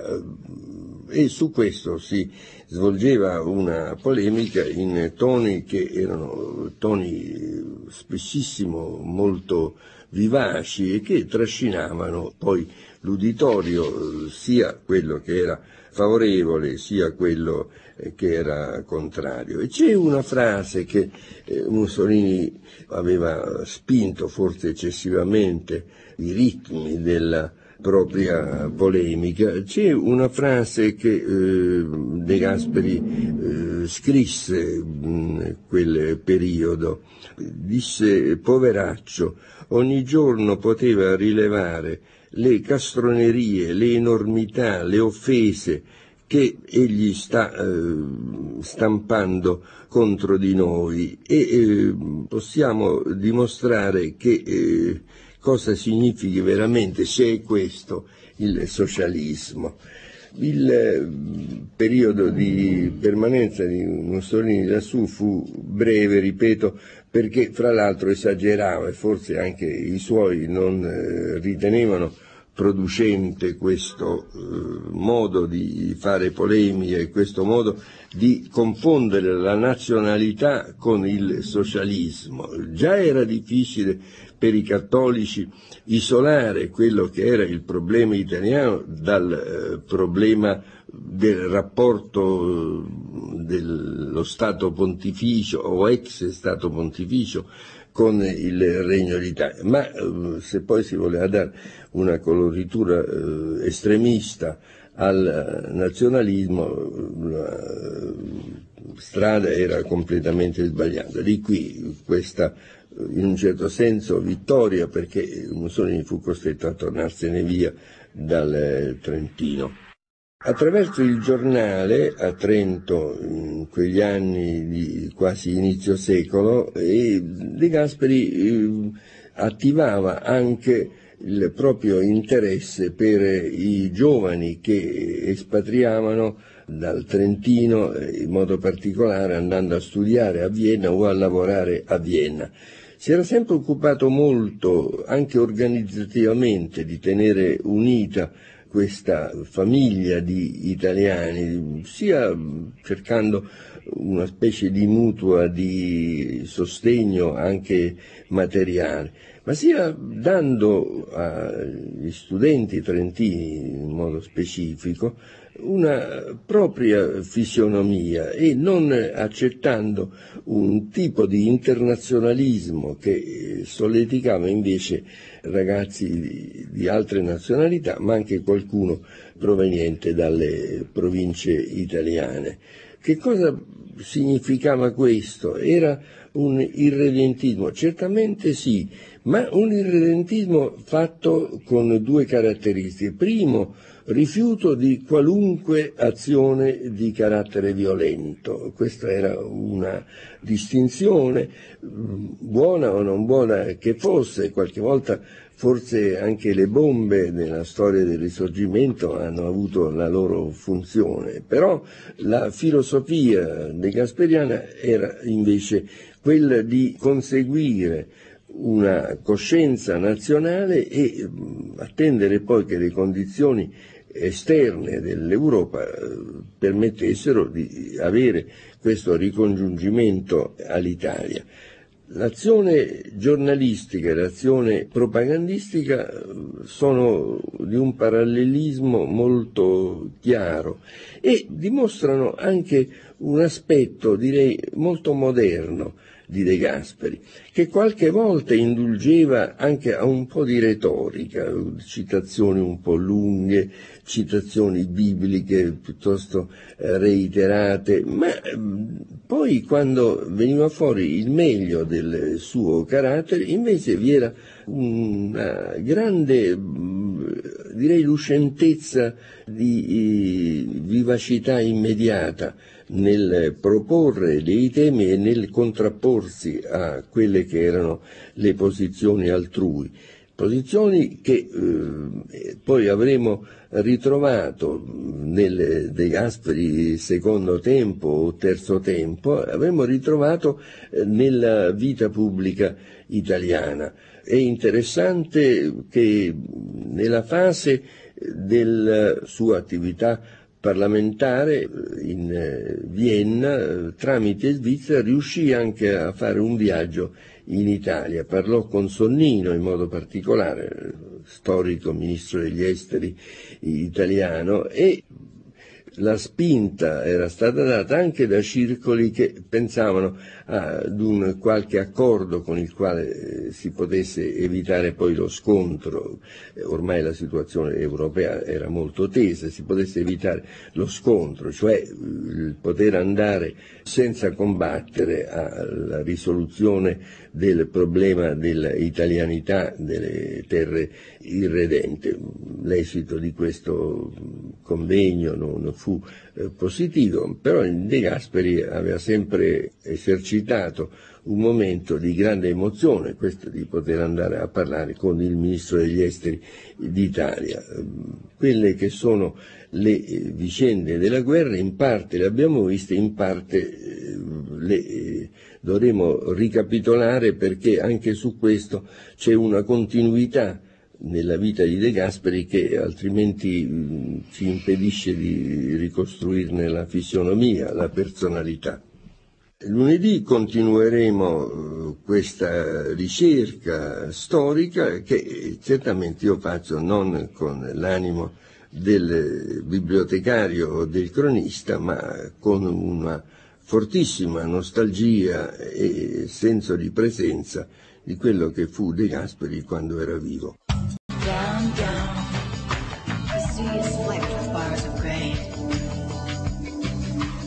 Dopo la vittoria gli adempimenti di carattere procedurale e diplomatico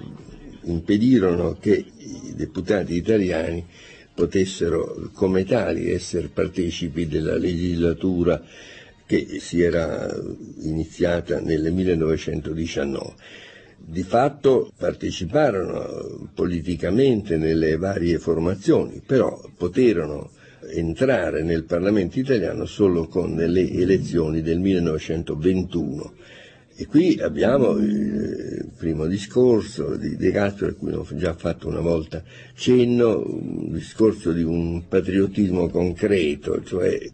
senza eh, retorica che qualche volta invece sarebbe stato possibile eh, utilizzare per un momento che era un momento così di storia, di passaggio, Trento e Trieste che si erano ricongiunte alla madrepatria. De Gasperi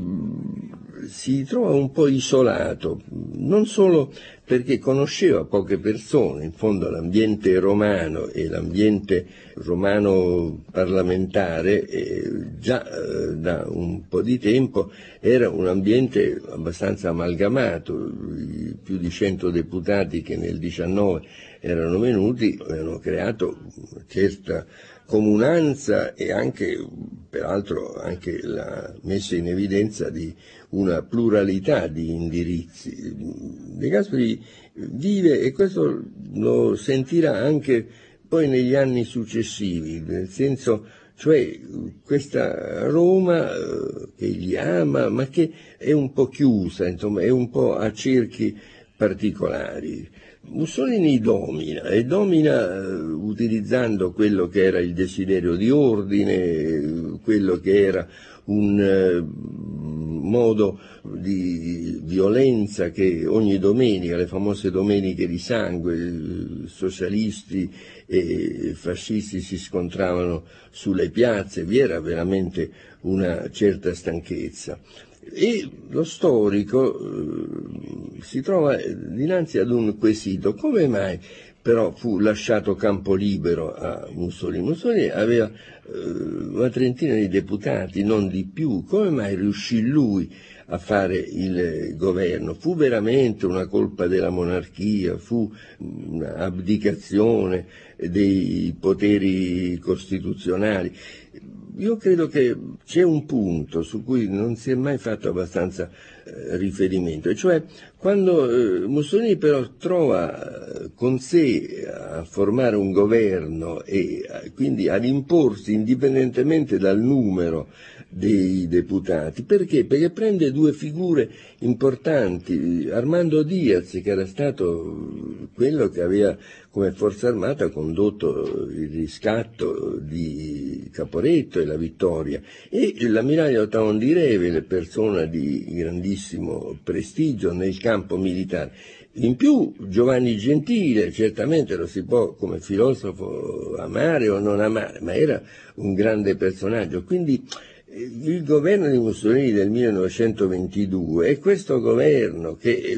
è un governo eh, non fatto soltanto di uomini fedelissimi come Staraci, ma è fatto di questa partecipazione e con l'intesa poi, questa era stata, ripeto, l'opinione di Sturzo, che però avendo 30 deputati non era poi un pericolo perché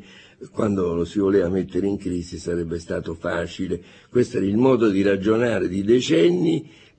che purtroppo non ci si avvedeva che le cose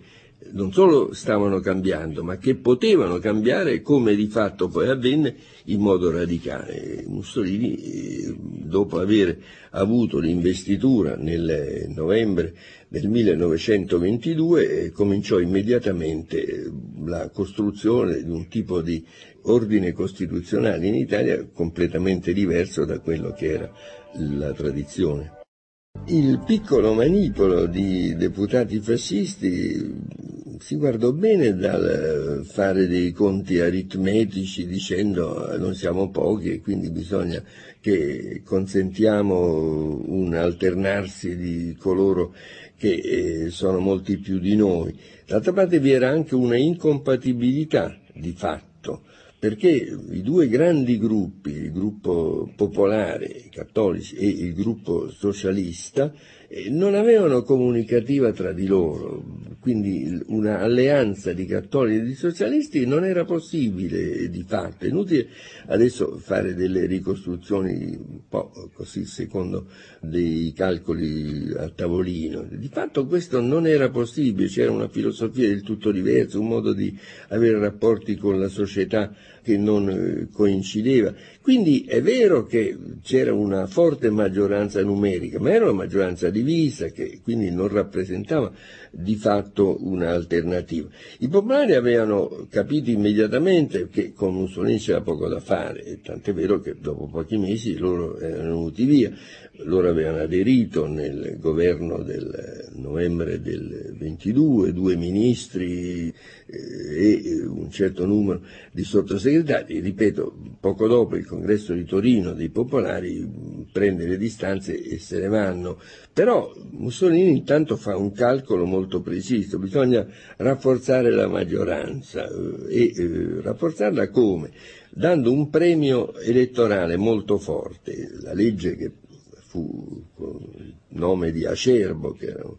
un fascista abruzzese, prevedeva che eh, vi era un moltiplicatore eccezionale con un eh, quarto dei voti, si andava ai tre quarti dei seggi. Si poteva impedire, certo fu il momento cruciale, i popolari ebbero fortissimi contrasti al proprio interno, però non se la sentirono di votare contro e astenersi significava lasciar passare questa legge. Di qui lo scivolo eh, erano, è vero, suggestionati anche dalle adesioni che questo aveva avuto da parte di personalità del passato, Giovanni Giolitti, Vittorio Emanuele Orlando, che certamente non erano camicie nere, però questo non eh, giustificava.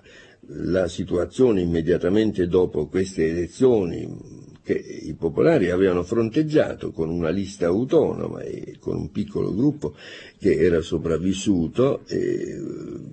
avvenne il delitto Matteotti, il delitto Matteotti portò alla situazione di spinta dei deputati non fascisti a, a uscire dalla Camera e andare quello che si chiamò l'Aventino, però questo non fece che accelerare i tempi, Mussolini strinse i freni, il 3 gennaio 25 fece un discorso durissimo e comincia allora la vera e propria dittatura con le leggi eccezionali e chi non è con me è contro di me, questo era il motto di Mussolini e De Gasperi non era con lui, si trovò contro di lui e cominciano i guai di un lungo periodo che lo colpisce in modo durissimo. Don Luigi Sturzo, fondatore del Partito Popolare, aveva dovuto prendere le vie dell'esilio. Il Vaticano si era imposto perché non volevano che un sacerdote fosse compromesso nella vita politica e, e sia pure con una lettera che, eh, minutata dal cardinale segretario di Stato Pietro Gasparri, è un capolavoro dal punto di vista diplomatico, perché dice eh, io devo partire, devo lasciare il mio posto di segretario politico perché con un eh, governo così duro, così antidemocratico non si può convivere. Quindi la demonizzazione del governo c'era, però anche la spinta a mandar via Sturzo fu rapida la decisione fascista di non consentire più nemmeno come uffici stralcio che esistessero partiti di opposizione. De Castri si trovò in questo momento in grave difficoltà perché eh, fra l'altro non aveva una professione, altri avevano una professione che sia pure in qualche maniera poteva consentire loro di vivere e di avere come ricordo nostalgico gli anni della milizia parlamentare. Di altri non aveva, aveva questa buona conoscenza del tedesco, però si trova anche isolato, forse ne ho accennato altra volta in queste sere, si trova anche isolato perché era una Roma nella quale non aveva eh, molti rapporti. De Gasperi non era mai stato, e né lo fu poi dopo quando eh, tornò ad essere momento di gloria, un salottiero per dire così. Non c'è niente di male, io stesso, che pure sono un popolano romano, però dei eh, salotti della principessa colonna di Maria Angiolillo, della contessa Pecci, io li ho frequentati, soci nei quali si incontrava anche molta gente interessante, molto corpo diplomatico. E poi, allora forse non lo invitavano nemmeno, certamente, però direi era completamente allergico a questo tipo di relazioni e nello stesso tempo però è considerato un pericolo perché eh, probabilmente Mussolini parte vecchie conoscenze trentine, ma però sapeva che era di una tempra di combattente molto serio e allora era continuamente vigilato e mh, cercò di venirsene via. Teoricamente il processo fu del tutto infondato dal punto di vista strettamente giuridico, perché lui venne via come? Da Roma in macchina se ne andò Ruffo della Scaletta gli prestò la macchina e se ne andò a Orvieto per eh, prendere il treno e eh, nel tratto Orvieto-Firenze fu fermato lui e sua moglie e gli fu notificata immediatamente una imputazione di tentato espatrio clandestino. Forse un momento ancora di riflessione eh, su questo processo credo che sia indispensabile anche per rendersi conto di come era la situazione italiana in quel terribile frangente. Quando rievocava non lo faceva di frequente quel momento di giustizia che si era scagliata contro di lui di Gasperi la ricollegava a Innsbruck, ma diceva mentre due settimane in prigione a Innsbruck non mi turbavano perché in fondo erano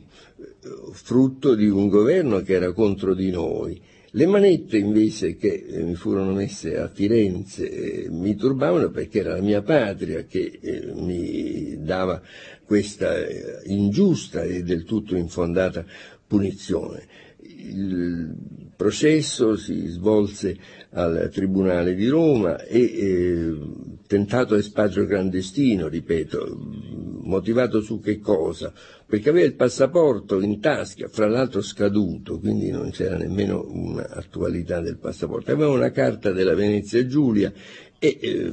quindi il sospetto che andando a Trieste, che era la destinazione che lui aveva dichiarato potesse poi andarsene, eh, sì, poteva essere fondato, ma non da un punto di vista processuale. Però non è che si guardasse molto per il sottile, i giudici dettero quattro anni di reclusione, rimase in prigione e eh, Meda, che era un grande popolare e avvocato, continuò a difenderlo e riuscì in sede di appello a fargli ridurre a due anni la punizione. Però la motivazione era così fragile, secondo l'opinione di me e secondo l'opinione di tutti, perché questo espatrio non era fondato su nessun elemento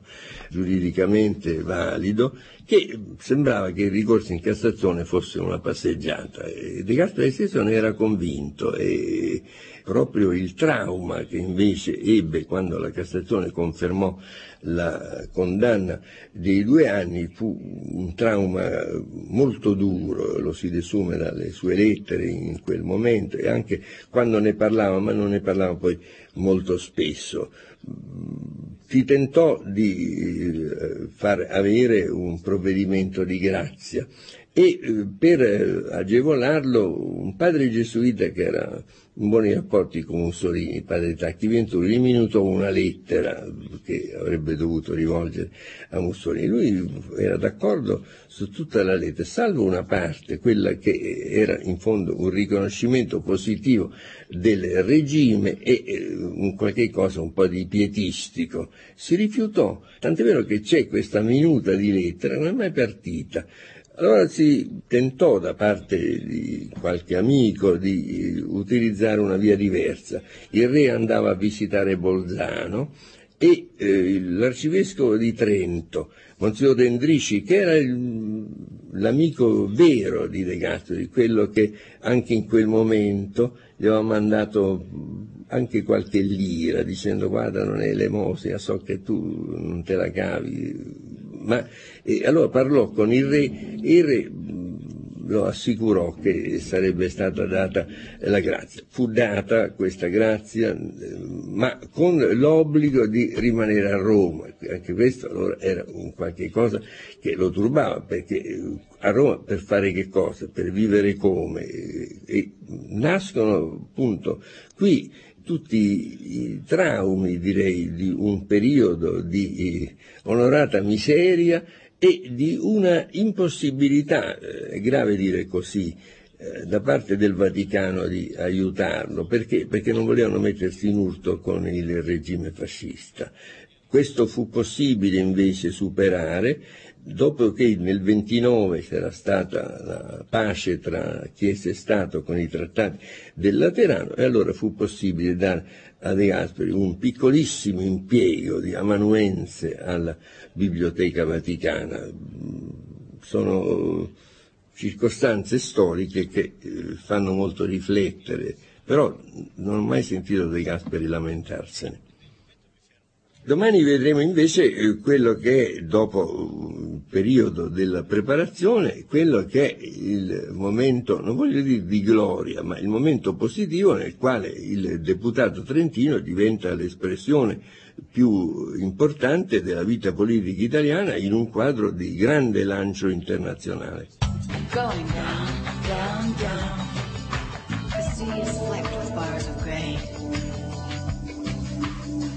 Man mano che la guerra volgeva ad un esito disastroso, sorgeva il problema del dopo e uomini politici di diverse estrazioni avevano dei rapporti con eh, una giusta prospettiva, cioè di dire in questo momento dobbiamo eh, tener conto che l'Italia avrà bisogno di una resurrezione quando cadranno le strutture attuali della dittatura. Dopodiché eh, lotteremo tra di noi e vedremo eh, come deve essere instaurato un sistema che sia però un sistema assolutamente democratico. Questo spiega la collaborazione all'interno di quello che poi divenne anche formalmente il Comitato di Liberazione Nazionale di De Gasperi e in generale dei popolari con comunisti, socialisti, liberali e con due partiti nuovi che si erano nel frattempo creati, il Partito d'Azione e la Democrazia del Lavoro. Rapporti c'erano anche con il Partito Repubblicano storico, che però, siccome era del parere che non bisognava assolutamente avere alcun compromesso transitorio con la monarchia, non fece parte del Comitato di Liberazione Nazionale. La storia abbiamo già in parte percorsa dell'occupazione tedesca di Roma, il Laterano, il ritorno alla vita democratica, il governo di coalizione e eh, l'affermazione sempre più forte della personalità di De Gasperi, il rispetto, anche se nelle polemiche poi lo insultavano come, eh, ahimè, usa nella vita politica, però il rispetto per eh, questa personalità non veniva meno, ma dominava però un contrasto che andava oltre i nostri confini, mentre la guerra era stata vinta in una alleanza tattica tra Stati Uniti d'America, Francia, Inghilterra e Unione Sovietica, immediatamente dopo con l'Unione Sovietica si ruppero i ponti l'Unione Sovietica non accettò di partecipare a un programma sostenuto dagli americani per la ricostruzione dell'Europa, il piano Marshall, e si vide con molta chiarezza che vi era da dover parare il rischio. Abbiamo già visto con eh, le trattative per il eh, piano di difesa comune, il patto atlantico, la fermezza con cui De Gasperi sostenne che era un patto esclusivamente di difesa, la storia poi ha dato ragione, si è visto che così era, ma questo mise anche in evidenza un De Gasperi in un certo senso nuovo, un De Gasperi battagliero in maniera assoluta, anche nelle forme. De Gasperi non aveva un'oratoria molto ridondante, un'oratoria affascinante come altri, Gronchi era stupendo in questa sua caratteristica quasi letteraria, però i dibattiti parlamentari sono lì ad avere pagine intere di interruzioni, interruzioni violente e interruzioni a cui rispondeva prontamente non solo a Togliatti o a Nenni, ma anche a persone, vorrei dire, di serie meno che Z.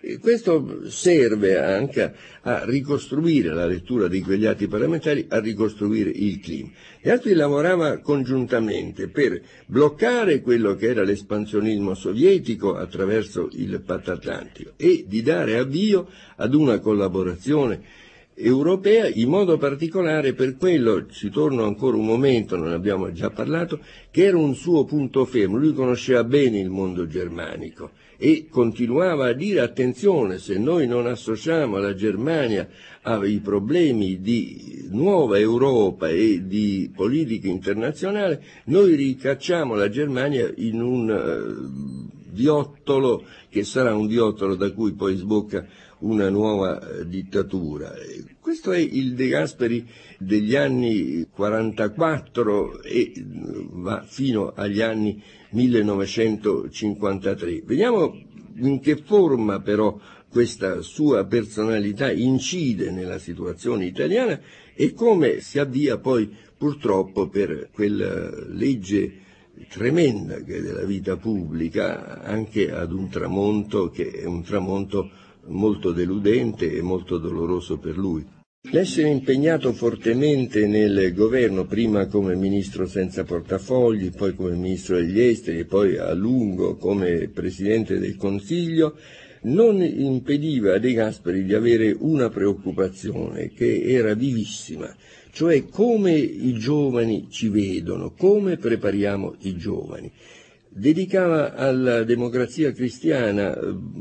certo quantitativo di ore, poche al mese, ma i giovani, anche del suo e del nostro partito, dedicava molto tempo. Ed era poi circondato, a parte me stesso, ma Giorgio Tupini, Edoardo Martino, i suoi collaboratori erano prevalentemente dei giovani con i quali si ritrovava molto e faceva molto affidamento appunto sui giovani. Che cosa si diceva? Diceva innanzitutto date il buon esempio con la vostra vita personale. Se non c'è coerenza tra quella che è la vostra vita e il vostro insegnamento, voi non avrete nessuna possibilità di costruire. La gente capirà che siete falsi, anche se le cose non vanno bene, ma si vede che l'impegno c'è e che il disinteresse c'è,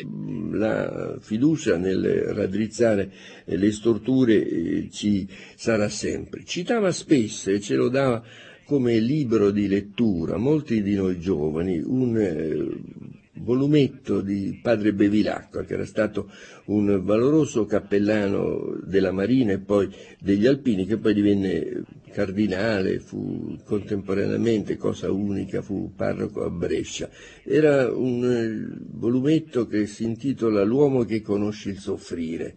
E questo voleva dare un'indicazione. Di Gasperi non eh, si vantava dei molti momenti di sofferenza della sua vita, giovanile e ancora di più dopo, ma diceva guardate la sofferenza è indispensabile perché la tentazione di credere che si possa prescindere dalla durezza dei problemi che esiste sempre, perché le cose vi danno l'idea di andare bene che per voi vanno bene, questo dovete levarvelo dalla testa e eh, dovete cercare di camminare proprio all'incontrario. Un'altra caratteristica che De Gasperi insegnava era la obiettività nel giudicare le persone. Mi colpì quando dovette scegliere il primo suo capo di gabinetto, quando andò al Viminale. Si fece dare l'elenco dei prefetti e si fece spuntare, aveva avuto molte lettere di raccomandazione, questo è un uso eh, piuttosto antico e forse anche contemporaneo, si fece dare l'elenco delle raccomandazioni e fece spuntare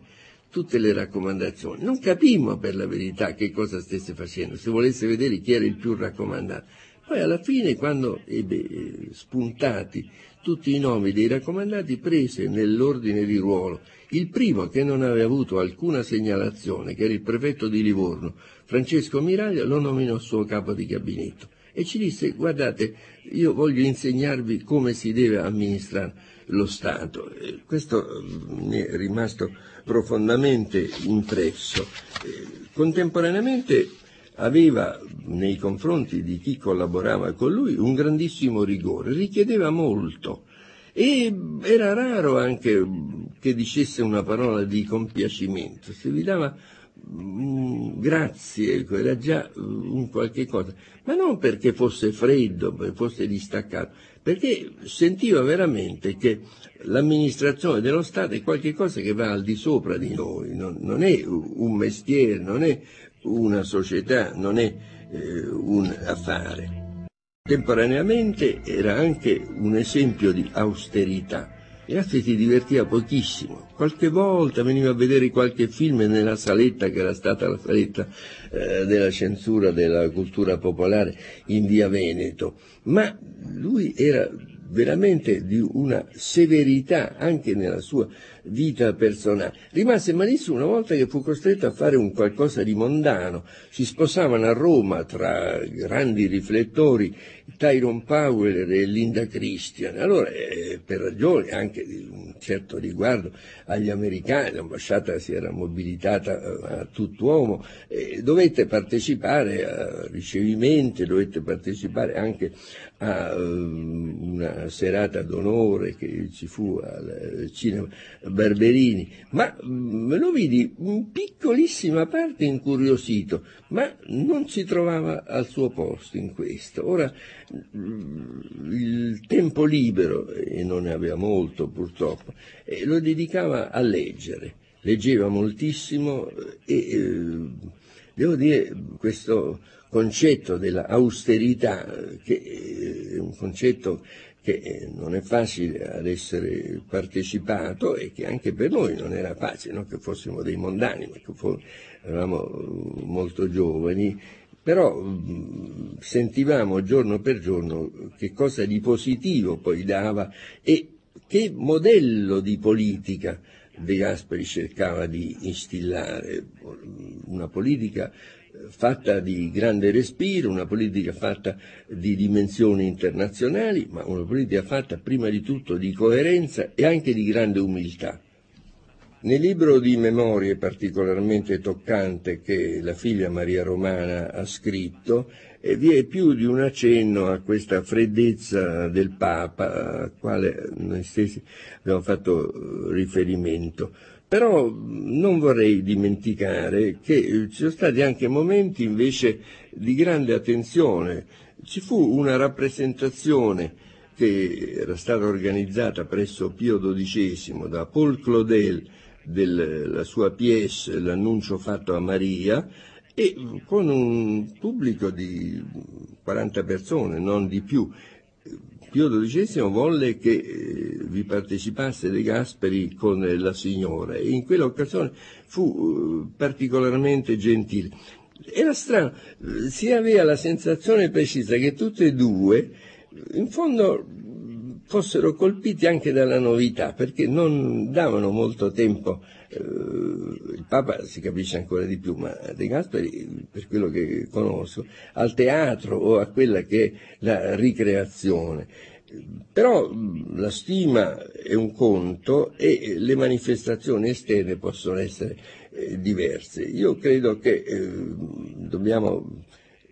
riconoscere che la stima, ho già parlato di quando ci fu l'udienza del ventennale dei patti del Laterano, quella frase che il Papa aveva aggiunto eh, di persona al testo che Luis Cresto aveva redatto e forse pensando che fosse troppo freddo, quando aveva detto eh, con vivo compiacimento salutiamo Vostra Eccellenza, di cui la dottrina, le insigni qualità di governo e la integrità della vita trascorsa comportano ammirazione in patria e all'estero, eh, questo secondo me eh, deve essere eh, considerato nel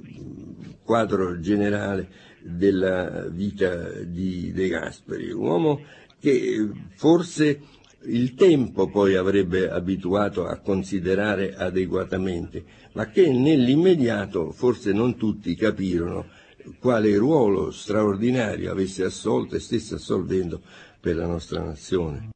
Quando qualcuno si rivolgeva a De Gasperi per chiedere qualcosa, cercava sempre di poter essere di aiuto e mai con finalità direi elettoralistiche. In particolare fu di aiuto a persone che nel passato non le avevano certamente fatto del bene anzi lo avevano deluso, c'erano dei politici che erano stati estremamente transattivi con il periodo fascista e che nel momento nel quale avrebbero a loro volta potuto dare una mano a De Gasperi invece si erano certamente ben guardati dal farlo. De Gasperi ebbe un crescendo di popolarità anche sul piano internazionale. Ho prima accennato più di una volta alla comunità europea del carbone e dell'acciaio, alla redazione e alla stipula del patto atlantico, al respiro internazionale che finiva ad avere. Quali furono i crucci del suo momento politico nel quale governava? Furono sostanzialmente due. Uno che però, guardato poi da un punto di vista storico, non so poi se sia stato un danno, cioè di non essere riuscito a salvare qualcosa delle colonie. Le colonie di per sé, poi adesso la filosofia politica contemporanea, il colonialismo lo guarda negativamente, anzi il post-colonialismo è liberazione, ma allora non era così, perché poi doveva essere o una misura valida per tutti o una misura che invece era solo punitiva. Per noi fu punitiva,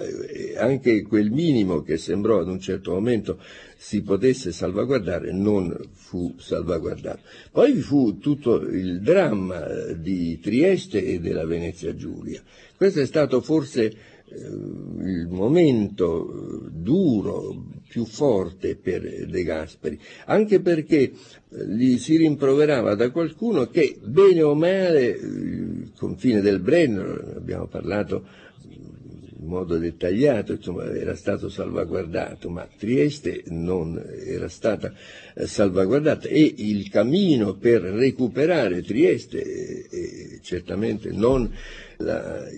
Venezia Giulia nella sua interezza e l'Istria fu un cammino che De Gasperi avviò, ma che poi fu portato a conclusione soltanto dopo la sua morte. Questo direi fu il suo cauchemar, fu il suo avvilimento, perché in lui erano abbinati Trento e Trieste, essere l'espressione eh, direi più forte e più vittoriosa di Trento italiana, il Trentino che diventava presidente del Consiglio dei Ministri per un periodo non breve, mentre il problema di Trieste bloccò quello che era il rischio di una vittoria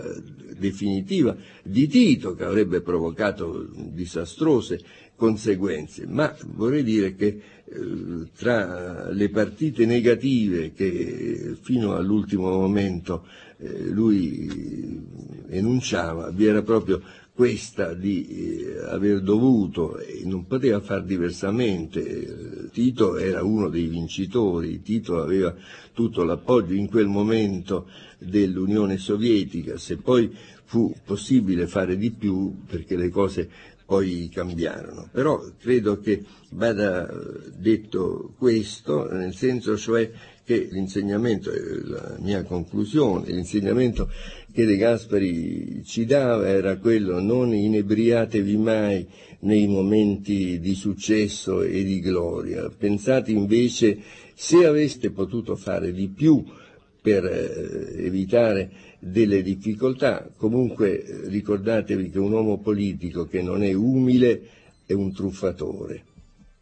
Domani continueremo il nostro colloquio e ripercorreremo qualche momento eh, approfondendolo della vita di De Gasperi. Down, down.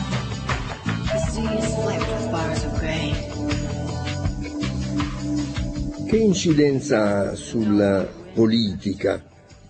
l'insieme dei problemi economici?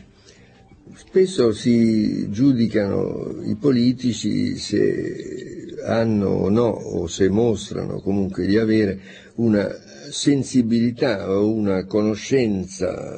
dei problemi politici e finanziari. De Gasperi era un esempio che, pur non avendo una preparazione tecnica eh, nell'economia, però le scelte politiche nei momenti decisivi sapeva prenderle e sapeva scegliere tra eh, le tesi che gli venivano sottoposte eh, nel giusto mezzo tra eh, quelle che sono strette regole appunto di economia e le regole generali della conduzione dell'uomo, della conduzione del popolo, L'economia è eh, al servizio dell'uomo, eh, detto così può sembrare un, una predicuccia da quaresimale, De Gasperi ne era invece convinto, e cioè era convinto che la strettissima adesione ad una sorta di automatismo di regole economiche eh, non comportasse un risultato, nel senso che l'uomo, e non è un modo di dire, ma l'uomo è al centro veramente di ogni attività, sia di sviluppo, sia invece di freno allo sviluppo. L'uomo concepito come un uomo che ha bisogno di sostegno dalla politica, l'uomo più povero, l'uomo meno dotato eh, deve essere al centro di eh, una linea di sviluppo. E questo spiega il De Gasperi riformatore, De Gasperi nella maniera più clamorosa, devo dire, in un certo senso, di invertire le marce, eh, che spezza il latifondo e che non si rassegna al fatto che il Sud debba essere in una posizione diseredata e debba eh, rimanerci. La cosa importante era sotto questo aspetto, direi, avere dei rapporti con il mondo economico e dei rapporti non demagogici. Vi sono state persone nella vita di De Gasperi che io ho visto avere con lui delle relazioni estremamente corrette. Eh, il presidente della Confindustria Angelo Costa, un personaggio molto rigoroso, persona molto per bene di Genova, che aveva soggezione di De Gasperi, però parlava con lui in un modo estremamente aperto e a sua volta De Gasperi non lo considerava un nemico. Certo detto così si prestava poi alla propaganda eh, piuttosto dozzinale della sinistra che avere rapporti con la Confindustria significava essere schiavi del capitale o essere succubi, essere dei mancipi. Direi che questo non è assolutamente vero e che Di Gasperi, mm, ci arriverò poi, eh, aveva invece lo stesso tipo di rapporti, anzi forse un tipo più marcato ancora, con i sindacati di cui valutava l'importanza. La politicizzazione del sindacato eh, era un danno, ma eh, pensare che in una fase e in generale in una nazione come la nostra così piena di politica il sindacato possa vivere completamente al di fuori di influssi attivi e passivi eh, delle forze politiche, delle forze dei partiti sarebbe eh, una illusione. Però l'idea di un sindacato unico che potesse tutelare eh, il lavoratore eh, senza alcuna preoccupazione di carattere politico all'inizio era stata partecipata da De Gasperi, era favorevole. Dove avvenne la differenziazione? È proprio sulle eh, linee di politica estera, nella divisione del mondo, nella creazione dell'est comunista che cercava di prevalere e, e nella eh, obbedienza eh, o comunque simpatia, se vogliamo, eh, dei partiti di sinistra verso l'Unione Sovietica e si creò anche eh, la impossibilità a mantenere il sindacato unico. De Gasperi non fu contento di questo, era inevitabile e ne partecipava appunto la necessità, però non fu contento perché pensava che questo creasse da un lato una minore difesa del lavoratore e dall'altro un accentuarsi di una specie di rincorsa delle richieste che rendeva ancora più difficile la vita al governo, quindi era un ragionamento anche interessato, eh, nel senso migliore di questa espressione. però con i sindacalisti anche come persone egli aveva un atteggiamento di rispetto e quando poteva avere un rapporto con loro ne era lieto. Ricordava, anche se qualche volta eh, che lo disse anche in pubblico, erano momenti di grande tensione, i comunisti prendevano tutte le occasioni per andare contro. A De Gasperi, irridevano su questo, De Gasperi si gloriava di essere stato un sindacalista, l'abbiamo già ricordato eh, alcune sere fa, quando De Gasperi organizzava gli scioperi di tagliatori di legna eh, nel Trentino e richiedeva dei salari più giusti e delle ore di lavoro meno intollerabili. Devo dire che perfino con l'uomo più rappresentativo e anche più politicizzato del sindacato di sinistra, Giuseppe Di Vittorio, eh, De Gasperi mantenne un atteggiamento di grandissimo rispetto sia perché ne conosceva la linearità della sua vita passata, sia iniziale, sia quella eh, nell'esilio, sia perché questo più volte è ritornato nei suoi discorsi interni quando qualcuno lo accusava di una certa debolezza al riguardo e diceva attenzione non dimenticatevi che a parte il ruolo di carattere generale di Vittorio viene da una terra che è una terra così povera dove l'agricoltura eh, vive in modo talmente piena di stenti che il prefetto deve fare il decreto per dare ai braccianti tre giorni al mese di lavoro,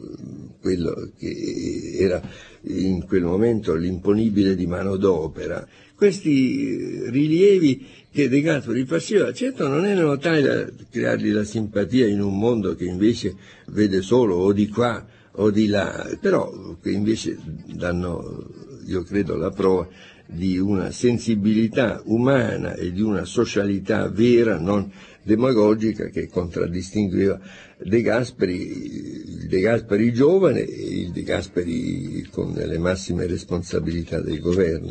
C'è un'espressione ricorrente, oggi meno, ma nel passato era pane quotidiano, i borghesi, il mondo si divideva in borghesi e nel resto e vi era una contrapposizione tra socialità e borghesia sotto questo aspetto. De Gasperi non partecipò di questo manicheismo anche di nomenclature. De Gasperi pensò sempre e eh, la linea ispiratrice delle riforme, di tutta la legislazione, lo sforzo perché anche nella politica tributaria ci fosse una maggiore giustizia e che si creassero delle condizioni di vita possibile, lo sforzo per far sì che i beneficiari della riforma agraria però non si trovassero poi dinanzi ad un pezzo di terra inerte, ma avessero tramite gli enti di riforma i sostegni necessari. C'è tutto un concetto di evoluzione della società che non porta a delle grandi punte, ma porta però alla perequazione fatta in modo da far eh, elevare quelli che erano in una posizione assolutamente eh, al di sotto dei minimi necessari e non era una posizione isolata sia in alcune zone ma in qualche parte anche in zone che nella globalità poi non erano classificate in un modo così negativo. Ecco, De Gasperi devo dire, era l'antidemagogia impersonificata. Spesso dicevo, guardate, il demagogo eh, ha un'immediata fortuna perché eh, solletica dei sentimenti che sono dei sentimenti di astio sociale, di necessità di rivincita, di progresso legittimamente voluto, eh, però di fatto poi la conclusione dell'operazione del demagogo è una conclusione negativa, anche se il demagogo è scappato, ma però eh, i risultati nefasti della sua azione rimangono. Questo in una fase nella quale ancora adesso si cerca di creare un modello di società che sia un modello adeguato, perché molti degli ideali di De Gasperi, l'europeismo, il fatto che i confini non siano una barriera, il fatto che vi sia una cooperazione internazionale, si sono poi concretizzati eh, su linee precise, eh, tuttora in evoluzione, come quella dell'Unione Europea. Però eh, lo spirito direi è necessario che in qualche maniera si approfondisca. Allora il richiamarsi a De Gasperi non è una commemorazione di un defunto, un atto dovuto, una persona per bene, che bene o male ha segnato un momento positivo per la nostra nazione. No, questo non servirebbe a niente. Io credo che serve proprio invece il cercare di individuare quello che è stato l'insegnamento di De Gasperi, quello che è stato un insegnamento di grandissimo rispetto nei confronti anche di chi non eh, condivideva il suo modo di vedere i problemi, purché eh, non si arrivasse oltre i limiti della eh, messa in discussione della stessa esistenza di una vita eh, democratica. Quello era un limite che non consentiva delle forme tenui di comprensione o anche di sopportazione. Però io penso che se in tutte queste sere abbiamo ricordato eh, De Gasperi, se c'è una utilità è quella di cercare di far emergere eh, quelle che sono state delle caratteristiche che poi non invecchiano, nel senso cioè che i problemi non sono mai gli stessi, le situazioni esterne sono situazioni che delle volte involvono, delle volte evolvono, però le linee guida eh, devono essere delle linee guida che se sono buone eh, non invecchiano. Qualche volta purtroppo se poi ci si gira attorno e non si rispettano, eh, si può anche credere per qualche attimo di aver ottenuto dei risultati, ma eh, non è così. Proprio questo insegnamento di fondo di De Gasperi, per cui tutto è al servizio dell'uomo e, e, non ci può essere sopraffazione di un gruppo rispetto ad un altro gruppo, eh, io credo che dovrebbe essere l'insegnamento quotidiano, dovremmo cercare di trasmettere ai giovani in modo particolare perché non eh, si lasciino attrarre da una politica massimalista. Noi oggi parliamo molto contro il fondamentalismo islamico, ma c'è un fondamentalismo senza aggettivi che è un male sottile che c'è stato e che c'è tuttora eh, dovunque. Ecco, De Gasperi era l'antifondamentalista per eccellenza.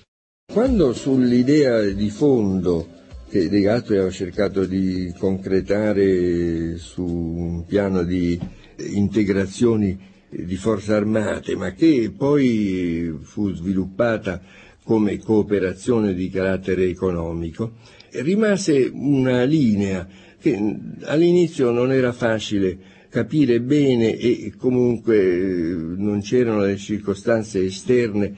per eh, renderla produttiva, cioè che la unione di più paesi, il mettere a fattore comune, il ridurre rigidità dei confini ha un valore se però la cooperazione su un piano sociale è di aiuto a coloro che sono i meno provveduti. Per un lungo tempo questo è rimasto estraneo alla vita comunitaria e si faceva eh, riferimento, sbagliando, al fatto che De Gasperi avesse dato più importanza alle strutture pubbliche, nel senso cioè più importanza ad avere una integrazione eh, di strumenti di difesa che non quella di eh, avere attenzione per eh, far progredire coloro che economicamente erano i meno provveduti. Questo è durato parecchio, c'è stata nella comunità Anche la fase un po' rigida, la signora Thatcher fu un esempio di questo, perché riteneva che ogni paese nel proprio interno debba fronteggiare le disparità di carattere sociale, ma che non competesse alla comunità come tale. Tant'è vero che la carta sociale non fu approvata dalla comunità come tale perché mancava un voto e ci voleva l'unanimità e mancava il voto della Gran Bretagna. Si badi non che loro non avessero all'interno questa sensibilità, perché anzi forse in alcuni settori di previdenza, di assistenza sociale avevano posizioni anche più avanzate degli altri, ma c'era questa concezione e, e allora il rifarsi, come qualcuno si rifaceva a De Gasperi, come questa specie di paratia di una eh, Europa che invece deve lasciare poi che ognuno dei componenti eh, risolva i propri problemi sociali, eh, questo era il contrario esatto di quello che si desume da tutto l'insegnamento che era di De Gasperi e che io ritengo debba essere invece rimesso in un certo vigore è un problema difficile ed è un problema, eh, possiamo dirlo oggi, di grande attualità, perché se oggi eh, De Gasperi è europeista eh, non può che non essere lodato dal mondo europeo che si è dilatato ad arrivare a quasi tutto il continente, quindi tra i padri fondatori certamente De Gasperi c'è, però quando noi di fronte a problemi di aree che ancora sono nel sottosviluppo e di aree invece che hanno molto di più del necessario, eh, dobbiamo non accettare che questo sia un problema che ognuno deve risolvere per i propri fatti, ma che l'europeismo deve aiutare anche in quest'opera di perequazione. Io credo che mm, questo sarebbe facilissimo documentarlo eh, non solo con i discorsi, con scritti di De Gasperi, ma con quella che è stata tutta la sua azione, un europeismo puramente geografico, un europeismo che non fosse un europeismo sociale, tutto è fuori che l'Europa di De Gasperi. Continueremo domani e eh, spero che eh, sia, almeno fino ad ora, abbastanza eh, chiaro quello che è lo sforzo di ricordare De Gasperi non dal punto di vista sentimentale ma da un punto di vista politico e morale.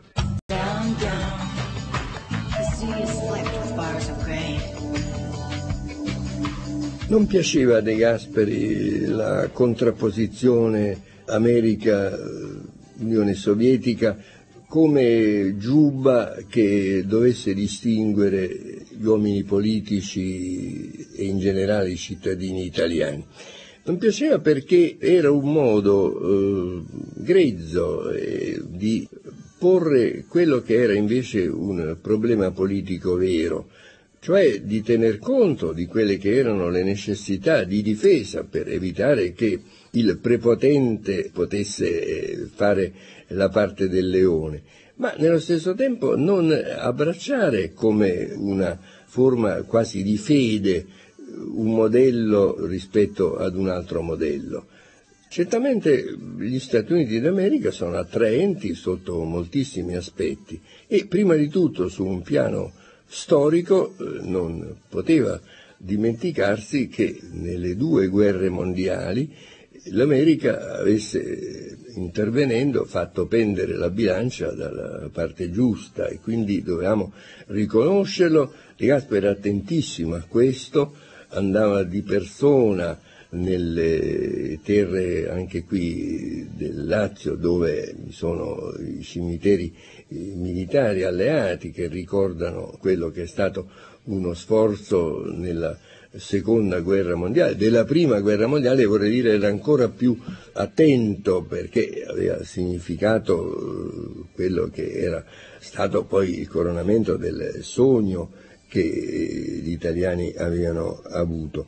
Però indubbiamente era seccato quando si cercava di introdurre questa forma di equiparazione, cioè che gli italiani fossero in parte soggetti agli americani, in parte soggetti ai russi. Questo non era giusto. Perché non era giusto? E lo diceva in maniera esplicita, signori, il patto Atlantico non è il patto di un partito, è il Parlamento italiano che addirittura ancora prima della firma, cosa che lui volle andando oltre le procedure, le procedure sono che il governo firma un trattato e il Parlamento lo ratifica, lui volle il dibattito e l'autorizzazione a firmare e poi l'autorizzazione a ratificare, quindi un doppio ordine di valutazione parlamentare. Quello è il Parlamento che esprime la nazione, esprime chi lo vota e chi non lo vota quel determinato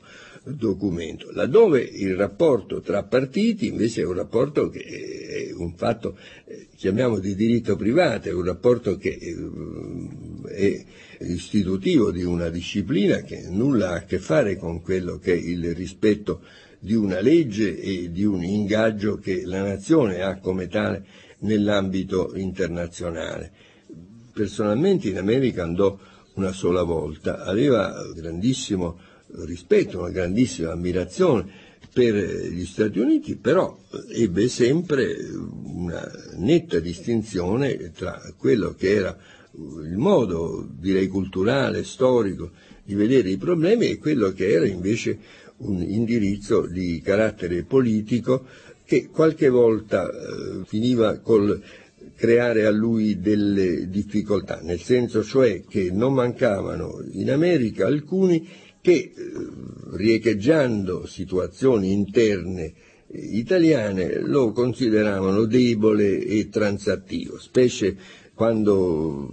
la Germania, la Corte di Karlsruhe, eh, dichiarò fuori legge il Partito Comunista, allora sembrava quasi che invece questo sforzo di convivenza e questa fiducia che un giorno si sarebbero invece chiarite le posizioni fosse da un punto di vista democratico meno brillante e quasi da doversi far perdonare. Questo è un punto molto delicato nel rapporto di De Gasperi con gli Stati Uniti. Il grande piano che il generale Marshall, segretario di Stato in America, aveva messo in campo di eh, aiuto alla ripresa di tutta l'Europa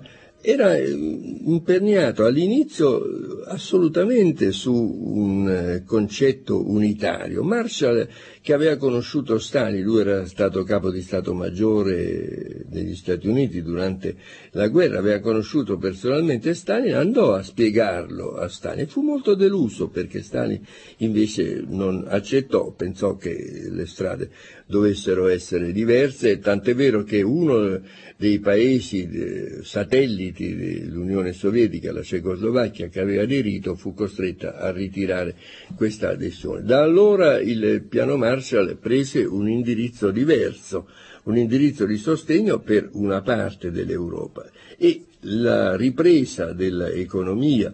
in Europa deve molto a questo sostegno, come sotto un altro profilo, ne ho già accennato una volta,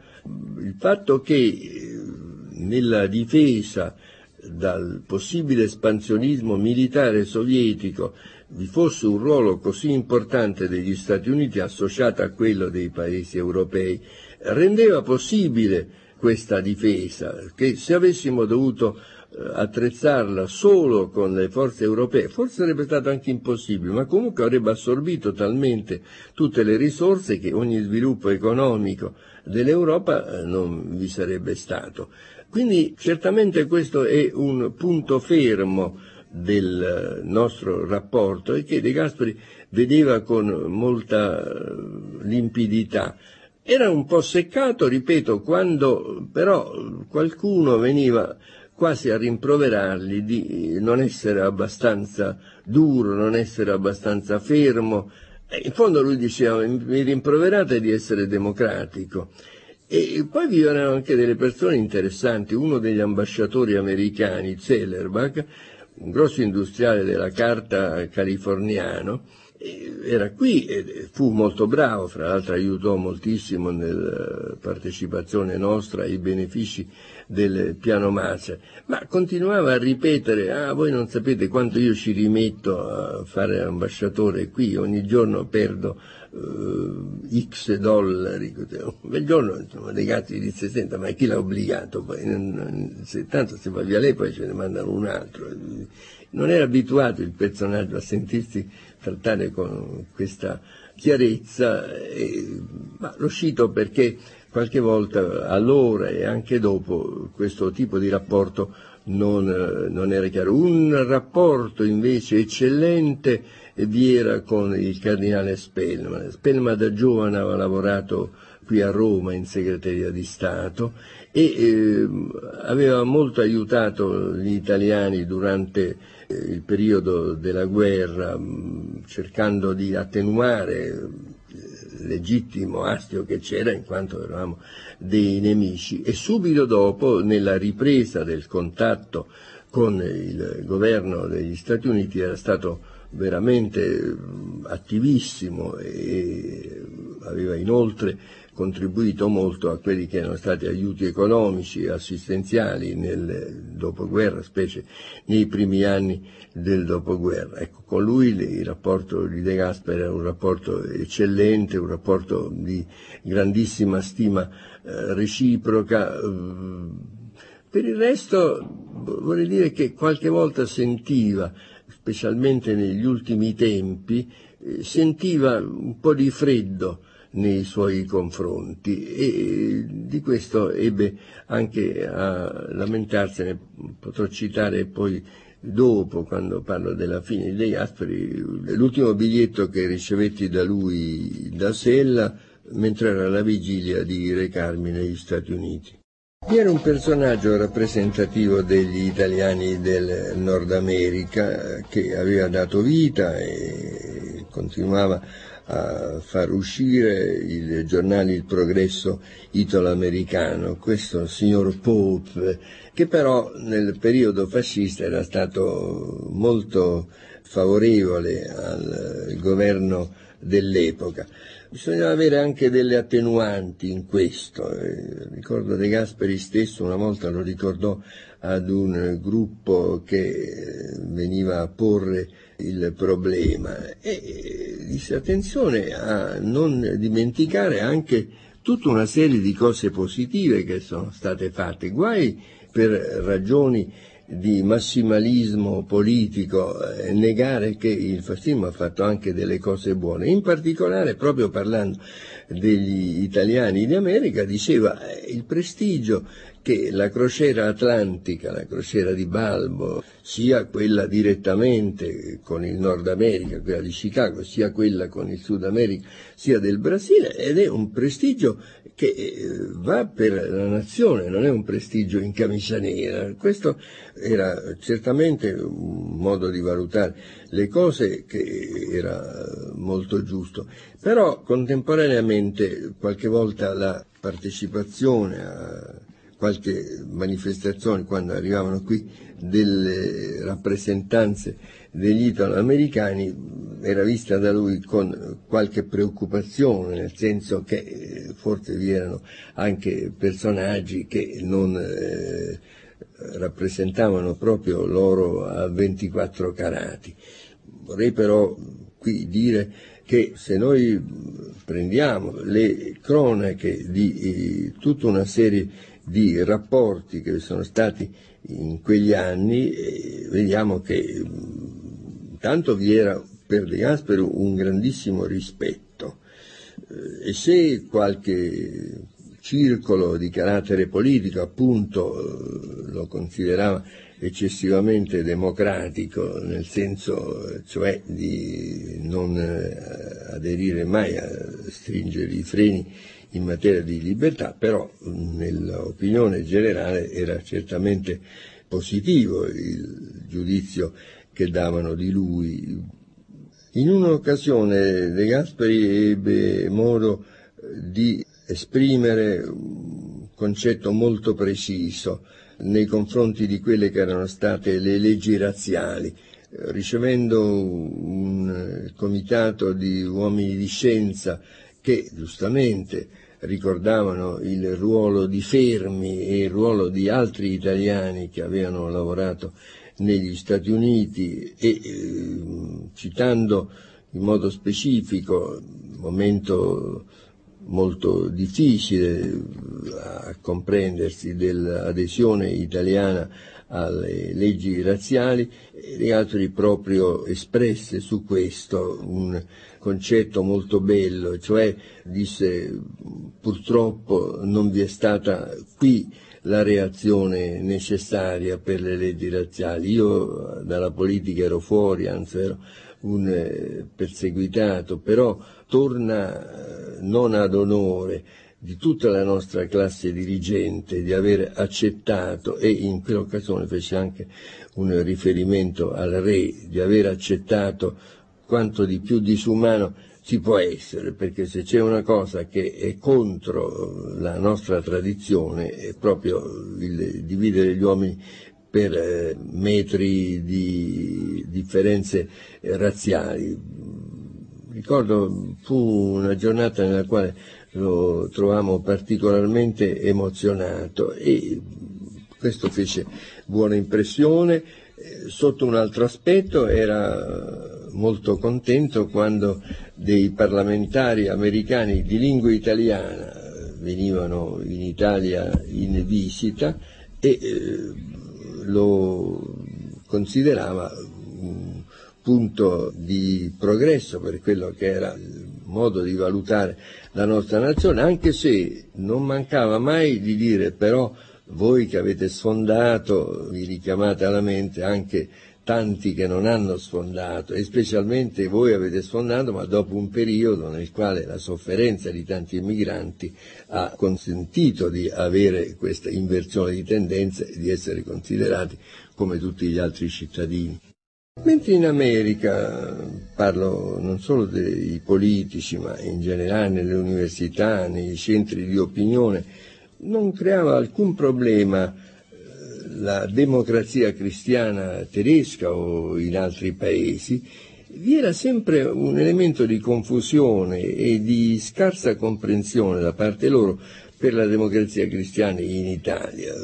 Cos'era eh, la democrazia cristiana rispetto alla gerarchia ecclesiastica, Roma in cui c'era il Papa ma c'era anche la centrale della democrazia cristiana, un democristiano che presiedeva il governo. Fu un certo sforzo che fu messo in campo per eh, chiarire, ma del tutto non ci riuscimmo forse mai, nel senso che eh, è rimasto un po' un equio. Più tardi sarebbero stati fatti dei, anche dei convegni per eh, chiarire questo problema, eh, ma aveva un riflesso per la netta distinzione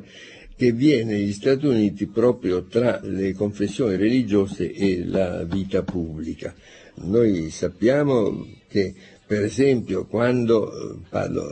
di epoche più antiche, quando subito dopo la creazione degli Stati Uniti il Papa eh,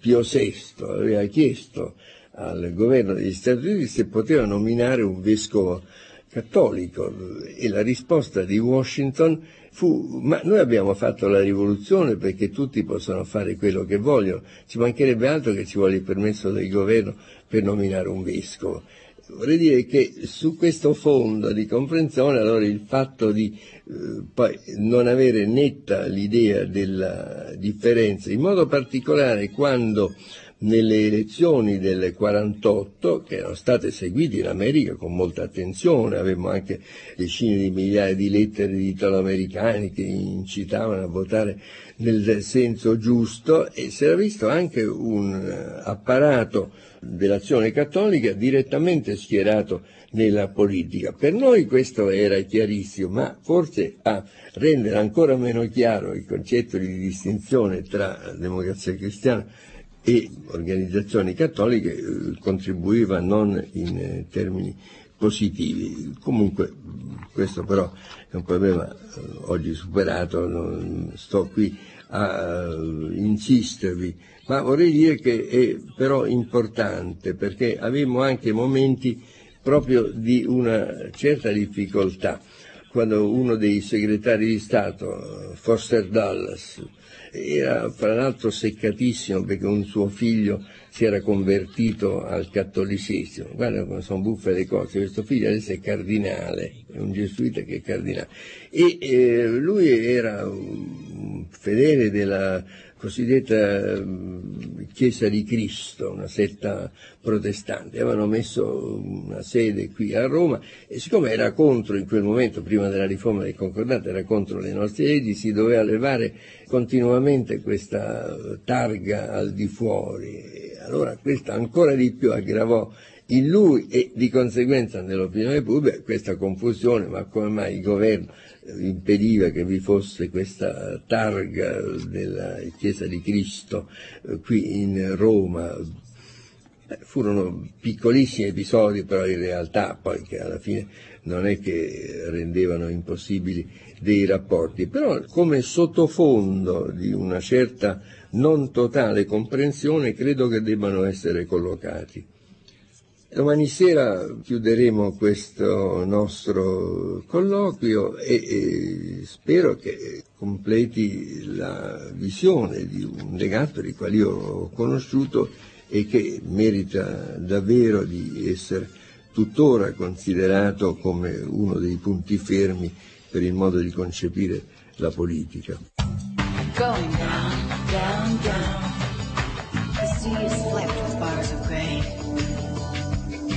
Il cruccio di De Gasperi era sempre quello di eh, far capire bene all'opinione pubblica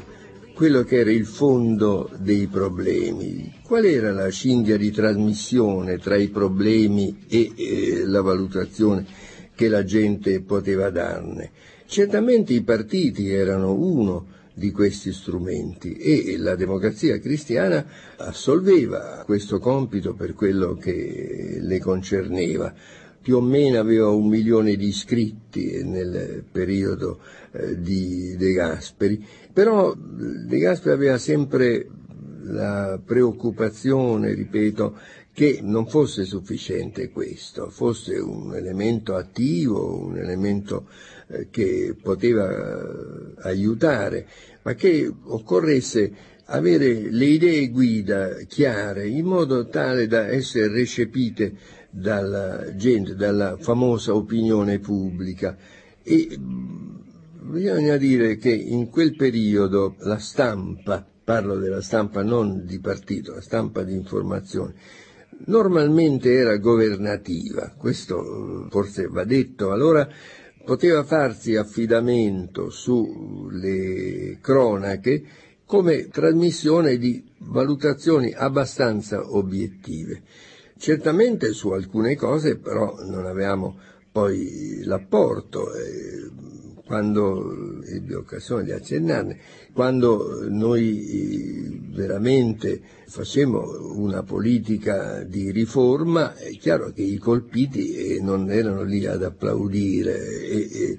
se avevano una possibilità di influire su eh, una stampa che a loro faceva riferimento, è chiaro che non eh, davano giudizi di carattere favorevole. Però la preoccupazione di fondo era poi questa, di dire come si forma l'opinione pubblica. Vi è un documento essenziale che possiamo considerare non è un modo così sentimentale, il testamento di De Gasperi. De Gasperi che era già in condizioni non buone, ma al congresso della democrazia cristiana del giugno del 1954, lui morì il 19 di luglio, fece un lunghissimo discorso e eh, in questo discorso fa proprio una esposizione di questa necessità di considerare che il nostro paese è sano se è un paese pluralistico, se hanno modo di avere voce anche coloro che non sono robusti dal punto di vista sociale, che però eh, deve anche tener conto che c'è un insieme di addendi che devono operare gli addendi si chiamano uomini di cultura, si chiamano operatori economici, si chiamano sindacati, si chiamano organizzazioni religiose, si chiamano centri sportivi. Fece proprio un elenco di questa realtà a cento facce, ma cento facce che non si contrappongono l'una all'altra, ma devono avere ognuna la possibilità di contare. Allora questo concetto del pluralismo proprio eh, in contrasto con quello che era stato l'insegnamento di Mussolini, chi non è con noi è contro di noi, o un fondamentalismo comunista che esisteva, eh, credo che sia tra le cose che di De Gasperi devono essere ricordate come insegnamenti tra i più incisivi. Che cos'è la socialità? Eh, è un termine che era stato fra l'altro anche usato male, la Repubblica Sociale era stata nel periodo dell'occupazione tedesco. E De Gasperi qualche volta ironizzava, diceva stiamo attenti che eh, questo aggettivo sociale viene usato un po' in molte maniere, parlava delle latterie sociali, ironizzava, ripeto, su questo. Ma sullo sfondo invece era un concetto essenziale, la socialità, cioè di dare a ciascuno quello che è, uguale, ma di dare a chi ha più bisogno, di dare un sostegno, una spinta per rendere le diseguaglianze meno aspre. Tutto il programma che De Gasperi tracciò, le linee ricostruttive della democrazia cristiana, è tutto legato proprio a questo concetto di una elevazione sociale, un concetto profondamente cristiano, ma anche di cristianesimo naturale, nel senso cioè che anche uomini non religiosi, ma se sono uomini giusti, sentono come deve essere data la possibilità a chi eh, ha avuto meno opportunità e ha meno opportunità di eh, colmare un po' questo divario. L'indirizzo globale di questa socialità e poi si trasforma in eh, altrettante linee guida, compreso, se si guarda bene, compreso quello che è il concetto di sicurezza militare, è uno dei punti fermi eh, di socialità, nel senso cioè che ti consente con uno sforzo, nel caso specifico mi riferisco a Patria Atlantica, alla sua dottrina, con uno sforzo di chi è più ricco che eh, viene a sostegno di uno che è meno provveduto per consentire anche adesso di avere la eh, necessaria tutela e a non essere sopraffatto. Vi era poi un punto che ricorreva spesso e che io adesso cito il discorso finale del giugno del 54, ma ricorreva spesso eh, l'importanza degli insegnanti, partendo proprio dall'influsso del maestro e della maestra elementare. De Gasperi eh, ne faceva spessissimo cenno nei suoi discorsi e nelle sue progettazioni, reputando essenziale per la formazione del carattere del cittadino questa istruzione elementare che veniva data da una tradizione di maestri e di maestre che rispettava moltissimo.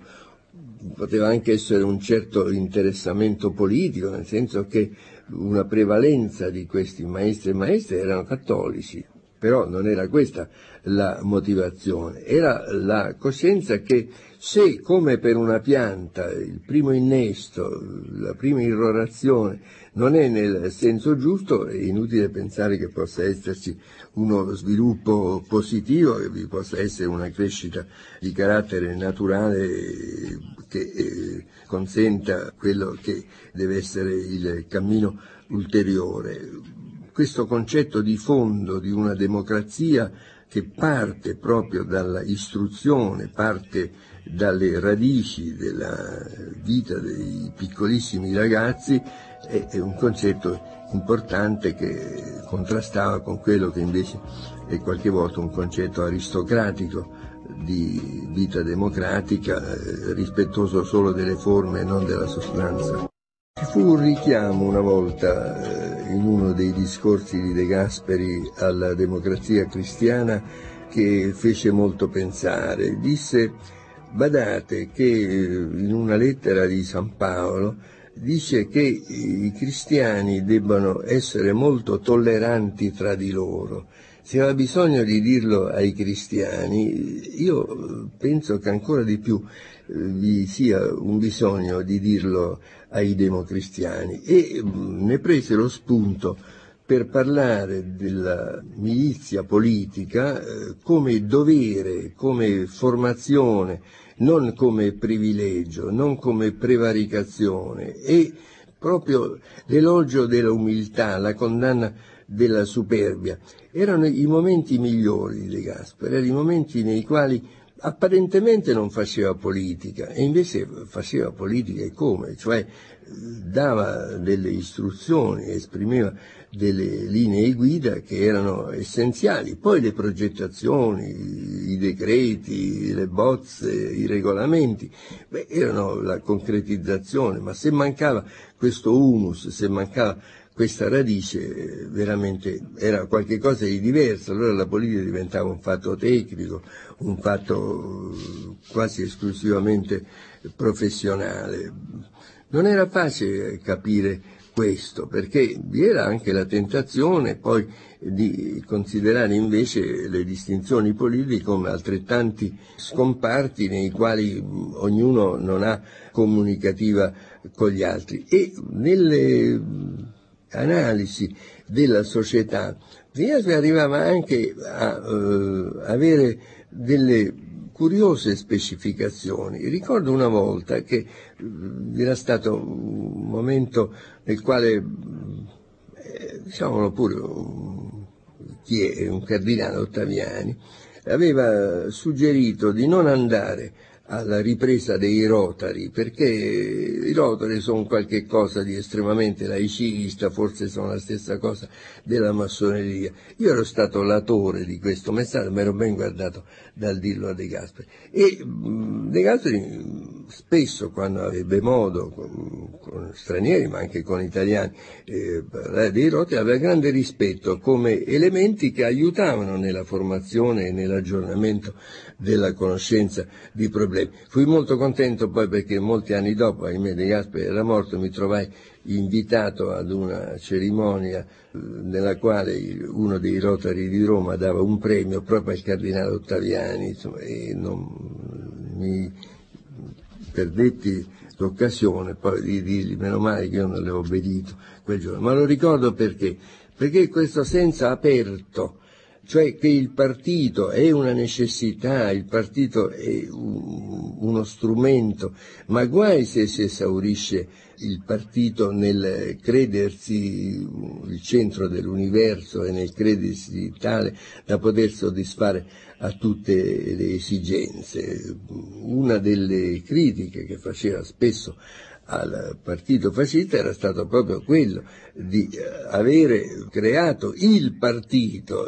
cioè avere distrutto quelle che sono le regole di convivenza e anche logicamente di pluralismo che in una società sono un po' come l'ossigeno nella vita di ciascuno di noi. Agli inizi di agosto del 54 dopo il congresso, io avevo messo in programma e avevo accettato volentieri l'invito ad andare negli Stati Uniti per il viaggio inaugurale dell'Andrea Doria. Poi un cambiamento di programma mi dette modo e ne fui moralmente molto soddisfatto di essere qui quando De Gasperi improvvisamente morì e aveva avuto un biglietto da lui proprio per questo viaggio agli Stati Uniti dicendo quante cose avremmo da dirci con gli Stati Uniti. Se era stato un po' il momento, eh, ne ho fatto riferimento in una di queste puntate con l'ambasciatrice Luce, nella quale eh, lui aveva visto qualche critica forse al suo metodo di azione rispetto ad un metodo considerato più robusto di eh, Pella. Partecipai ai funerali del Presidente che morì eh, stupendoci tutti perché tutti speravamo che la montagna gli restituisse con l'estate un po' di vigore, potesse tornare a Roma. La manifestazione di popolo e la eco internazionale fu molto forte, ma eh, la cosa importante io penso sia quella di dire che cosa resta di De Gasperi, nel senso cioè non è un metodo politico, si può discutere la proporzionale come legge elettorale, si può discutere un modo di concepire le collaborazioni tra diverse forze politiche nella eh, maggioranza governativa, ma eh, la grande impostazione di eh, guardare lontano, di non contentarsi, di vedere che gli orizzonti si dilatano, Gasperi non fece a tempo a sentir parlare di globalizzazione, ma di fatto la sua formazione che lo spinse ad essere qui il propagandista più forte eh, dell'Europa, il propagandista più forte di una visione della pace in un ambito eh, molto più vasto di quelle che erano le tradizioni, il superamento del nazionalismo che pure era stato un elemento costitutivo delle realtà statali in molte parti dell'Europa.